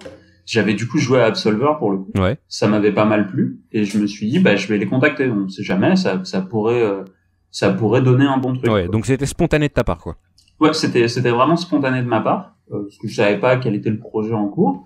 Et euh, à la fin de, de de mon stage, en fait, bah j'ai pu aller les ils m'ont répondu ils ont répondu à mon mail, j'ai pu faire un entretien et c'est comme ça que je suis arrivé euh, chez Slowclap. ok d'accord C'est- une histoire vraiment très simple. Il y a rien de Ah, il y a pas de coup du destin. J'ai des coups du destin pour euh, pour Ubisoft si vous voulez, mais c'est tout. ouais mais euh, Ah bah. quand, quand tu postules comme ça dans un studio euh, sur quoi il se base entre guillemets pour te recruter tu sais ou pas? Euh, bah ça c'est les trucs qu'on nous apprend principalement à l'école. En gros, tu fais ton portfolio. ouais Donc euh, c'est tous les projets étudiants que tu as fait, tous les projets que tu as fait en game jam, euh, tes stages précédents. Petite lettre de motivation, ton portfolio et t'envoies. Et là, en fait, ce qui se passe, c'est que simplement ils regardent ton portfolio. Euh, S'ils ont le temps, s'ils ont des offres, ils regardent ton portfolio, ils voient tout ce que tu as fait. ouais Et si ça les intéresse, ils te recontactent derrière. ok Moi, pour mon projet de cinquième année, j'avais travaillé sur un, un jeu qui s'appelait Keros. ok Ah oui, oui, oui. Et c'était un, ouais, tourner. c'était un jeu narratif euh, de choix avec des dialogues. ok Donc c'est pas du tout de l'action. Ouais. Ça n'avait absolument rien à voir avec ce que ce que j'allais faire après. Ouais. Donc j'avais j'avais travaillé sur ce projet. Mais, mais je l'ai ce mais, jeu. mais typiquement, comment quand quand t'envoies un portfolio, parce que bah forcément quand t'es euh, euh, illustrateur ou enfin peu importe, euh, même quand tu fais de la vidéo, t'envoies un, un, un reel et c'est assez clair. Mais comment Ouais. tu tu montres un jeu, comment tu t'envoies des trailers ou t'envoies genre une démo Ça, j'aimerais bien pas? savoir aussi, ouais. Euh, bah, ça dépend du jeu. Pour tout ce qui était projet étudiant et projet de game jam, t'envoies directement le prototype. Ils sont tous hébergés sous Itch.io et tu Ouais. y jouer directement. T'envoies directement le prototype. Euh, euh, par exemple, pour euh, Gazer Nomos, vu que j'avais fait des niveaux avec Adrien dessus, sur euh, mon portfolio, il y a des screenshots des levels que j'avais fait euh, sous euh, sous Unity. Et avant ça, j'avais fait un, un stage. où J'ai été travailler dans une petite boîte belge sur un, un RTS. Donc j'avais fait aussi des niveaux là-dessus. Et donc je mettais des, des screenshots des niveaux que j'avais fait dans dans, une, dans Unity. Hmm, Ok, donc tu Parce que- tout. Donc c'est c'est ça. Parce que c'est c'est vrai que j'ai. Vous vous souvenez sur Twitter, je, je discutais de temps en temps avec euh, le gars qui a fait euh, qui avait fait Arkane Studio là, comment il s'appelle, Raphaël Colan- Colantagno or something. Et c'est vrai qu'un jour je lui ai fait ah vous rechercherez pas un game designer, un level un level designer par hasard? Et il m'a dit mais ok, mais envoie ton portfolio. Et là je lui ai jamais répondu parce que je savais pas ce que c'est, hein. je sais pas ce que c'est un portfolio de level design. Donc des screenshots, ça suffit. Moi, je pensais qu'il fallait que je lui fasse un, tu sais, un export ou un truc ou une vidéo où je me balade dans la map. Bah, Ça, ça dépend, tu peux faire les deux, ça, ça dépend vraiment des ressources. Et Mm. euh, moi, à l'époque, vu que j'étais étudiant, on on n'attend pas forcément les mêmes choses d'un étudiant Ouais, que de quelqu'un ouais. qui va être à un poste confirmé. Euh, par exemple, mettons que tu fais du level design sur Uncharted 4, c'est Ah oui, peut-être pas ah sûr que tu arrives à exporter les niveaux Hmm. et à Ouais, ouais, sortir de la boîte tranquillement pour les mettre sur ton portfolio. Donc, dans certains cas, euh, tu mets les jeux sur lesquels tu as taffé. Euh, tu peux mettre des vidéos des gens qui font ton Mhm. niveau. Moi, si par exemple je voulais mettre, euh, enfin, si je mets Sifu dans mon portfolio, je vais probablement prendre des vidéos des gens qui font le niveau 2 Hmm. ou moi-même une vidéo de moi en train de faire le niveau 2 Ouais. dans sa version release. Mais je suis pas sûr que sur mon portfolio je pourrais afficher les, Les enfin, trucs la, de la travaux. modée, les trucs que j'ai Ouais, fait. ouais, sur ok, Unreal. Ouais, ok, bien sûr. ouais. Donc, Parce euh, que Bon, bah, je vais, je vais lui répondre alors. bon. Voilà, tu vas faire ton portfolio, c'est bon maintenant que tu sais. Parce que là, du coup, bon, on, on- on avance peut-être un petit peu vite, mais euh, donc toi, tu as été level designer du coup sur, euh, sur Sifu. Ouais. Et, euh, sur game, game designer et level designer. mais du coup, il faut bien, euh, par exemple, enfin, avant toi, il y avait un concept artiste qui est passé pour ton niveau. Euh, alors, euh, oui. Ouais. Je pensais pas poser une Oh. question piège. euh. non, c'est pas vraiment Ken, une le question piège. sniper. euh, C'est que il y avait eu des concept art qui avaient été réalisés pour tous les niveaux, Ouais. pour les ambiances qu'ils voulaient Ouais. avoir dans les niveaux. Mais le concept art d'un niveau, c'était pas toutes les pièces du niveau. Ok. Hmm. En gros, moi, Ah. c'était défini qu'il y avait un concept art qui était hyper cool. Euh, Les concept artistes de Sifu sont super Ouais. forts, vraiment. Hmm. Donc on te dit ça va être un entrepôt et toi tu te dis ok donc euh, il Il faut y avait un un- étage là, il faut. euh, Ouais, c'est pour ça. C'est pas vraiment une question piège, mais c'est qu'il y avait un concept art pour le niveau 2 de Sifu. C'était une, un club, une boîte de nuit Ouais. et un concept euh, du village enflammé, ce que vous pouvez voir dans le niveau Oui, 2. oui, oui. Et donc, à partir de ces, ces concept art qui donnent la direction artistique, la vision créative et tout, on crée le niveau avec un artiste en travaillant dessus. Mais il n'y a pas un concept art pour chaque pièce. Ok, d'accord. Ah, très bien. d'accord. Ok, ouais. Donc après, ok, très bien. Bon, du coup, c'était juste une petite parenthèse, parce que comme tu parlais de portfolio, et je me disais, du coup, enfin, ce que tu avais à. Vas-y, Théo. Est-ce que est-ce que c'était inspiré de, de John Wick ou pas vraiment ce niveau-là? Euh, John Wick a été utilisé comme référence le, le niveau de la boîte de nuit. Mais c'était pas genre une référence euh, à John Wick en particulier et tout. Hein. Non, J'ai lu non, ça à droite à gauche, mais. Non, parce que par exemple, dans The Red 2, t'avais aussi un, un- une boîte de nuit. Ah Euh, bah voilà. Enfin, c'est le, c'est fermé, mais il y a un combat dans un cabaret dans The Red 2 et le jeu prend l'inspiration de, de- d'un peu tous les endroits, mais Ouais. d'un, enfin, d'un point de vue artistique, chaque niveau il représentait une valeur. On peut le voir quand on teste le jeu. Ah. Et, euh, et le club, en fait, c'est une sorte de, bah, c'est un club slash fight club, Ouais, oui. sans Oui, spoiler. oui. Et du Ah. coup, c'est un peu la, la subversion d'une école de kung-fu, parce qu'en termes de valeur, euh, le truc il est complètement éclaté. quoi. Ouais, ouais, ouais. C'est pas du tout respect, sobriété. Bien sûr, ok. Ah d'accord. Ah, Et en, cool, en, en termes de level design, moi c'est une question que je me pose, c'est là en, en balance, tu dirais que euh, personnellement, parce que j'imagine que ça doit dépendre aussi, mais t'as, en termes de réalisme entre guillemets, donc comment euh, serait pensée par exemple une boîte de nuit et comment c'est agréable de jouer d'un niveau dans une boîte de nuit. Tu dirais Mm. que c'est des questions que vous vous posez beaucoup ou c'est euh, c'est un truc qui est assez euh, enfin qui se fait naturellement? Non, non, pour Sifu, on s'est beaucoup posé ces questions-là. Hmm. Il y avait une volonté d'offrir un truc qui, euh, euh, qui soit vraiment, qui t'immerge beaucoup dans sa fantaisie. tu kiffes, euh, t'es vraiment l'impression de faire ton film de combat. Ouais. Donc il fallait que les lieux ils soient quand même réalistes, Ouais. tu sois bien dedans. C'est, le, le réalisme c'était une contrainte euh, assez forte dans. Sifu. Ça se voit aussi sur des niveaux comme le musée. J'allais juste Et en parler. après, de ça. euh, Ouais. Et, euh, et justement, c'était d'avoir quelque chose qui était très réaliste, mais qui était quand même aussi agréable à jouer. Ouais, bien sûr. Donc c'est l'idée, tu, tu vas faire des zones le plus réalistes possible que tu pourrais trouver dans un vrai club, et de voir comment tu peux les agencer pour faire des scènes de combat euh, un peu cool. Ouais. Et c'est pour ça qu'on s'inspire des films qui font ça très bien en fait, la plupart des Oui. films de baston. Euh, The Protector aussi avec euh, Tony Jaa, il y a un- une grande scène dans un club où euh, c'est euh, Ah ouais. bah Ouais, je m'en tu souviens. prends, c'est des scènes de la vie de tous les jours qui vont te mettre dans un The Ouais. John Wick, dans quelque chose comme ça, et avec ce lieu, ils utilisent une chorégraphie et tout. Ok, d'accord. Ouais, c'est bien ça. Alors, on a, on a pris un petit peu d'avance. Moi, enfin, pour revenir un petit peu du coup à, à ton étape de, de recrutement, euh, donc du coup, tu arrives chez Slowclap. Et là, en gros, Ouais. euh, à quel stade de, de développement ils sont du coup? Est-ce qu'ils bossaient déjà sur Sifu à ce moment-là? Alors, je suis arrivé en janvier 2019. D'accord. Euh, ils travaillaient déjà sur Sifu, euh, mais c'était, on était au tout début du projet, Ouais. vraiment au, au tout début. Euh, aucun niveau avait encore été posé et on était en train de travailler sur ce qu'on appelle dans le jeu vidéo la vertical slice. D'accord. Hmm.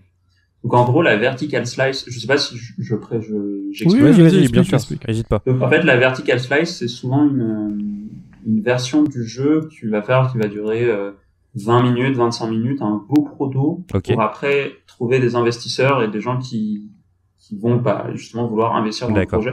Donc tu réalises une sorte de vision de à quoi va ressembler le jeu à la fin de, sa, de son développement. Hmm. Donc tu as cette version de 20 minutes et tout. Et là, par exemple, ce que je fais à, à Bandai Namco, en fait, mon, mon boulot, c'est que je reçois beaucoup de ces vertical slices Ouais. et je les évalue et euh, j'essaye de voir ce qu'on peut faire. Ah, c'est intéressant. Ah ouais. Donc c'est ouais. vraiment un, un- les vertical slices, c'est un truc que tu, qui est très courant dans le jeu vidéo. C'est une sorte de euh, euh, proof of concept. Tu vois, tu, euh, ça doit être ça, la vertical slice, ça va ressembler à ça. Souvent, ça prend pas mal de temps pour en faire une Mm. bien. Et quand tu l'as, t'es censé avoir, c'est censé être un marqueur, ton aiguille, vers quoi va tendre ta production à la fin du jeu. Ok. L'équivalent d'une animatique ou euh, d'une. Ouais, probablement. C'est l'objectif à atteindre, quoi. C'est l'objectif à atteindre et ça permet aussi de se garder parce qu'une production ça peut être longue il y a beaucoup de choses vont se passer ça permet de garder une Ah. une référence fil à ce moment-là on a fait une vertical slice qui a, qui a convaincu tout le monde Hmm. Euh, si jamais on a l'impression qu'on s'égare un peu tu peux retourner vers la vertical slice pour voir qu'est-ce que vous auriez pu perdre entre Hmm. Ouais. Ah ouais, d'accord. Ouais, bien, ouais, c'est intéressant ça. Peu le cahier Et donc, des du coup, toi, t'es charges, arrivé à ce euh, moment-là. Mm, du truc. Enfin, réalisé en interne, euh, qu'est-ce qu'on fait, etc. Ouais.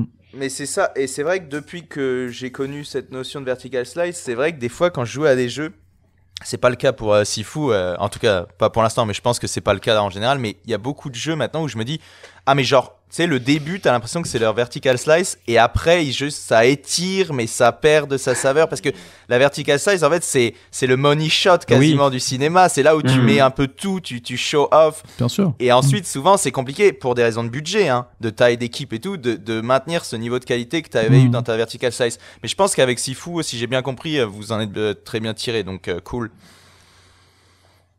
Et, euh, ouais, voilà. Donc moi j'étais arrivé à ce moment-là en janvier et on a donc on a travaillé sur la, la vertical slash une moitié première moitié de l'année. Après le projet, euh, bah, c'était bon, c'était greenlit et donc après t'as les phases de euh, pré-production, production et euh, la phase de polish release à la sortie. Ok. Ah Donc- ouais. Toi, t'as participé à deux de ces trois phases, c'est ça? Ouais, c'est ça. Moi, j'ai travaillé, euh, du coup, j'ai fait toute la pré-production. Ouais. Et euh, je suis parti de Slowclap en mai euh, 2021. Ok. Du coup. Donc, euh, peu de temps avant la sortie, enfin, le jeu avait été repoussé une première fois et ça avait été annoncé. Ouais. Peu de temps avant la première date de sortie et du coup un petit peu plus par rapport à la date de, de sortie finale. Ok. Et du coup, j'ai fait quasiment, euh, j'ai travaillé, j'ai fait une bonne partie de la production quand même aussi. Ouais. Et Ah ouais. voilà, où j'ai travaillé longtemps sur le, sur très longtemps sur le niveau 2 et pas mal aussi sur le, le niveau 1. Ok. Ah. Et, euh, et avant ça, au début, quand je suis arrivé à Slowclap, moi j'étais en, en game design et je, je travaillais notamment sur les IA. Oh, Et sur les IA, du coup, wow. de Sifu, t'as bossé un peu dessus? Ouais, c'est ça, tout à fait. Ok. Donc t'as fait, Ouais, j'ai, t'as fait les IA Pardon? et ensuite du, du level design, ouais?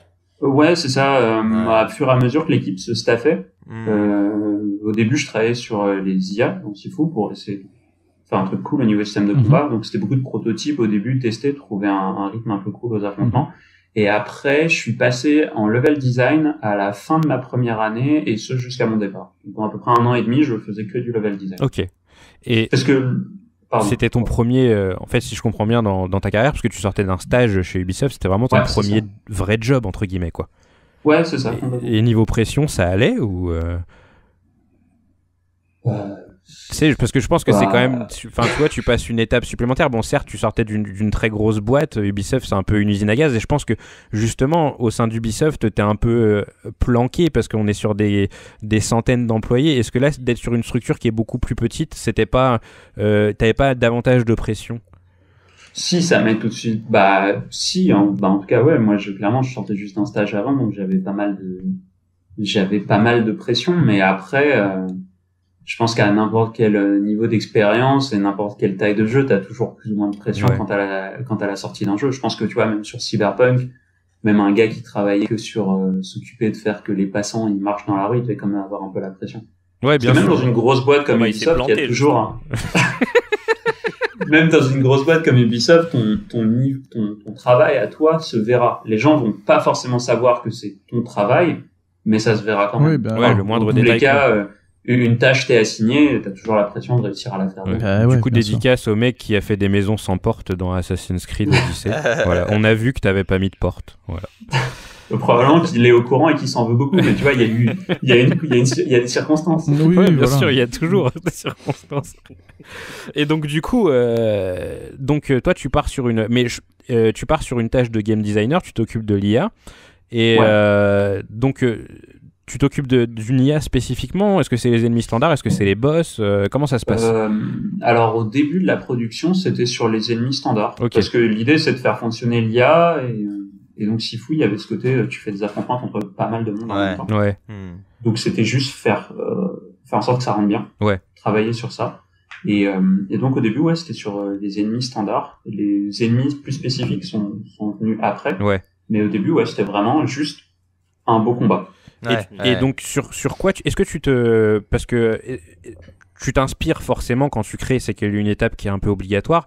Euh, C'était la première fois que tu, tu bossais sur un, un- un jeu d'action euh, corps à corps, Ouais. on va dire. Mm. Euh, est-ce que tu as pris des jeux en modèle pour pouvoir réaliser cette IA ou est-ce que tu t'es dit justement je pars sur une logique de faire un beau combat? Euh, alors oui, il y a eu des jeux, on a regardé euh, pas mal de jeux avec euh, avec l'équipe design et tout. On en a regardé beaucoup. Euh, par exemple, euh, en gros, par exemple, il y avait l'exemple des Batman au début. Ouais. Ah, Euh, Enfin, les, les Batman, c'est pas un exemple qu'on a suivi. C'est pas ce que je veux dire, mais c'est un exemple que j'avais regardé parce que ils ont un combat qui marche plus ou moins bien avec des IA qui, euh, qui traînent un peu autour. D'accord. Euh, Il y a eu des exemples de. Il y avait Godem dans les exemples. Ouais. Euh, Godem était dans les exemples pour ses IA. Il y a eu plein de jeux. On a vu les, on a vu les Bayonetta, on a vu les DMC, on a vu à peu près tous les jeux d'action euh, possibles. Ouais. Euh, Spider-Man. Mais sinon, ce qui a aussi beaucoup servi, c'était beaucoup les films, Euh, beaucoup de films d'action. Ouais. Genre, j'en ai vu plein. Ouais. Euh, vraiment, au bout d'un moment, je tapais fight scene sur YouTube et je, je regardais toute une page. Mais euh, Ah on, c'est les, les, les films, vraiment, c'est les, les films d'arts martiaux qui ont énormément servi euh, comme référence euh, pour faire le jeu. Ouais, il y a une grosse influence cinématographique sur le jeu, ça. ça. se sent, ouais. Et donc du coup, Et, ça t'a euh, aussi servi pour les environnements. Ah, beaucoup, ouais, Ouais. beaucoup. Mais euh, ouais, ouais, au niveau des IA, ça a été, ça a été regarder beaucoup de films euh, pour voir. euh, bah, qu'est-ce que dans un film, qu'est-ce que t'as comme action Ouais. marquante C'est ça. Ouais. Ça, t'as un gars qui, t'as un gars hop, il va, il va balancer une bouteille, euh, il y a un mec qui va s'affuir. Les Yakuza aussi, on les a regardés pour les actions. Ouais. Mais d'ailleurs, on s'est rendu, dans la plupart des jeux, en fait, euh, l'action, il y a des ennemis, elle est sur une balance de faut que le joueur s'amuse, et faut qu'on oppose un challenge. Et parfois, ça peut être un peu trop. Euh, Ju- Justement, ce que je voulais te demander, c'est euh, comment dire.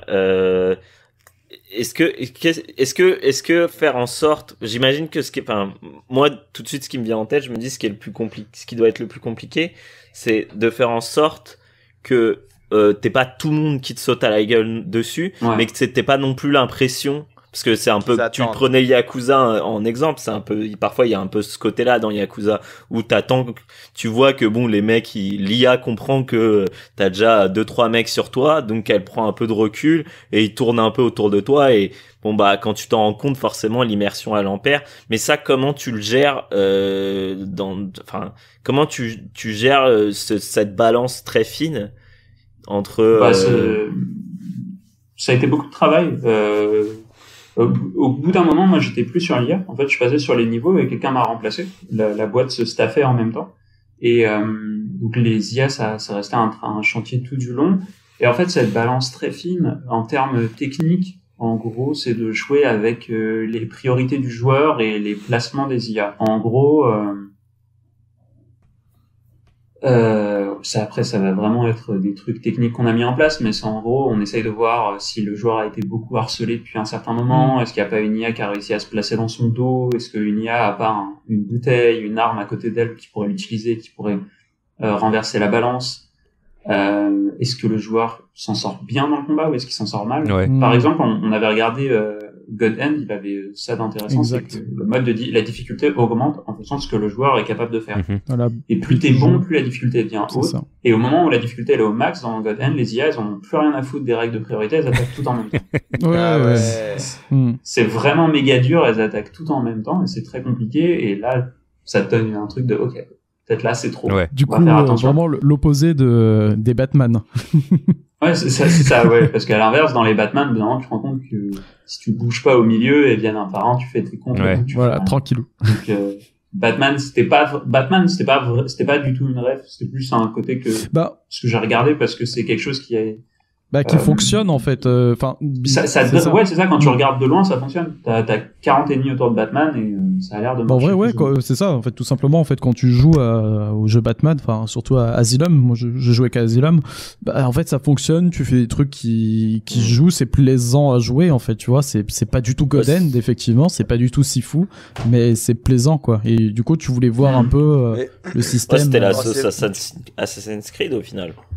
Non, mais c'est vrai que y a, sur Batman, je trouve que c'était bien, mais il y a vraiment des gens euh, qui ont un peu pété un câble en mode c'est le meilleur système de combat du monde, alors que c'était juste un truc qui avait un peu de gueule visuellement, alors que bon, dans les faits. Euh, je sais pas, juste petit coup de gueule, désolé. et, justement, est-ce que, est-ce que par exemple un jeu comme Last of Us 2, dans son, quand tu joues vraiment en mode, euh, euh, enfin où tu vas au contact des ennemis, etc. Est-ce que c'était un, une inspiration? Parce que moi je trouve que par exemple c'est un truc qu'ils ont vachement réussi, le gameplay, euh, ce qu'eux ils appellent mm. viscéral. C'est quelque chose qui fonctionne assez bien sur sur Last of Us 2, je trouvais. Ouais, mais Last of Us 2 est sorti en, 2020, je crois. Ouais. Donc on était déjà dans la production, mais oui, Last of Us 2, ça a été une grande rêve parce que euh, le level design dans Last of Us 2, il est fou en fait. Mm. Enfin, tu t'en rends pas compte, mais pendant les combats, tu bouges vachement et mm. pourtant euh, euh tout est tout est hyper fluide. Enfin, dans Last of Us 2, tu ouvres des portes pendant les combats et ça, normalement, c'est un, un, cauchemar dans un jeu d'ouvrir une porte pendant que des choses bougent. Ouais, Et, euh, et donc ouais, Last of Us 2 a été une ça a été aussi beaucoup de choses. Ça a été une rêve aussi. Euh, Sekiro aussi a été beaucoup une rêve. Bah, oui, justement, j'en ai pas parlé. T'es contre, plus, es contre plusieurs ennemis en même temps et, euh, et ça marche plutôt bien. Enfin, presque tout le temps. Oui, oui, mais ça, c'est voilà, il y a toujours des petites failles, mais. Mais voilà, et donc en fait, il y a un peu tous les, globalement tous les jeux qui sortaient et qui étaient marquants. En fait, tu t'en inspires dans ton travail mmh. forcément. tu regardes ce qui marche, tu vois ce qu'il fait. Et après, sinon, c'était aussi beaucoup regarder des, euh, des talks GDC. Il y en avait de très bons, notamment sur les LIA dans Spider-Man, ils expliquaient euh, tout ce qu'ils avaient mis en place. Bah, je pensais à ça. De loin, ça ressemble à Batman, mais ça marche très bien. Mmh. Ouais. Et, et, et qu'est-ce qui fait, pour toi, quel est le, le, le, le, le, le point principal pour euh, faire une IA équilibrée? Je sais pas trop. Après, euh, pour le coup, vu que moi je suis après, j'ai. en fait, t'étais pas bon là-dedans, quoi. Ils t'ont, ils t'ont. Euh, va faire des niveaux plutôt. c'est pas ça, mais en fait, c'est hyper dur de faire une IA équilibrée parce que ça dépend le joueur que tu as en face. Ah oui. Ah oui, carrément. Parce que, bah, disons que, tu sais, il y a, il y a beaucoup de jeux où- qui sont notamment célèbres pour euh, les IA qui s'adaptent aux joueurs. Fear était assez célèbre pour Ouais, ça à c'est Euh, Half-Life 1. merde, oublié des- Fear, Fear d'ailleurs, une excellente vertical slice. Mais c'est tout. D'accord. Et, euh, Je tenais vraiment à le dire et à le marquer dans un podcast. Merci. C'est une. j'ai- vraiment- oublié des. Alien Isolation, non, apparemment aussi, l'Alien avait Ouais, vraiment est- une, une, une IA Elle est, extrêmement. elle est très euh, chouette, oui. Bon exemple. L'IA d'Alien, elle est très chouette et Mm. tout. Et donc, en fait, ça dépend vraiment de ton joueur parce que, en gros, si tu prends, si tu prends un Assassin's Creed, en vrai, t'as une IA qui est quand même vachement équilibrée parce qu'elle va marcher sur quasiment tous les types de joueurs. Si t'es bon, tu vas juste terminer ton combat en 1 minute 20 pour Ouais. te casser. Mais si t'es pas bon, euh, t'as un minimum de challenge et tout. Ouais. En fait, c'est super dur d'imaginer un combat qui marche pour tout le monde. Parce que l'IA, en fait, euh, faut qu'elle marche en même temps que les capacités du joueur. Donc, euh, équilibré, en fait, c'est une IA qui est, toujours au bon niveau vis-à-vis du joueur. Et c'est là tout l'enjeu d'avoir une IA qui, a... enfin, qui est régie sur un seul niveau de difficulté, je pense, surtout. Ouais, c'est ça. Ouais. C'est que, euh, vous voyez les voitures dans, enfin, les IA dans Mario Kart? Ouais. Quand tu les mets en 200 cc, t'as l'impression qu'elles ont arrêté enfin de ralentir exprès pour te faire gagner. Ouais, ouais, ouais. Hmm. parce qu'elle trace à fond. Et du coup, bah en fait, faire une IA, c'est est-ce que tu as envie de faire des IA qui soient au niveau d'un autre joueur? Parce que du coup, ça peut pas être forcément très plaisant. Ouais. Tu vas te retrouver avec des gars qui jouent aussi bien que toi. Ou est-ce que c'est de faire une IA qui est toujours au niveau du joueur pour lui proposer du challenge et euh, des situations variées? C'est un peu différent. Euh, par exemple, dans Sifu, ce qu'on ce qu'on avait fait pendant un moment, c'était euh, les IA, euh, parfois, s'approchent naturellement des points d'interaction, des Ouais, objets et tout. Exact. Ah, Ouais. C'est pas forcément pour te prendre à, à dépourvu, c'est aussi pour te montrer à toi qu'il y a un objet. Ouais. Et donc Exactement. en tant que joueur, tu peux essayer de les prendre de court. Donc c'était de trouver des IA qui euh, proposent euh, euh, de l'équilibre. Par exemple, dans le niveau 2, euh, vu que j'ai tout à fait dessus, Ouais. euh, la façon dont les IA elles sont réparties sur le sur le dance floor au début, ça ça a beaucoup bougé, mais parce que l'idée c'était de placer les IA de façon à ce que tu explores toute la pièce, parce qu'elle est vachement grande. en Ouais. fait. Il y a des bouteilles un peu partout, il y a des poufs. Si tu vas sur le dance floor, tu peux casser les barrières en verre pour faire tomber les gens. Ça fait Oh. beaucoup de dégâts. Ah, putain, je savais même pas. Ouais, mais en fait, par exemple, quand tu montes à l'étage, sur les balcons, fou, tu peux jeter les gens par-dessus les balcons. Exactement, mais même dans le Oui, oui, dans oui, ça, je fait, ouais. hein. Dans Et l'entrepôt du aussi coup, du- euh, du l'idée, c'est euh, faut aussi placer gentil. les IA de façon à ce que elles soient à côté des points d'intérêt pour que ça rende euh, des trucs cool, pour que ça te donne envie de faire telle ou telle action. Ouais, le but c'est de donner du plaisir aux joueurs, quoi, avant tout. Ouais, c'est ça. Ok. C'est un Et, euh, casse-tête. Hein. Et du coup, euh, là aujourd'hui, enfin, t'as dû le voir. euh, du coup, euh, il y a beaucoup de gens qui pestent un petit peu sur sa difficulté. Quand euh, donc toi, on, on a compris, t'as participé euh, aux prémices de de, Mm. de, de cette IA. Euh, Est-ce que dès le début, vous aviez l'objectif de viser une frange particulière de joueurs, ou vraiment votre but c'était de de pouvoir faire en sorte que tout le monde s'amuse sur le jeu? Il y, a- il y avait une intention de, de vouloir rendre, de faire un jeu exigeant. En fait, vu que vraiment la, la, la base du projet, c'est euh, le kung fu. Ouais. Moi, c'est vraiment la vision qu'on m'a donnée dès le début, et c'est que le kung fu, c'est un truc exigeant. Il faut y passer du Oui, temps, tu ça. toute une vie pour Mm. devenir meilleur. Et donc, il y a eu cette volonté tôt d'avoir des combats qui soient exigeants. Ouais. Il faut que le joueur apprenne à jouer au jeu. Ouais. Ouais, donc c'est euh, il faut passer par cette étape pour euh, pour prendre Ouais, petit à petit le pli. Ouais, bien entendu. Ouais. Mais du coup, là où c'est, euh, bah, par exemple, là, ce que Pazou est en train de faire, euh, au début du club, quand tu arrives, Ouais. les premières IA, euh, cette situation-là, elle est faite qu'en fait, t'es un avantage assez énorme parce que elle t'attaque pas tout de suite. Oui. Dès que Ouais, tu passes ouais. des... Par exemple, la, la première IA, le comptoir, ça, c'est vraiment le truc que j'ai fait moi. Ouais. Euh, la façon dont je l'ai fait, c'est évidemment, t'as envie de sauter par-dessus le comptoir Oui, pour c'est ça, mec. Bien sûr. Et donc, quand tu fais le tour, tu trouves une batte de baseball juste à côté, tu peux surprendre c'est les deux ça. gars. Ouais. Si tu fonces et t'attaques direct les deux gars, bah, le gars derrière le comptoir, il va se retrouver dans ton dos. Oui. Et C'est donc, ça. ton placement, il est plus très optimal et tu vas te retrouver un peu pris au piège. Ouais. Mais il t'attaque pas forcément, le gars du comptoir. Ah non, non. Non, il t'attaque pas Pas, forcément. pas forcément. Il il y, a un Ouais. truc très intéressant à ce niveau-là, d'ailleurs, dans Sifu, que j'ai pas évoqué tout à l'heure, c'est que euh, de base, en fait, t'es en train de jouer à un jeu euh, euh, qui a des aspirations de beat'em up, et en fait, tu attaques tout ce qui passe sous tes mains, quoi. D'ailleurs, les deux mecs qui sont à l'entrée du club, euh, tu peux les laisser tranquilles, mais la première fois Ouais, que je les ai vus, je leur ai foutu des droites directement sans réfléchir. Et en fait, le niveau 2, je trouve que c'est celui qui euh, se sert le plus d'un gimmick qui est assez intéressant dans le jeu, c'est que tu peux éviter des combats, en fait. C'est que Ouais, t'es pas exact. obligé de tous te les taper. Et ça, comment c'est intervenu, en fait, cette idée de se dire, bah, tu sais quoi, on va prendre le joueur à dépourvu en essayant de, euh, de, de, de, ruser en fait et qui comprennent peut-être un petit peu tard qu'il peut éviter des combats. Ça, c'était une, c'était une volonté créative qui avait plusieurs, plusieurs raisons. Donc, il y avait la, la référence au film, essayer de recréer des séquences de film, parce que dans un film de Kung Fu, il se pas toujours forcément. Oui. T'arrives, t'as un dialogue préambule. Il y avait le côté, c'est que Sifu, il a une structure particulière où tu recommences beaucoup les niveaux. Oui. Et donc, de permettre aux joueurs de sauter des combats, c'est aussi un moyen de leur euh, permettre de s'économiser des vies, du temps et de l'énergie. Oui. C'est optimise ton run, euh, peut-être t'es pas obligé de taper tout le monde. Ouais.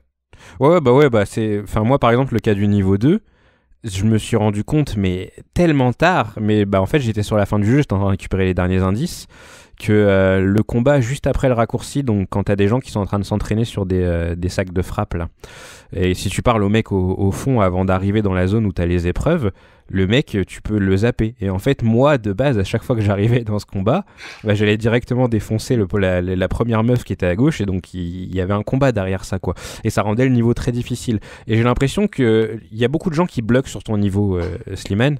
Euh, c'est le plafond de verre. En hein. fait. C'est clairement et, euh, et, et j'ai l'impression que les gens ne, ne, ne, prennent pas cette peine de d'essayer d'éviter des combats, tu vois.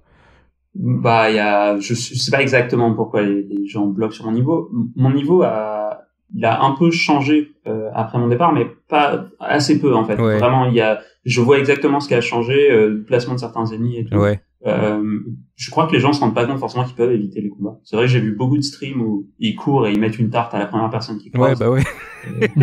truc assez cathartique, clairement. Ouais. Et, euh, et sinon, en fait, ça c'est un truc un peu bizarre, mais alors là c'est de plus de la réflexion personnelle, mais ça me faisait penser à Sekiro.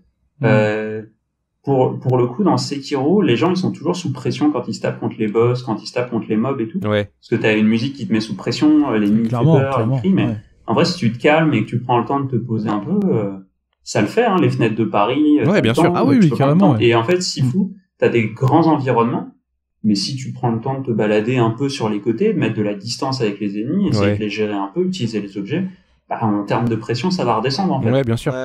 tu vas te rendre compte que tu peux mieux t'en sortir. Ouais, je pense que c'est une question de gestion de sang-froid et c'est vrai que sur Sifu, il y a toujours dans ton niveau, il y a les deux experts en arts martiaux, il y a les disciples de Shen qui arrivent juste avant le combat contre Shen justement.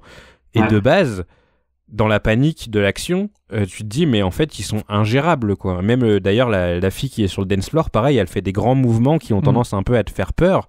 Et du coup tu sais pas comment réagir. Et c'est vrai qu'en en prenant ce temps de te poser et de, de, de, regarder comment appréhender l'ennemi, bah, petit à petit ça rentre. Et c'est aussi ça qui est génial dans, dans ce que j'évoquais tout à l'heure, dans la progression du joueur, c'est que des types d'ennemis dans Sifu, il n'y en a pas énormément. Il doit y en avoir peut-être 4 ou 5 en tout. Mhm. Et euh, ces 4 ou 5 ennemis agissent du coup selon des patterns qui sont propres à leur type. Et petit à petit, en fait, t'apprends à lutter contre chaque ennemi.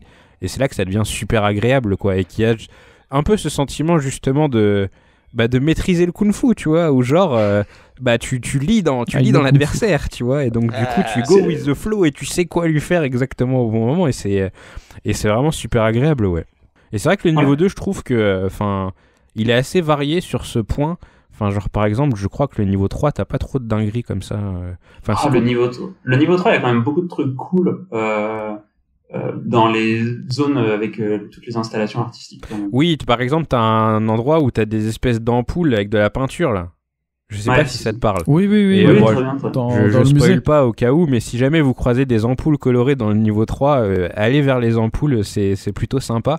Et c'est vrai que, mine de rien, euh, malgré ce que j'ai reproché au jeu tout à l'heure par rapport à la rejouabilité sur le long terme, c'est vrai que j'ai apprécié le fait que, bah, comme je le disais, jusqu'à tard dans le jeu, jusqu'à peu de temps avant que, que je le finisse complètement, j'étais encore surpris de temps en temps de, euh, de certaines choses que j'avais que j'avais loupées. Et il est même très probable que j'ai loupé des trucs euh, après y avoir joué. J'ai une petite question qui me vient, euh, euh, Slimane, je me, je me l'étais demandé assez tôt dans le jeu. Il y a souvent dans le jeu des moments où en fait la caméra elle est à l'épaule. Et tu nous as parlé de Goden un petit peu plus tôt où c'est déjà le cas. Est-ce qu'à un moment dans le processus de prod, il a été possible que cette caméra à l'épaule ce soit la caméra des combats ou directement vous êtes parti sur un angle qui était plus large? Euh, non, il y a eu il y a eu plein de tests différents pour la caméra. Elle a jamais été aussi resserrée que celle à l'épaule, mais il y a toujours eu une volonté d'avoir une caméra assez étroite sur le combat Ouais. pour en fait pour être plus proche de l'action pour que tu Ouais. sois vraiment vraiment dans l'action. Ok, ouais, c'est vraiment pour Euh, voir le truc parce que il y a un truc ouais. qui, est, euh, qui existe dans le beat'em up, c'est en fait euh, la, la- la gestion de l'arrière en fait dans- de ton dos, quoi, tout bêtement. Et en fait, euh, ce qui m'a un peu dérouté dans Sifu au début, c'est que quand des persos te frappent derrière toi dans ton dos, tu peux quand même les bloquer. Je sais pas si tu vois ce que tu veux dire. Ouais, avec, je veux dire euh, avec un pari. Ouais, voilà, c'est ça. C'est qu'en fait, euh, il n'y a pas de pénalité entre guillemets à avoir des ennemis derrière soi. Bon, il y en a un petit peu, mais enfin, mine de rien, tu peux quand même te te sortir de situation. Et plusieurs fois, je me suis demandé comment le jeu aurait été si, euh, comme dans God of War, euh, le reboot, cette caméra restait toujours derrière toi parce que du coup, t'aurais pas vu les ennemis derrière toi. Et euh, donc, en fait, comme tu as cette caméra qui est présente dans le jeu, je me suis demandé plusieurs fois si c'était ouais, quelque chose qui avait été. euh, Il y a, y eu été plein, il y a possible, eu, il y a eu pas mal de, il y a eu pas mal de travail qui a été fait sur la caméra, mais il y a, il y a très tôt eu cette volonté d'avoir une, une immersion euh, très forte dans le combat. Ouais. Par exemple, dans God of War, quand t'as un ennemi qui arrive dans ton dos, c'est souvent Atreus qui te prévient. Oui, Ah oui, c'est vrai. Exact. Ouais, ouais, c'est ouais. vrai. Et c'est Ouais. super bien fait. Et, euh, Ça, c'est bien, ça, c'est intelligent, ça. et à l'inverse, dans God End, quand t'as un ennemi qui est dans ton dos, il y a, y a, t'as la minimap. T'as une minimap Ouais. dans God End. Oui. C'est un peu bizarre d'avoir un, un, beat'em up avec une minimap, mais c'est ça. Dans God End, euh, tu repères les ennemis sur ta minimap et donc sais de placer pour avoir euh, personne dans ton dos. Ouais, parce que l'un des, un des principaux euh, trucs importants dans un beat'em up, c'est la gestion de l'espace, justement, que Ouais. Sifu, du coup, Ouais. fait, euh, fait aussi très bien avec des espaces qui sont plus larges et, et différentes façons de gérer la situation. Mais ouais, c'est, ça tient totalement. Euh, donc, du coup, tu t'es occupé, tu nous as dit, du niveau 2, Ouais. quasiment Tu- entièrement. Euh, ouais, quasiment entièrement. Ouais. coup, Le niveau 2. Euh, là, en fait, l'état dans lequel je l'ai laissé en partant, c'est euh, un état assez proche de, de ce qui est De la version Le finale. Il a été finale. encore rendu encore plus joli par les artistes. Ouais. Ouais, c'est ouf. hein. Mm. Et euh, il y a eu quelques quelques petites euh, quelques petites modifications euh, de level design, de légères proportions de, de salles et quelques situations qui ont été un peu modifiées. Mais sinon, il a pas il a pas énormément bougé. Le jeu tourne Ah, sous cool, Unreal Engine 5, c'est ça? 4 Euh, 4. 4, Quatre, ouais, ouais. ok, d'accord. Mais c'est très et propre. du coup, hein. c'est un moteur que t'as appris, dont tu as appris à te servir plus tôt ou euh, t'as ouais, appris sur le tas? c'était- c'était à l'école et après j'ai beaucoup beaucoup appris sur euh, sur le tas. Parce que c'est pas un moteur qui est utilisé chez Ubisoft? Non, Ubisoft, ils ont leur euh, moteur Moteur maison, ouais. propriétaire. Ok, d'accord. Ouais, ils ont plusieurs moteurs maison en fonction du, du projet sur sur lequel on est. Ouais, Et donc moi j'ai travaillé donc sur le niveau 2 que j'ai sur lequel j'ai pas mal travaillé, le niveau 1 aussi. Ouais. J'ai euh, beaucoup travaillé et euh, je me je m'étais occupé des j'ai beaucoup travaillé sur Sean aussi avant qu'il soit repris un Mm. peu à, à mon départ mais je me suis Ouais. beaucoup, j'ai beaucoup travaillé sur Sean. Ah ouais. En gros, j'ai fait euh, les, toutes les premières versions de Sean. Ok, Euh, parlons-en un peu de, de Sean. Du coup, tu bosses du niveau 2 qui lui aussi euh, fait couler beaucoup d'encre. Alors, j'ai moi, ce qui me fait marrer avec ce boss, c'est que très tôt, je me suis dit, ouais, c'est le boss au moins où les patterns sont les plus clairs. C'est que tu as Ouais. beaucoup de, de, de boss par la suite. Je pense entre autres au boss du niveau 3, où elle fait des mouvements très amples et ça met du temps. En fait, avant de comprendre ce qu'il faut faire avec elle, elle a un combo à 5 coups, il faut faire haut bas, haut bas, enfin c'est assez... euh, ça met du temps. Et je trouve que Sean avait des, des, des patterns qui étaient quand même assez, euh, assez bien marqués, voire même plus marqués que le premier boss. C'était une volonté de ta part ou... euh, Ouais, ça très clairement parce qu'en fait Sean il est il est très grand au niveau Oui. de sa carrure et il a un très grand bâton. Ouais. Ouais. Donc en gros euh, l'idée c'est de ils ont tous aussi un, un style martial qui est qui est, qui est prédéfini. D'accord. dans, dans la volonté créative. Ouais. Et euh, du coup, oui, Sean, on a, on a voulu faire un truc euh, en fait très marquant et très lisible parce que l'idée de Sean, c'est qu'en gros, il va frapper très fort. Ouais, Donc il faut, faut que tu vois bien son attaque arriver ouais. parce que si tu la, en fait, si tu la vois bien arriver, déjà il y a un effet de wow, attends, il va, il va faire très mal là, si je me prends le coup. Mm. Et donc ça rajoute un peu de tension et c'était le côté, euh, faut que ce soit bien lisible pour que le joueur puisse éviter les coups et bien comprendre. Parce que Et c'est aussi que le second boss. Quoi. Oui, voilà. Mais du coup, euh, dans votre optique à vous, l'esquive immobile euh, prédominait sur le pari, du coup.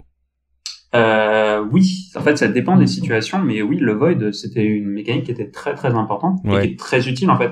Elle est même encore plus utile que le pari puisque Oui. ta barre de structure augmente pas en fait si tu si t'es esquive bien. Alors qu'au pari, enfin, euh, non, attendez, je- j'ai peur de dire une erreur, mais euh, non, pardon. Ta barre de structure, elle, elle quand diminue tu- quand t'es quand t'as void, non? Elle diminue quand t'as void. Oui, c'est bien c'est ce ça. me semble. Voilà. Et du coup, euh, le void, c'était une mécanique qui était hyper pratique et justement, c'était vraiment sur Sean qu'on utilisait à, fond le void. Ouais. Bah en fait moi naturellement c'est à ce moment-là que j'ai compris comment me servir de cette technique parce que euh, en fait ça m'a fait beaucoup penser à hum, à Soul Calibur où euh, en fait dans Soul Calibur t'as des coups euh, avec X c'est les coups euh, latéraux entre guillemets qui frappent de gauche à Ouais, droite et avec Y c'est les coups qui frappent de haut en bas ou de bas en haut quoi. Donc t'as vraiment deux, euh, deux situations. Et c'est vrai qu'en fait Shun un peu dans son délire façon Kilik il a des coups du coup qui sont bien marqués à la verticale Ouais, et des coups qui sont bien marqués euh, de quoi? Tu joues Kilik je joue Kilik oui tout ça. Ah la honte. Je joue Mitsu, mec. Mitsurugi, mec. mais euh, ouais, mais là Shun il a un bâton du coup c'est pour ça que j'évoque Kilik mais Ouais, oui j'avoue, je joue Kilik. bien vu. Mais euh, du coup, ouais, c'est là que j'ai compris en fait le, le, le système d'esquive. Et euh, c'est vrai que là aussi, en lisant des, des, des retours des gens, j'ai l'impression que ce système, euh, il le découvre un petit peu en fait à la fin du jeu, tu vois, genre au dernier boss. Mm. J'ai l'impression qu'il Bah, a mal été assimilé par les gens. ouais. Ah bah non, En non, fait, c'est pas, un- c'est c'est pas facile de l'assimiler euh, dès que t'arrives sur Sean, en fait. Pourquoi a- Bah, en fait, je, je trouve, hein, après, euh, désolé de, de couper le truc, c'est que, en fait, avant que tu arrives sur Sean, c'est pas facile, tu vois, en fait, de vraiment de comprendre, effectivement, il faut que j'utilise plutôt l'esquive que que que le euh, que que, Le que pari. d'autres trucs tu vois ouais que le pari tu vois alors que le jeu en tout cas le premier le premier niveau et surtout le premier boss là euh, Jafar je crois je sais plus le botaniste ouais. Fajar. La Fajar. Fajar, ouais. pardon. Ouais. il, euh, Ouais. il mise beaucoup en fait sur Jafar, le. c'est un autre sur jeu, pari. hein, Ouais, Zelda, ouais. c'est un autre jeu sur Mega Drive. Mais euh, ouais, effectivement, il, il mise beaucoup en fait sur le pari plutôt que l'esquive. Et moi, instinctivement, je vais plus utiliser l'esquive parce que bah c'est bête, mais dans Sekiro, je je- j'esquivais Ouais. beaucoup, tu vois.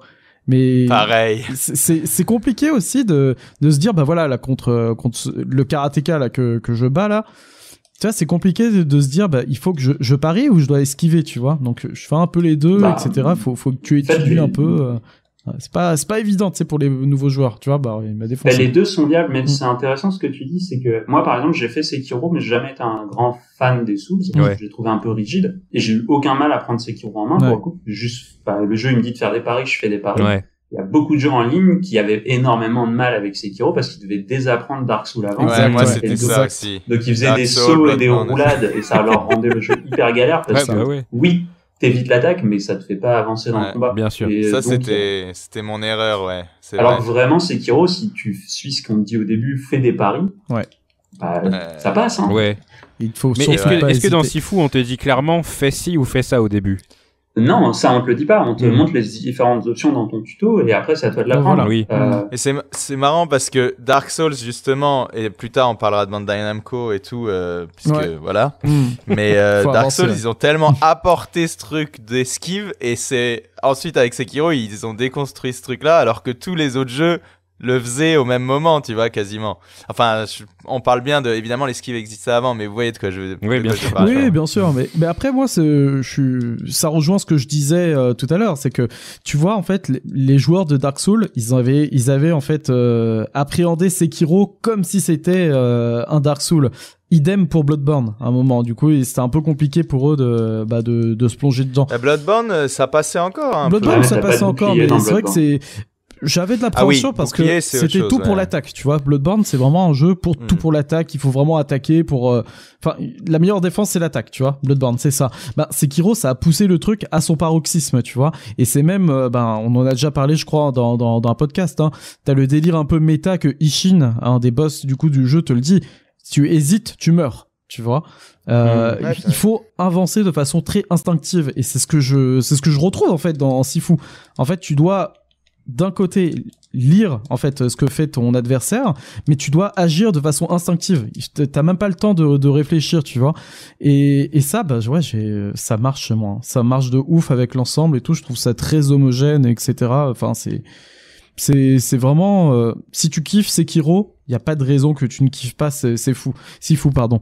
Mais il faut se donner les moyens. C'est few, c'est few. C'est Fiu, Shifumi. Euh, bah, en vrai, regarde, j'avais fait la blague. 93. J'avais fait la blague. C'est ce Sifu, Sifumi, tu vois. Mais en vrai, c'est un peu ça, Ouais. tu vois. Parce que quand tu, Bah ouais. quand tu fais tes combats, c'est un peu comme c'est Sekiro, c'est une bataille de, de, de, de Sifumi, de Shifumi, pardon. Ouais. Tu vois, tu, Mm. tu dois vraiment même s'il y a la musique qui est incroyable, hein, d'ailleurs la, la bande son elle est incroyable, euh, qui t'entraîne, il y a plein d'ennemis qui est là et tout, ça te augmente ton niveau de stress. Tu dois en fait te dire non, ben je vais déstresser je vais appréhender le bail comme un Shifumi. Ok, tu fais ça, ben je te contre avec ce contre, avec ce truc là. Ok, tu fais, euh, tu fais cette attaque, je vais l'esquiver comme ça et je te contre là et, et ça passe en fait. Il faut que tu rentres dans ce putain de flow. Et, et franchement, moi, je kiffe ça. Tu vois, vraiment euh, incroyable le jeu. Et je l'ai pas encore fini. Moi, en, en, regardant Pazou jouer, ce qui me marque le plus en fait dans le jeu là, c'est vraiment ce, ce sentiment qu'il n'y a pas que je retrouve pas du tout, par exemple, dans un Street of Rage, où t'as l'impression d'arriver. Enfin, il y a le monde il paraît réel en fait. C'est ça. Tu vois, genre le, le, la façon dont le niveau est pensé, et c'est la question que je te posais tout à l'heure, mais là je le vois clairement c'est que t'as vraiment cette sensation de d'arriver dans un truc où euh, où euh, les, les, les, les les ennemis sont là pour une raison en fait ils sont pas là à t'attendre et ou à apparaître quand t'arrives tu vois ou bah, dans un jeu de base ça c'est euh, l'influence euh, ça c'est l'influence du cinéma à mon avis aussi. ouais, mais, ouais, mais c'est hyper agréable à regarder en fait même à juste regarder le jeu bah il y a vraiment ce côté cinématographique où euh, t'arrives et euh, le mec il est en train de s'entraîner ou il est en train de regarder en bas sur le dance floor etc et il y a il y a vraiment cette sensation que euh, il y a une vie autour de qui tourne pas autour du, du joueur en fait tu vois. Hmm. et je trouve ça, je trouve ça très cool. euh, ouais t'as raison ça a été une, une volonté créative qu'on nous a passé très tôt au level designer c'est de on nous a bien dit qu'il faut que nos niveaux aient l'air réels il faut que les gens soient là pour une raison et que euh, il faut il faut que ça ait l'air vivant. C'était une, une, volonté créative très forte d'avoir un côté avoir un côté très vivant dans le jeu. Ouais et pour rester sur la question de la volonté créative et du level design, est-ce que c'est fait exprès que du coup euh, chaque niveau ait été euh, designé euh, principalement par une personne? Est-ce que c'était pour avoir cinq visions ou est-ce que c'est euh, un peu le fruit du hasard? Alors pour le coup, les niveaux n'ont pas été designés vraiment par cinq personnes. C'est ah, alors il y a eu moins. Bah en fait c'est parce que moi j'ai travaillé sur le 1 et le 2 par oui, exemple, déjà ouais. Niveau qui a, qui a, plusieurs personnes ont aidé sur d'autres niveaux. Euh, non, c'était plus pour des raisons euh, de, pour le coup de staffing et de production. Ouais, Il y avait le ouais. bon nombre de level designers pour euh, pour travailler euh, chacun sur un niveau. Ouais. Euh, la charge de travail n'était pas forcément répartie au début, mais en fait on s'est staffé et on a eu Mm. un, finalement à la fin ouais, on a un level designer euh, sur chaque niveau. Parce que c'est trop Ah ouais. cool le fait d'avoir vraiment cette, euh, cette, cette vision à chaque fois bien différente. On sent que chaque niveau a, a, a- a ses forces. Tu vois, c'est que euh, euh, l'hôtel avec tous ses bureaux, enfin l'hôtel, pardon, le, le- le building là de la société euh, Oui. Euh, euh, du quatrième niveau, oui, avec La- tous femme. bureaux, ce look très moderne, etc., très propre. Après, il y a ton niveau à toi où du coup on est dans une ambiance un petit peu plus moite parce qu'il y a le délire de boîte de nuit, de fight club, etc. Mm. Et j'ai vraiment kiffé me retrouver dans une ambiance bien différente à chaque niveau. Je trouve que c'est Ouais. vraiment très réussi. Le cinquième niveau aussi, il est génial. Il est trop beau le cinquième niveau. Ça c'était vraiment ouais ça c'était la volonté euh, artistique était très forte, c'était d'avoir euh, cinq niveaux euh, bien différents qui reflètent les personnalités des boss et euh, et leurs éléments un peu. Ouais. Hmm. Ouais, j'ai une petite question. euh, ouais, peut-être euh, on aurait dû la poser un peu plus tôt. Il- Tiens, par exemple, la Ouais. bazou dans le la, la zone dans laquelle t'es. Bon, là, c'est dommage, t'en es Ah, sorti, mince, mais ouais. euh, tu peux tu peux escalader les murs Oui, pour monter directement à l'étage et tu peux jeter des gens Ouais. euh, du haut des murs. Ça rend les combats plus simples. Mais c'est Mais vrai. tu c'est vois, j'ai. Mm. C'est peut-être ma façon de jouer, mais tu vois, je me suis rendu compte très tard qu'il y avait un deuxième étage et je me suis dit, ouais, c'est bizarre d'avoir euh, pris toute cette peine alors qu'on peut ne jamais le voir. Mais c'est- Bah, tu vois, Bah, la réponse, elle est dans ce que tu dis, c'est Oui. qu'en en gros, si on l'a, si on le fait pas, les gens vont jamais le voir. Donc jamais, enfin, il faut qu'on le fasse pour que les gens puissent le voir. Après, Oui, ils l'utilisent ou pas, bah c'est autre chose. Mais euh, mais ouais, ce- cette zone, elle, ça avait été un, un, truc vachement intéressant à faire, c'était pouvoir apporter des combats un petit peu plus verticaux. ouais. Tu, toute façon- tu, puis mon- tu puisses monter et escalader. J'avais une euh, question. Mais oui, clairement, euh, il y a toujours un moyen que les joueurs voient pas tout, mais c'est aussi l'idée que si tu galères face à un combat, euh, prends un peu de recul, utilise Ouais. ton environnement. Euh, Jackie Chan, c'était une énorme référence en fait euh, pour euh, tout le projet. On, on nous a vite, sous, vite passé euh, les références de Jackie Chan parce que ça utilise énormément l'environnement dans, dans ses films. Ah ouais. Bah Et Ah l'environnement, bah, c'est ce qu'il a créé, c'est le, c'est son art, euh, son art martial qu'il a créé au final en utilisant chaque. Euh, Je sais pas si tu l'avais vu la vidéo où justement il a, un- il est sur un plateau télé, et les mecs lui ramènent un caddie avec des trucs et les trois mecs en lui disant ok, euh, Là, t'es basiquement, qu'est-ce que tu fais, comment tu truc? Et il te montre justement sa façon de penser. Et genre, ok, bah là, peut-être que là, je vais passer ma main ici et commencer à le taper à partir de là. je vais sauter Mm. dessus. Enfin, tu vois. Et genre, c'est hyper. Et c'est c'est c'est c'est là où ça doit être intéressant. Jackie Chan, c'était comment rendre ça créatif, mais aussi joli à regarder, quoi. C'est ça. Enfin, j'imagine que ça devait être les Mm. premiers, les, les, les, les, les, les, les- comment, les piliers de, de ce qui fait le gameplay de, de, de, de C'est fou. Ouais, euh, Mm. bah, l'environnement, c'est l'usage, un, un gros usage de l'environnement, ça a été euh, un focus euh, très tôt dans, dans les niveaux et dans la prod. C'est pour ça que dans la plupart des pièces dans lesquelles tu te bats, tu peux utiliser des trucs autour de Est-ce que tu avais visionné euh, le film de euh, le film documentaire de Jackie Chan, My Mm, Non, Alors, je, je ne crois pas. en gros, c'est une sorte de documentaire sur comment il fait les films et tout. Et justement, par rapport à ce que Guillaume disait, c'est que ils ont même une sorte de salle, c'est une sorte de laboratoire où ils ont plein de, si je me souviens bien, hein, ils ont plein d'objets un peu random et ils expérimentent. Et on pourrait mettre ça dans le film, etc. Mais tu vois, vraiment pour travailler sur ces objets du quotidien un peu, tu vois. Ouais. Mais ouais, en tout cas, moi, ça, c'est un aspect que j'ai vraiment kiffé aussi dans, dans, dans, dans Sifu. Et Adrien, il m'en parlait justement avant que je le lance. Euh, c'est Adrien qui l'a acheté d'ailleurs, hein. dédicace à lui, c'est pour ça que j'y joue. Non, et du coup, euh, et il m'avait dit une situation où genre un gars lui lance une bouteille, il esquive la bouteille, et du coup le gars derrière lui se prend la bouteille et des trucs Ah comme oui, ça, oui, et il me l'a bien vendu Mm. avec. Ça, c'est vraiment du Jackie Chan aussi, dans, je trouve en tout cas. C'est vraiment stylé ça, ouais. Pour rester dans les influences euh, cinématographiques, euh, il y a. T'as un peu une contre-vérité par rapport au, au niveau 1, euh, je crois. euh, par Euh, rapport à, à- à la scène qui est du coup euh, directement rattachée à Old Boy, apparemment tu nous avais dit qu'à la base c'était pas directement Old Boy, c'est que ça l'est devenu avec le temps, non c'est ça? Euh, ouais, alors, j'espère que ça, je... Non, je peux le dire, c'est bon. Non, Mais euh, oui, à la base, euh, le niveau 1, c'est des squats. Oui. C'était euh, l'influence de The Red, elle est assez forte dans ces Ouais. squats, par exemple. Et en gros, il y avait cette idée de vouloir expérimenter avec euh, différents types de caméras. Et donc il y a ce couloir qui fait forcément penser à All Boy parce que tu as Mhm. une caméra sur le côté où tu tapes. Ouais. Mais euh, pendant un moment, le couloir, tu pouvais même le faire sans la caméra. Et un couloir sans caméra de côté, tu penses pas forcément à All Boy. Ouais, bien sûr. Et du Ouais, coup, ouais. c'était Ouais. plus la séquence de The Red. Qui... ben, il, y a un, il y a un super combat dans un couloir dans The Red, qui, est- qui est une super Mais aussi séquence. en 2D comme ça? Non, non, justement, c'est pas, c'est Ah oui. pas filmé sur le, sur le côté.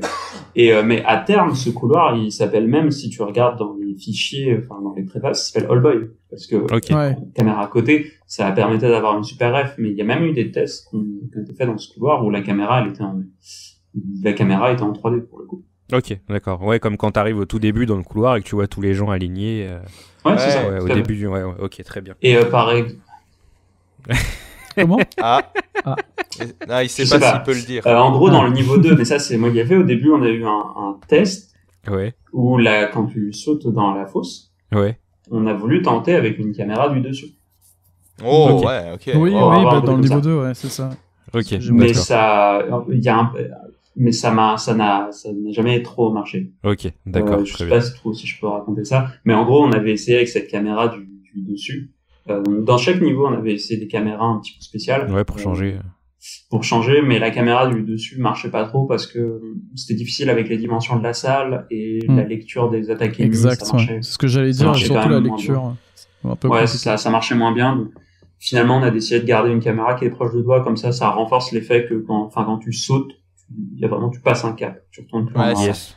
Ouais, ça c'est bien ça. Avant qu'on passe à ton départ de Slow Clap, est-ce qu'il y a des choses qu'on n'a pas évoquées et que t'aurais aimé évoquer sur euh, ton expérience Euh, sur Sifu? Bah non, c'était une expérience qui était plutôt cool, c'était Ouais. très formatrice et j'ai appris plein de trucs en level design. Euh, par exemple, la, cette salle euh, du niveau 2 avec le deuxième étage, c'est une salle sur laquelle on a, on a beaucoup travaillé parce que, Mm.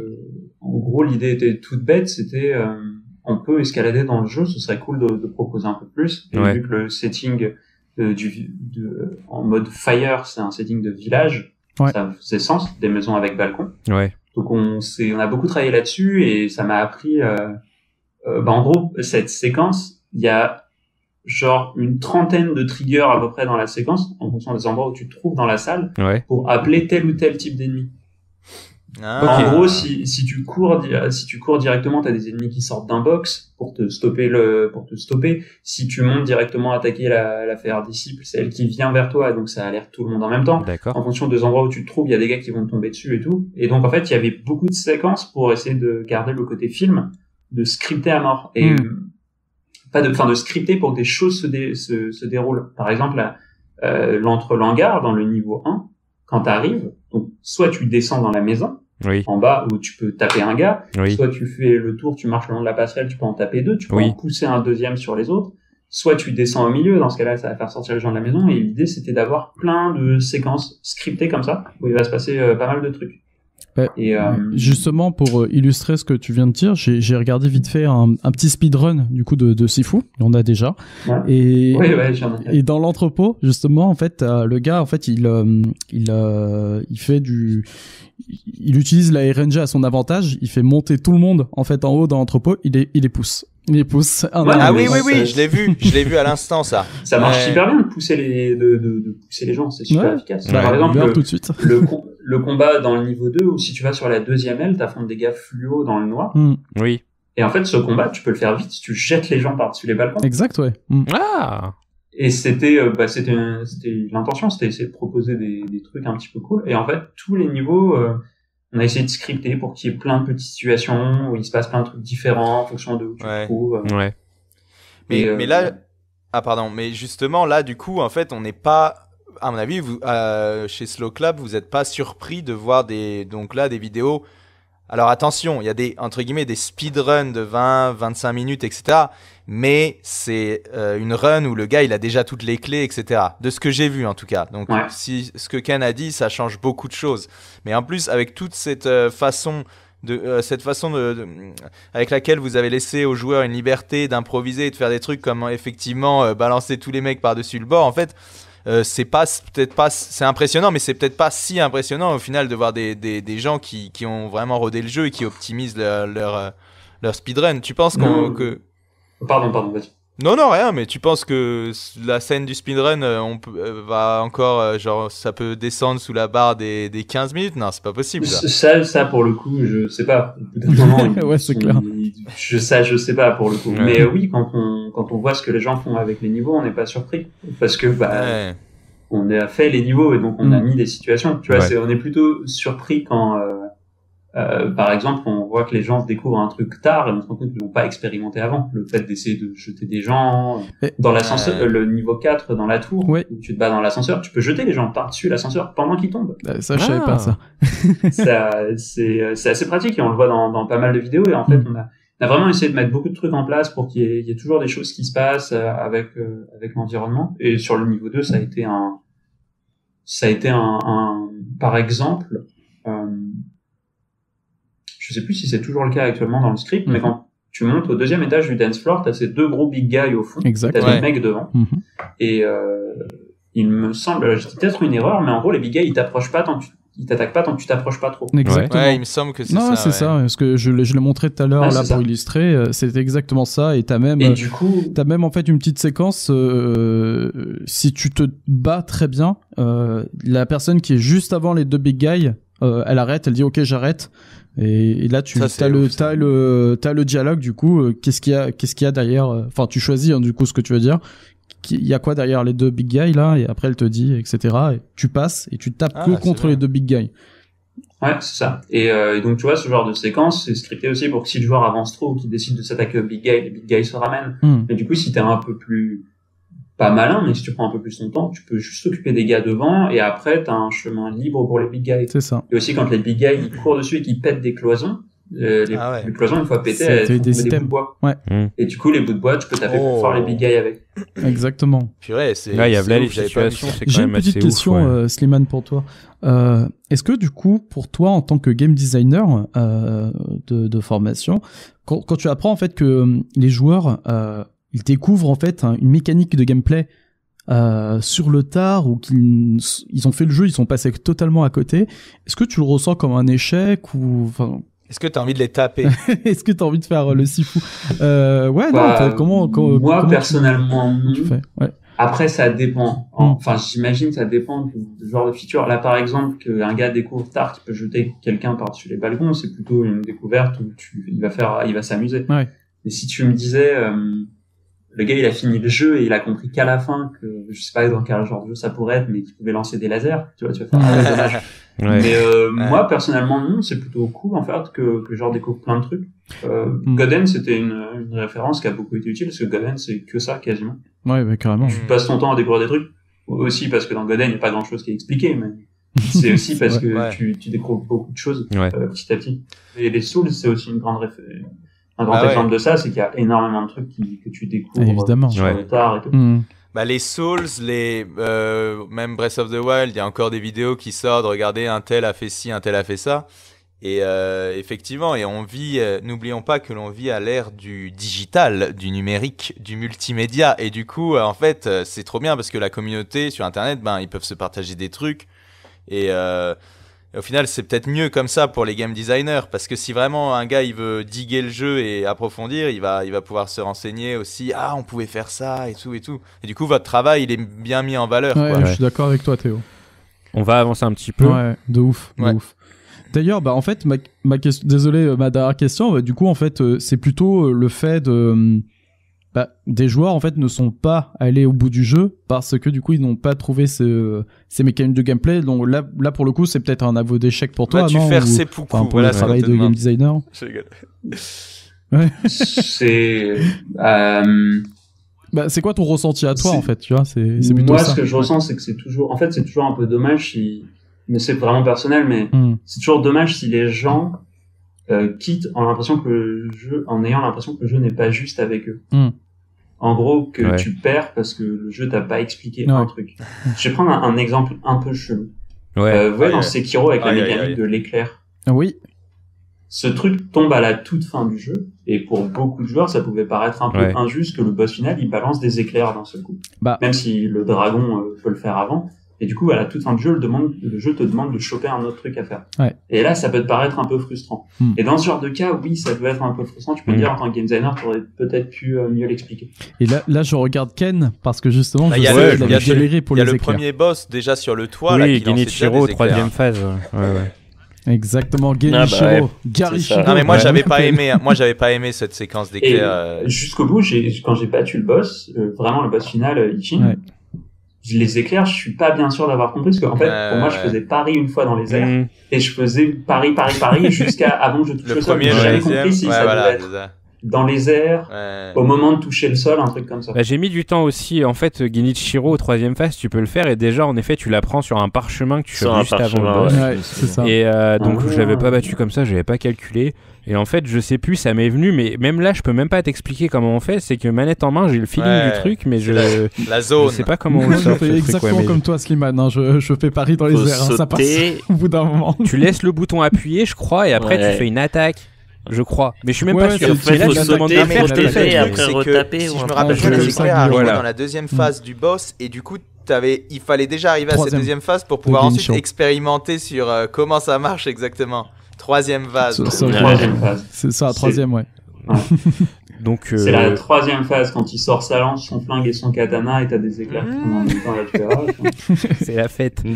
Ah oui, mais oui, sur Genichiro, c'était, il avait que deux phases, je Non, crois. il y trois phases, euh. Bref, c'est un autre sujet. Euh, du coup, euh. Slimane, t'as, t'as, t'es parti de Slow Clap avant la Euh, fin du ouais. développement. Ouais, tout à fait. Euh, comment ça s'est passé et comment, euh, comment, surtout, je me demande comment t'as vécu la sortie d'un jeu sur lequel t'as travaillé pendant deux ans sans être avec l'équipe et entre guillemets sans célébrer cette sortie?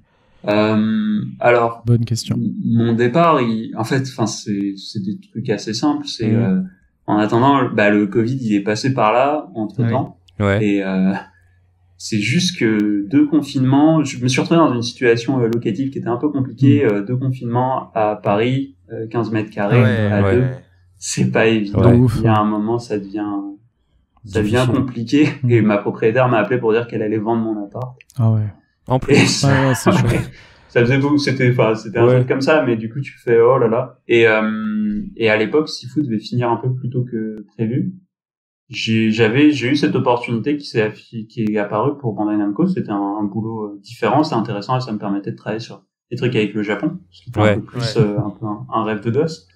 Et euh, du coup, j'ai essayé de négocier pour rester le plus longtemps possible, mais c'était pas c'était pas forcément jouable, mais ça permettait de bouger et c'était euh, pas dire d'un point de vue personnel, c'est ce qu'il y avait de mieux. Ouais. Oui, bah oui. Mm. Euh, après, j'avais encore pas mal d'amis qui étaient dans la boîte. Ouais. Donc, euh, quand je vois Sifu sortir maintenant, c'est euh, c'est un peu étrange parce que bah, d'un côté, il a pas tant changé que ça par rapport à ce que moi j'ai vu. Il, il est devenu beaucoup plus beau, certaines animations sont devenues beaucoup plus fluides et tout, mais c'est toujours le jeu sur lequel j'ai taffé pendant ouais ça deux ans, deux ans et demi. Ouais. Donc euh, je le vois bien et et en fait bah je, je célèbre disons que je félicite mes potes qui sont encore dans la boîte et tout, je, je discute encore avec eux Ouais. et euh, et c'est un peu bizarre mais en vrai en même temps bah je fais d'autres choses à côté donc je suis très content de voir que les gens s'amusent sur euh, sur Sifu et tout et euh, mais voilà je je- j'avance je peux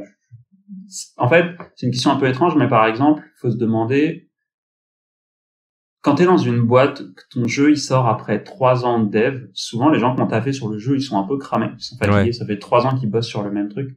Donc quand le jeu sort, ils sont très très satisfaits.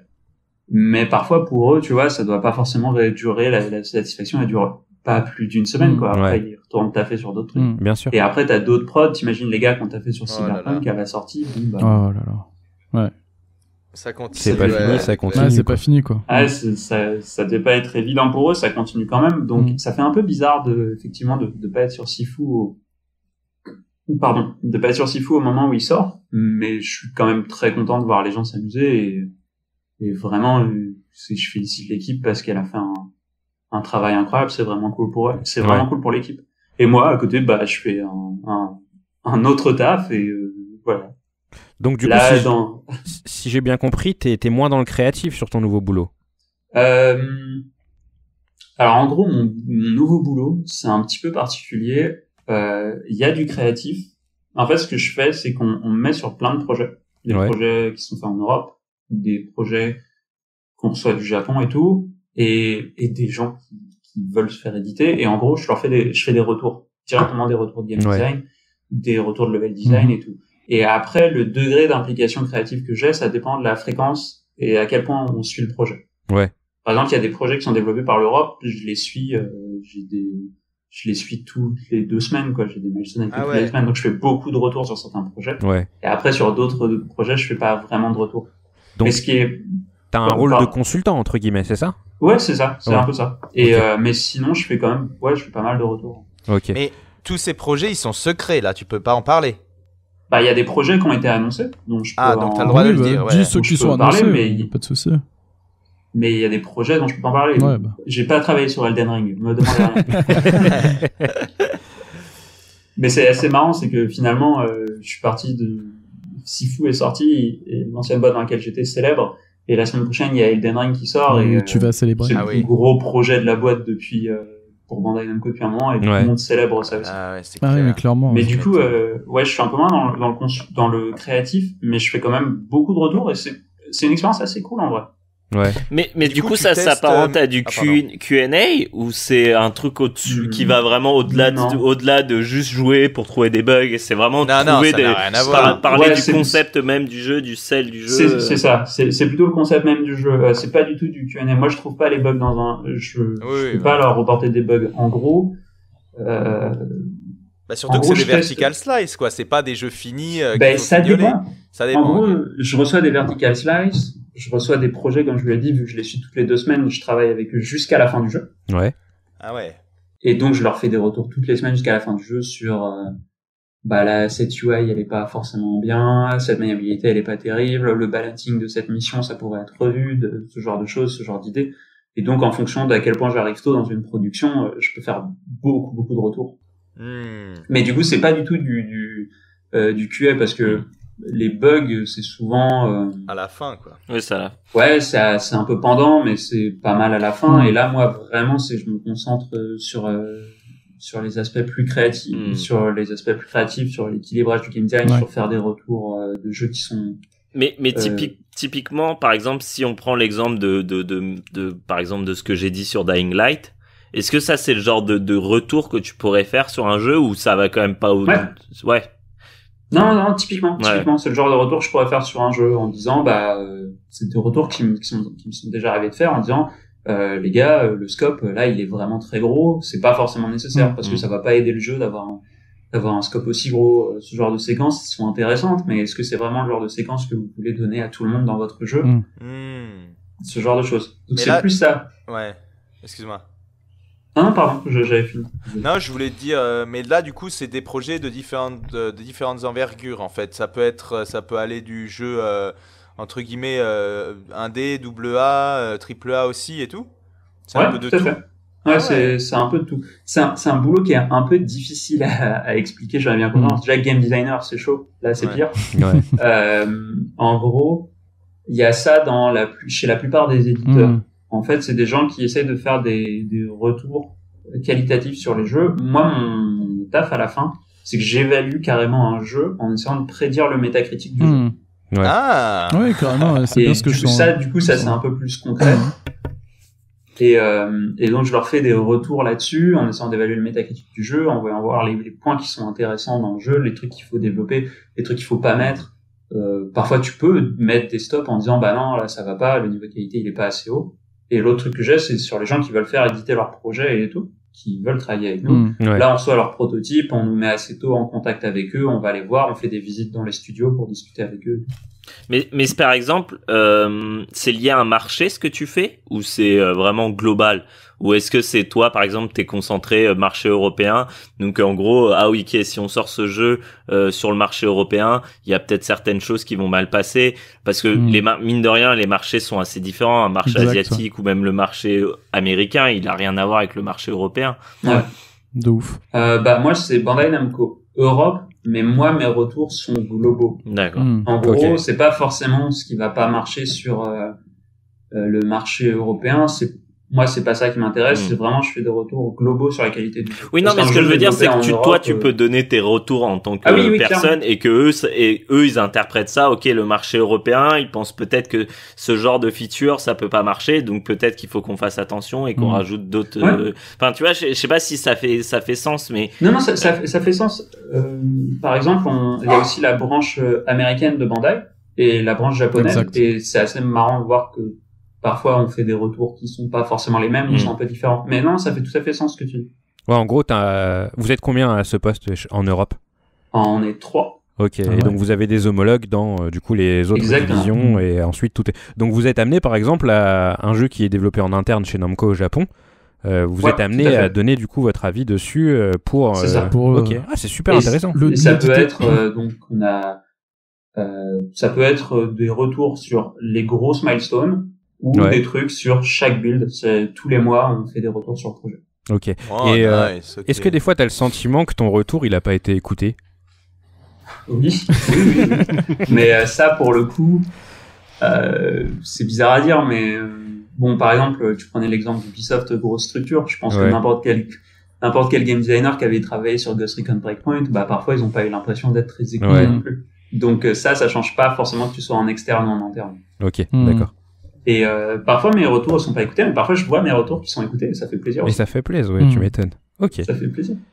Et, euh, donc euh, ouais non, voilà. Là pour l'instant il y a, il y a il y a rien de ce sur quoi je travaille qui est sorti, mais il y a des jeux sur lesquels je travaille qui ont été annoncés, euh, notamment euh, euh, Parc Beyond. C'est un jeu gestion de parc d'attractions. Ah oui, Je sais. ouais, ouais, je vois. il, a ouais. été, euh, il a été montré, sais pour moi, euh. mais euh, voilà notamment ce jeu qui a été annoncé. Mm. Euh, pour le coup je travaille dessus. Cool. D'accord. Et Ouais, justement, ça, celui-là. Ça, c'est pris en compte ou pas? T'as t'as ton niveau de entre guillemets d'expertise. euh, tu vois, par exemple, moi qui va parler de Street of Rage, ça a aucun rapport avec Ken qui va parler de Street of Rage. Donc, est-ce que ça, c'est pris en compte? Euh, alors oui, mon niveau d'expertise, enfin, en tout cas oui, ça a l'air d'être pris en compte. Et après moi-même, euh, j'essaie de taffer pour combler les lacunes que je peux avoir sur certains genres de jeux. On, vu qu'on est trois dans l'équipe, on essaie de se répartir les projets vis-à-vis des Ouais. spécificités de Mais- tout le monde. Parce que ça, au final, moi, je pense que c'est même plutôt une bonne chose parce que du coup, tu peux t'assurer que ton jeu, il va toucher différents types de publics et pas uniquement les mecs qui sont euh, dingues de jeux de gestion, tu vois. Hmm. Non, mais ça c'est très cool. Et non, pour le coup, on fait bien comprendre que mon expertise elle, elle est prise en compte en tant que game Mm. designer. Euh, j'ai de l'expérience et tout. Et, et moi, c'était, enfin, le boulot, il est un peu atypique. Vous avez pu vous en rendre compte. C'est un peu étrange. Et euh, c'est un peu ça qui m'a attiré. Ça me permettait de toucher à, à plein de prod, ouais. à voir aussi plein de studios dans le monde. Et ça me permettait de, tu vois, j'aurais travaillé à danse sur une prod. Je vais travailler aussi de façon un peu mmh. externe. Ouais. De, voir un peu tout ce qu'on peut avoir dans, dans le monde du jeu vidéo. Et c'est cool aussi de voir comment ça marche depuis un éditeur et puis un éditeur japonais, ça c'est encore. Mais, mais typiquement, vu que t'as été un faiseur à l'époque, est-ce que c'est pas le genre de truc où par exemple, bah, c'est, enfin, ça te manque de pas te dire ah ouais putain, euh, c'est pas, genre ça me donne envie moi de bosser sur un jeu ou euh, plutôt que de de faire des retours ou des critiques. Euh. Tu vois, je, enfin, bah, moi je prends, je prends mon exemple quand je critique des vidéos pour pour la boîte pour laquelle je travaille en fait, il y a certains moments où je me dis, bah en fait, je préfère plutôt le faire moi-même, ça va prendre moins de temps, tu vois.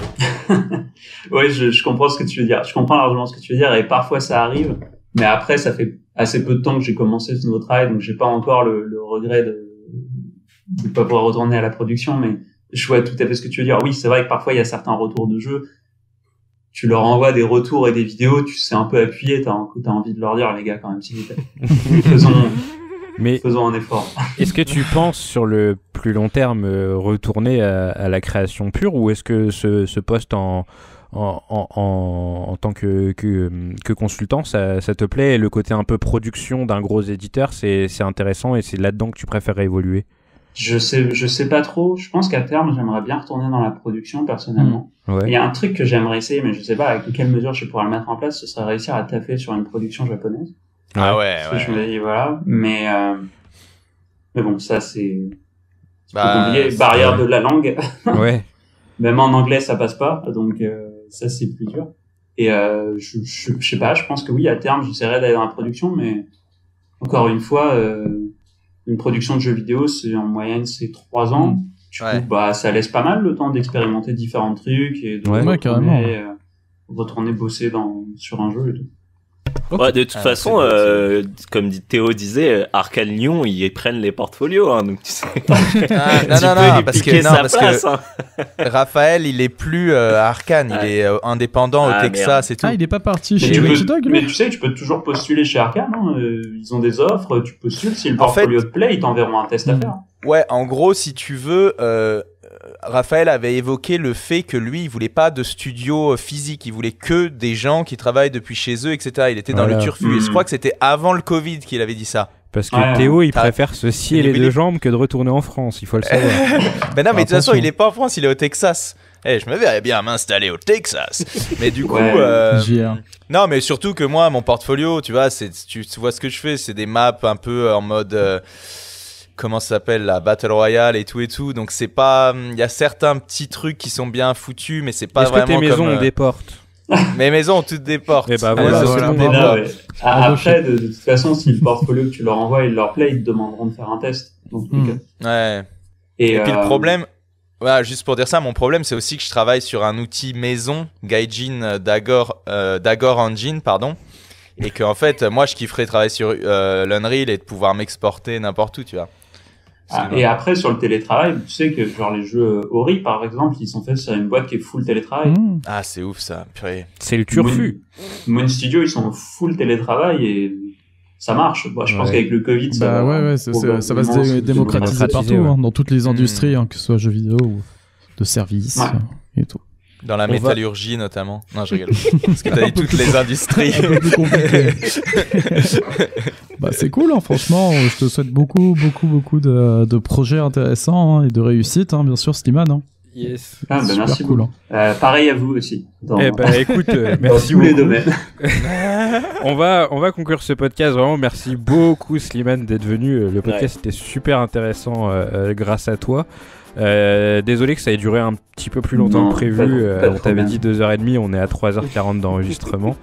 Euh, mais écoute, franchement, c'était c'était méga cool. Merci d'avoir accepté l'invitation aussi vite en plus, parce qu'on t'a demandé tout récemment. Hmm. bah écoutez, merci aux gens qui nous ont écoutés aussi. Merci à, Guillaume, Théo et Pazou aussi. Merci bref à, tout le monde. Thank you. bah écoute, de rien.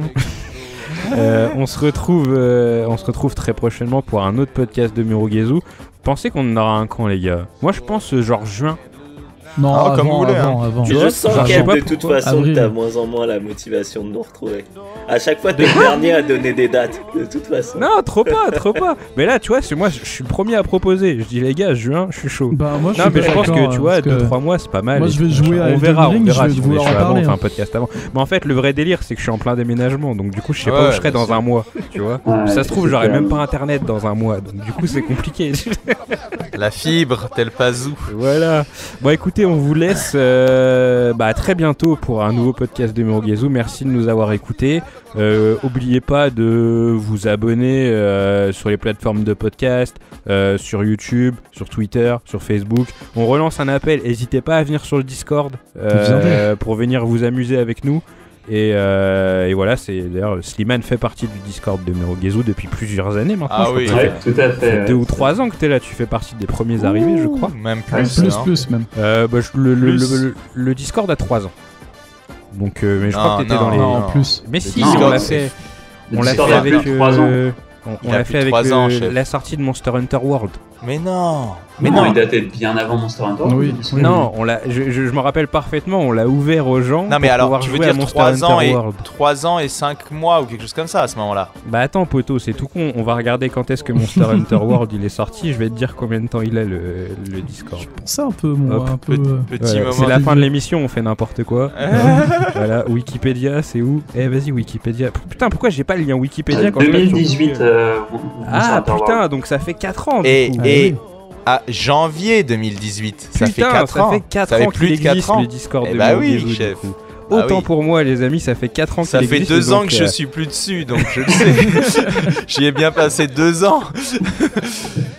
Donc voilà, ça fait quasiment 4 ans que t'es sur le Discord, je pense, Slimane, parce que tu faisais partie des premiers arrivés. Et euh, bref, bah voilà, écoutez, rejoignez le Discord, rejoignez-nous partout, qui fait bien. On se retrouve bientôt pour un nouveau podcast et merci de nous avoir écoutés. Et à nouveau, merci, euh, merci à tous pour ce podcast qui était super intéressant. À plus À plus. Salut. Ciao. Salut. Ciao.